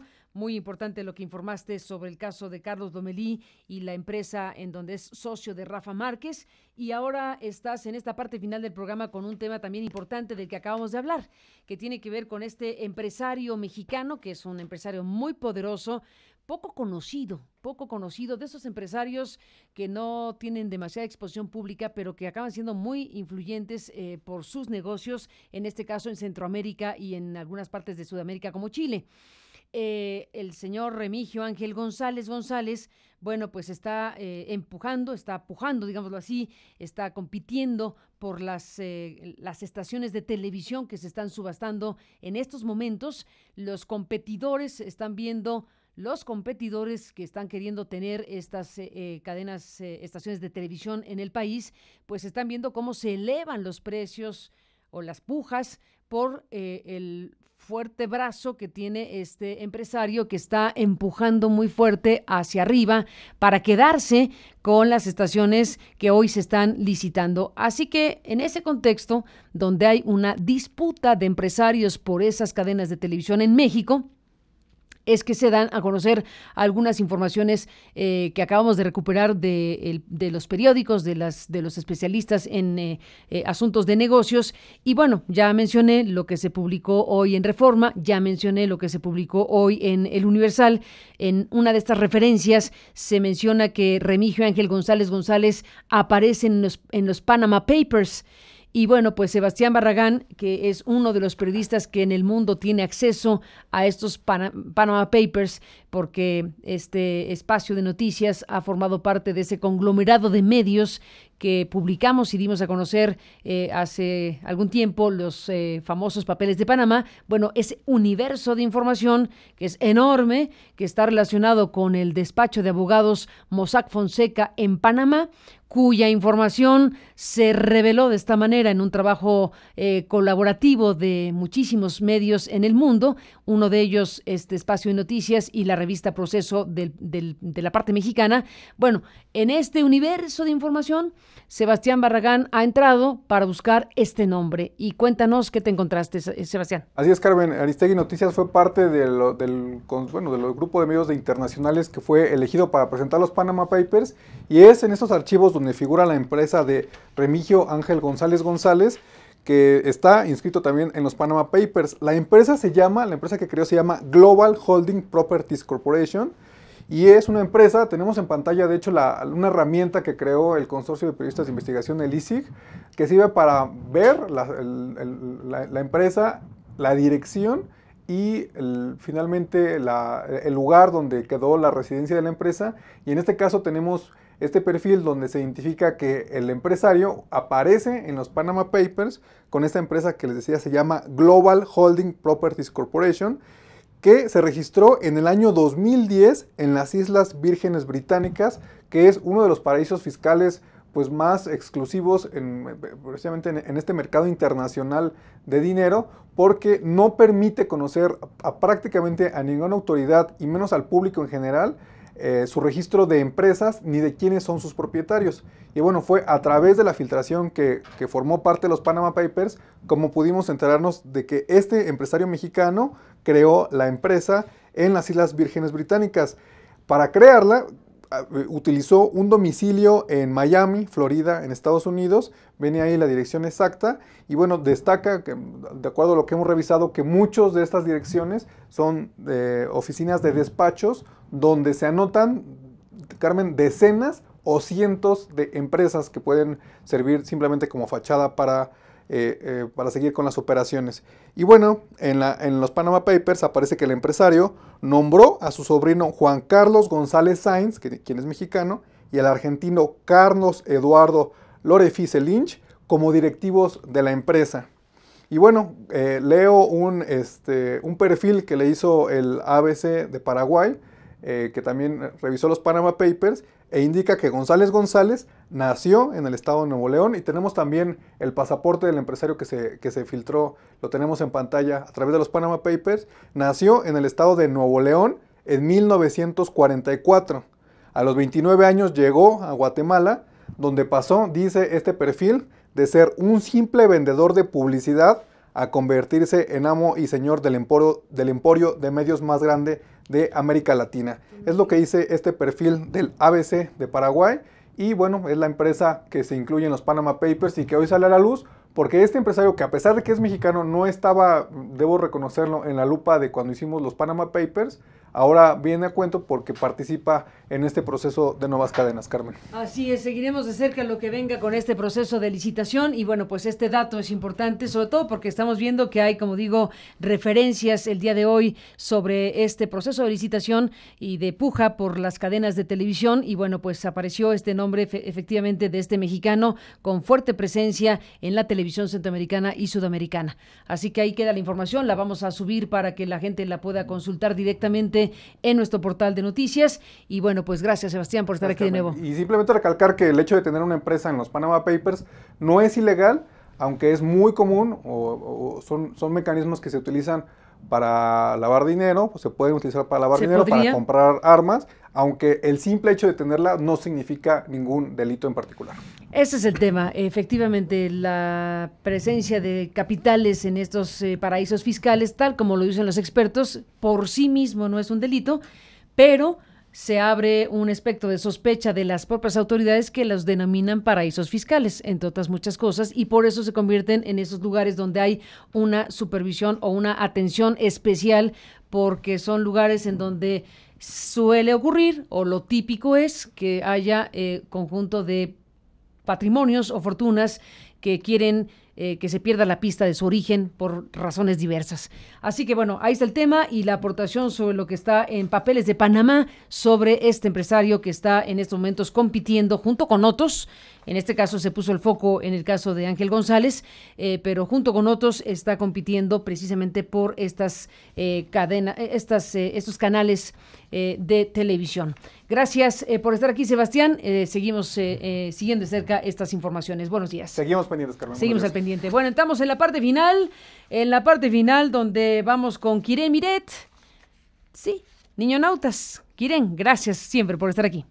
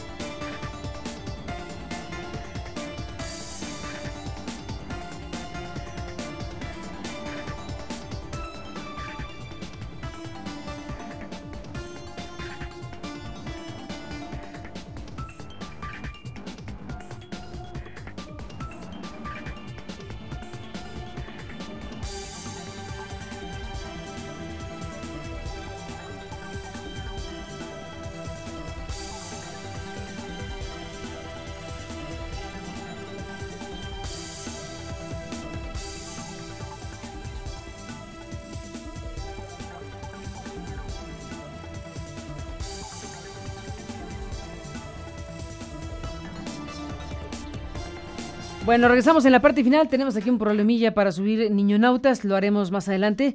Eh, en nuestro portal tendremos desde luego la presencia de Kiren Miret. Si alcanzamos antes de despedirnos todavía a incorporarlo y si no, bueno, lo reprogramaremos para que podamos escuchar a Kiren y este espacio magnífico para las niñas y los niños y las personas mayores, para todo el mundo, niñonautas. Bueno, le cuento en esta parte del el cierre de este espacio que hay información sobre un eh, accidente aéreo de dos aeronaves de la Sedena que realizaban prácticas en Tecámac, Estado de México, cerca de la base aérea de Santa Lucía. Al haber una colisión, eh, eyectaron los pilotos. Eh, hay videos que circulan en las redes. Ahí está el video donde están estos paracaídas que bueno, pues por fortuna existen porque pues ya con paracaídas habrán tenido algún, no, no, parece que haya habido afectación a las personas, pero bueno, todo por saberse, lo que estamos viendo son imágenes que están circulando en las redes sociales que muestran la caída de un avión y los, los em, paracaídas que se muestran en la escena le cuento que se tiene conocimiento sobre esta colisión de las aeronaves tipo Texan de la Fuerza Aérea Mexicana en el municipio de Tecámac, México. Los pilotos se eyectaron, como digo, de igual forma no reportan lesionados por parte de las personas civiles. De las dos aeronaves, una cayó dentro del campo militar Santa Lucía y la otra fuera de este campo a la altura del kilómetro 2 de la carretera estatal Los Reyes Zumpango. Es la información que está surgiendo en este preciso instante y de la cual le damos noticia esta mañana, tarde ya, en este espacio de noticias desde esta plataforma digital. No mames. No mames. No mames, cabrón.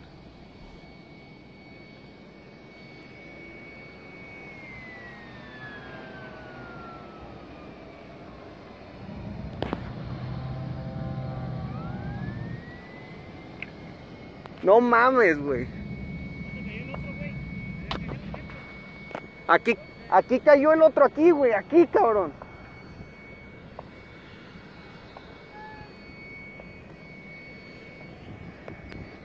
No mames, estaba controlado, güey. No mames, güey. No, ahí van los, los cuatro, güey. Sí, sí, estaban, sí lo libraron, güey, pero aquí estaba controlado este cabrón.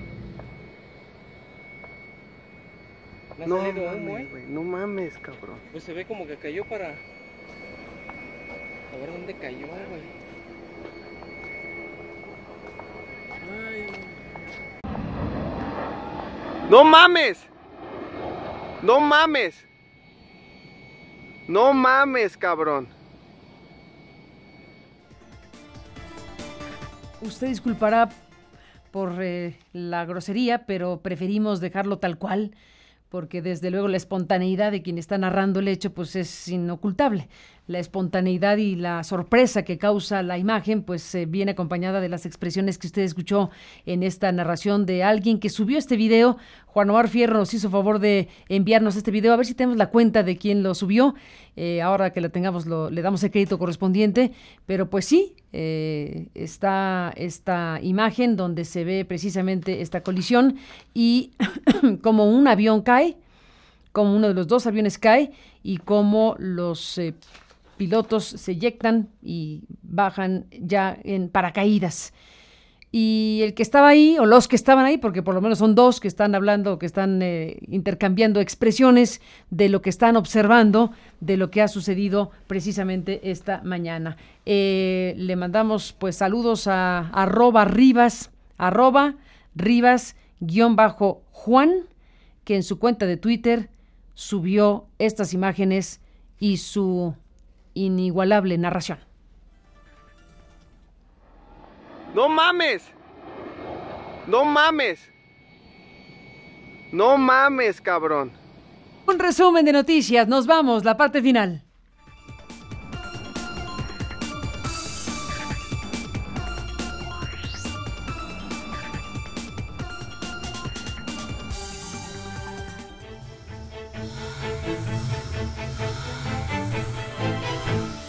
Mejor de Aristegui en vivo. Bueno, nos vamos. El economista Luis de la Calle estuvo aquí hablando sobre la renegociación del Tratado de Libre Comercio que empezó hoy en Washington, de, de, lo cual le dimos noticia ampliamente. Le presentamos en vivo momentos y fragmentos de los discursos que se estaban pronunciando en ese hotel de Washington, en el Marriott, donde están reunidos los representantes de las tres naciones y sus delegaciones que son muy amplias y muy nutridas. Luis de la Calle habló del tema esta mañana aquí de esta manera. con hace 25 años. Eh, en esa época fue una negociación muy dura, tú recordarás, Carmen, pero los tres gobiernos teníamos más o menos los mismos objetivos, que era crear un tratado ambicioso, con apertura comercial universal, sin excepciones, simétrica, eh, con periodos de transición. Y hoy Estados Unidos, por lo menos retóricamente, ha dicho que tiene un objetivo que es un poco contrario a, a este espíritu, que es reducir el déficit comercial que tiene, sobre todo con México. Y ese es el objetivo en el que insistió Donald Trump y algunos de sus ayudantes. Y si uno ve los objetivos de Estados Unidos, como que en la primera página viene esta visión de que Estados Unidos pierde y requiere que se reduzca el déficit, y luego el resto de las 16 otras páginas son la parte tradicional de una negociación de libre comercio. Entonces vamos a ver, empieza hoy a trabajar de la página 2 a la 17 o, la página 1, que es la página, digamos, más política de reducción del déficit, que no va a ser para, fácil que se consiga y además implicaría concesiones que México obviamente no puede poner en la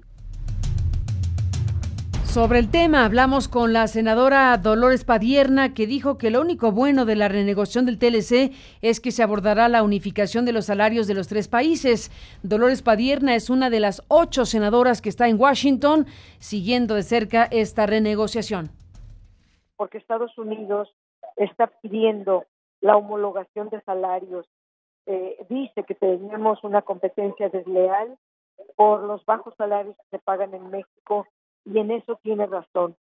Si hoy no eh, ponemos el énfasis en que México tiene que elevar su salario y eh, retomar eh, todos los derechos laborales de los trabajadores. Con Jesús Esquivel de la revista Proceso hablamos desde Washington, él, nosotros aquí en México, y bueno, pues habló del discurso del representante de los Estados Unidos que hace imaginar que lo que viene es un duro debate sobre el TLC. Ha dicho que el presidente de los Estados Unidos, Donald Trump, quiere cumplir con su promesa de no solo modernizar al Tratado de Libre Comercio, sino modificarlo a los intereses de Estados Unidos.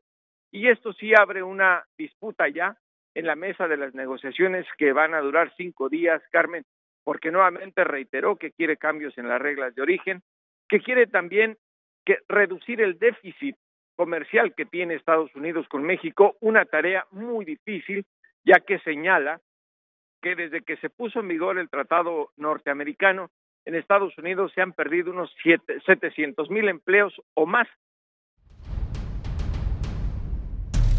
Juan Omar Fierro presentó esta mañana, una mañana muy intensa para este programa de noticias en vivo. Juan Omar Fierro presentó un importante reportaje de nuestra unidad de investigaciones especiales que documenta que Citapia, la empresa que Emilio Lozoya recomendó presuntamente a Odebrecht para hacer negocios, según las declaraciones de los eh, funcionarios de Odebrecht, que así se lo dijeron a las autoridades judiciales, bueno, pues esta empresa mencionada en el reportaje de Alejandra Shanik y de Nacho Rodríguez Reina presentado en este espacio el domingo pasado, bueno, pues documenta que Citapia, la empresa que Lozoya habría recomendado a Odebrecht para hacer negocios, vivió, pues, ¿por qué no?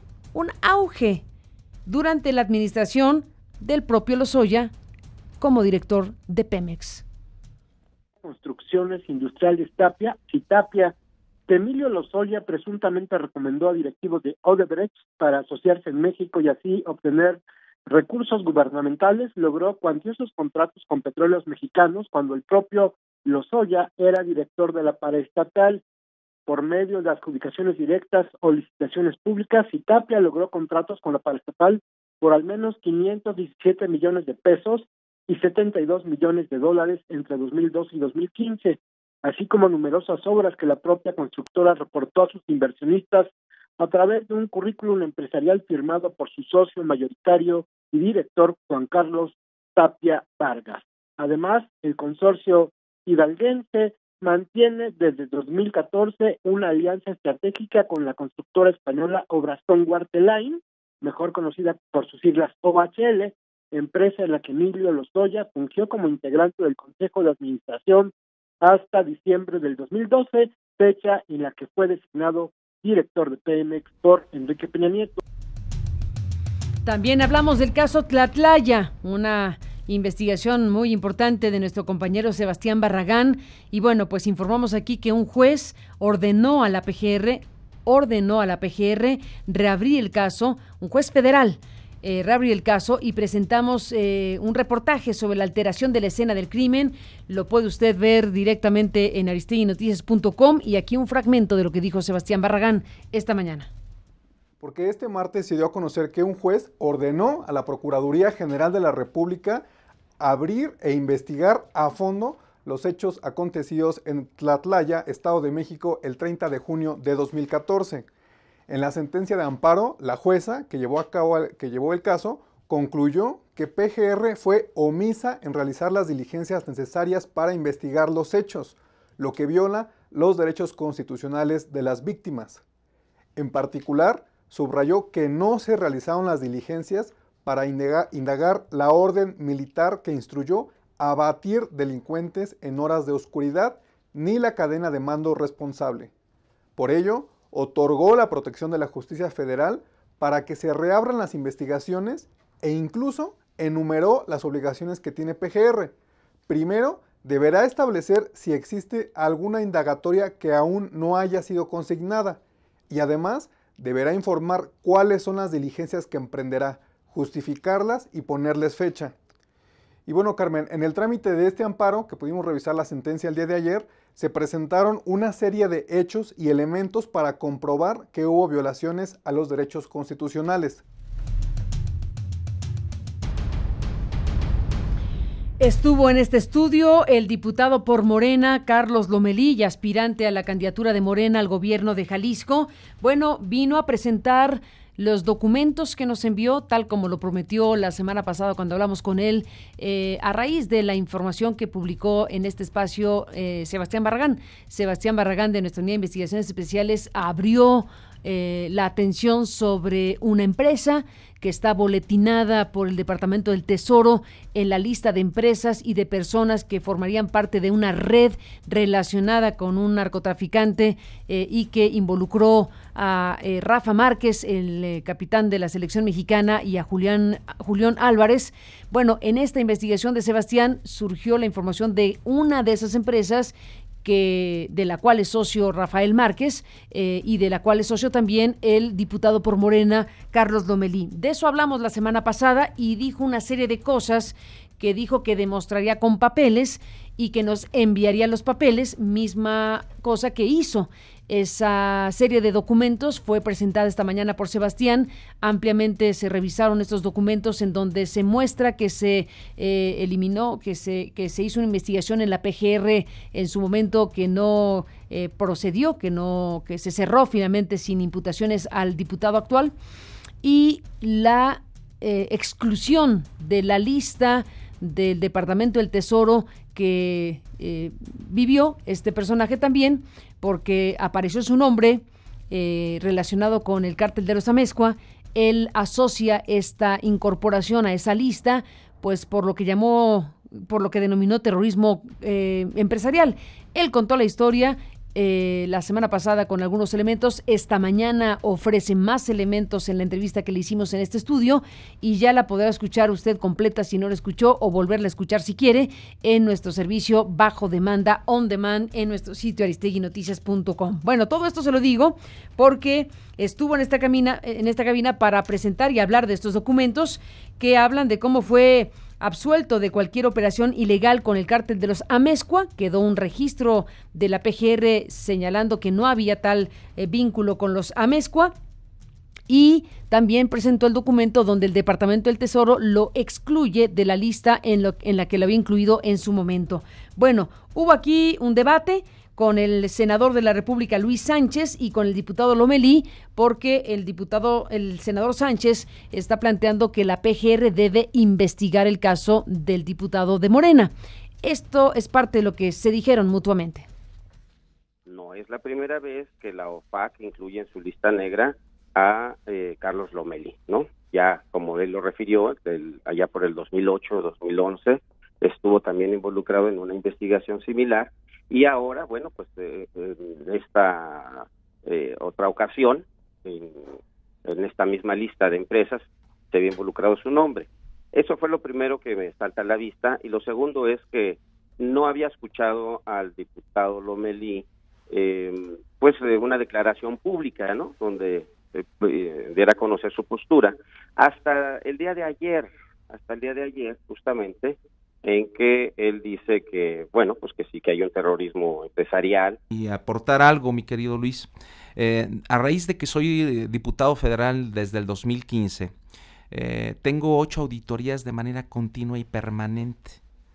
O sea, eso se llama persecución política. En la Cámara de Diputados yo tengo, estuve en dos eh, comisiones, en la Comisión de Hacienda y de Economía. Y verdaderamente me sorprendió mucho que a raíz de que yo tomo protesta, al siguiente 30 días me llegan auditorías en donde ya cumplieron el, el, término legal y lo que hicieron fue ampliarla otro año más.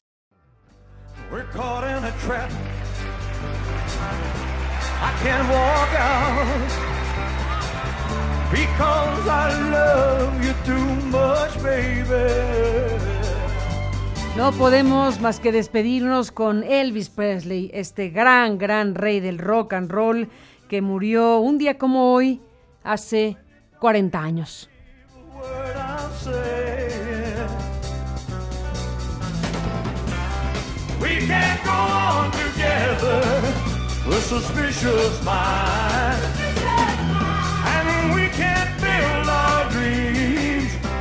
Suspicious minds.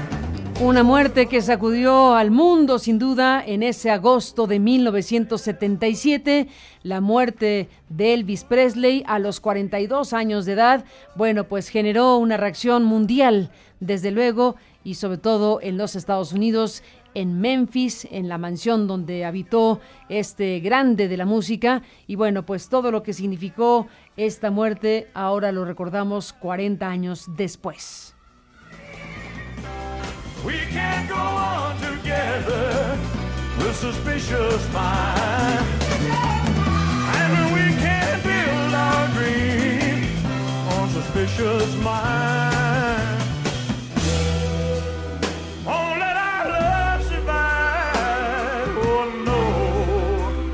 esto nos vamos.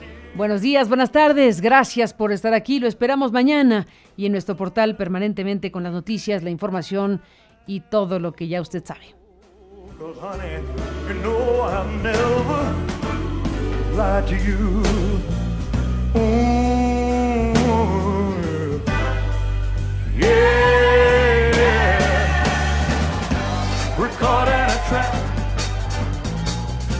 I can't walk out.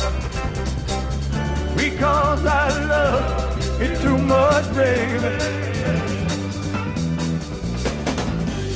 Why can't you see whoa, what you're doing to me?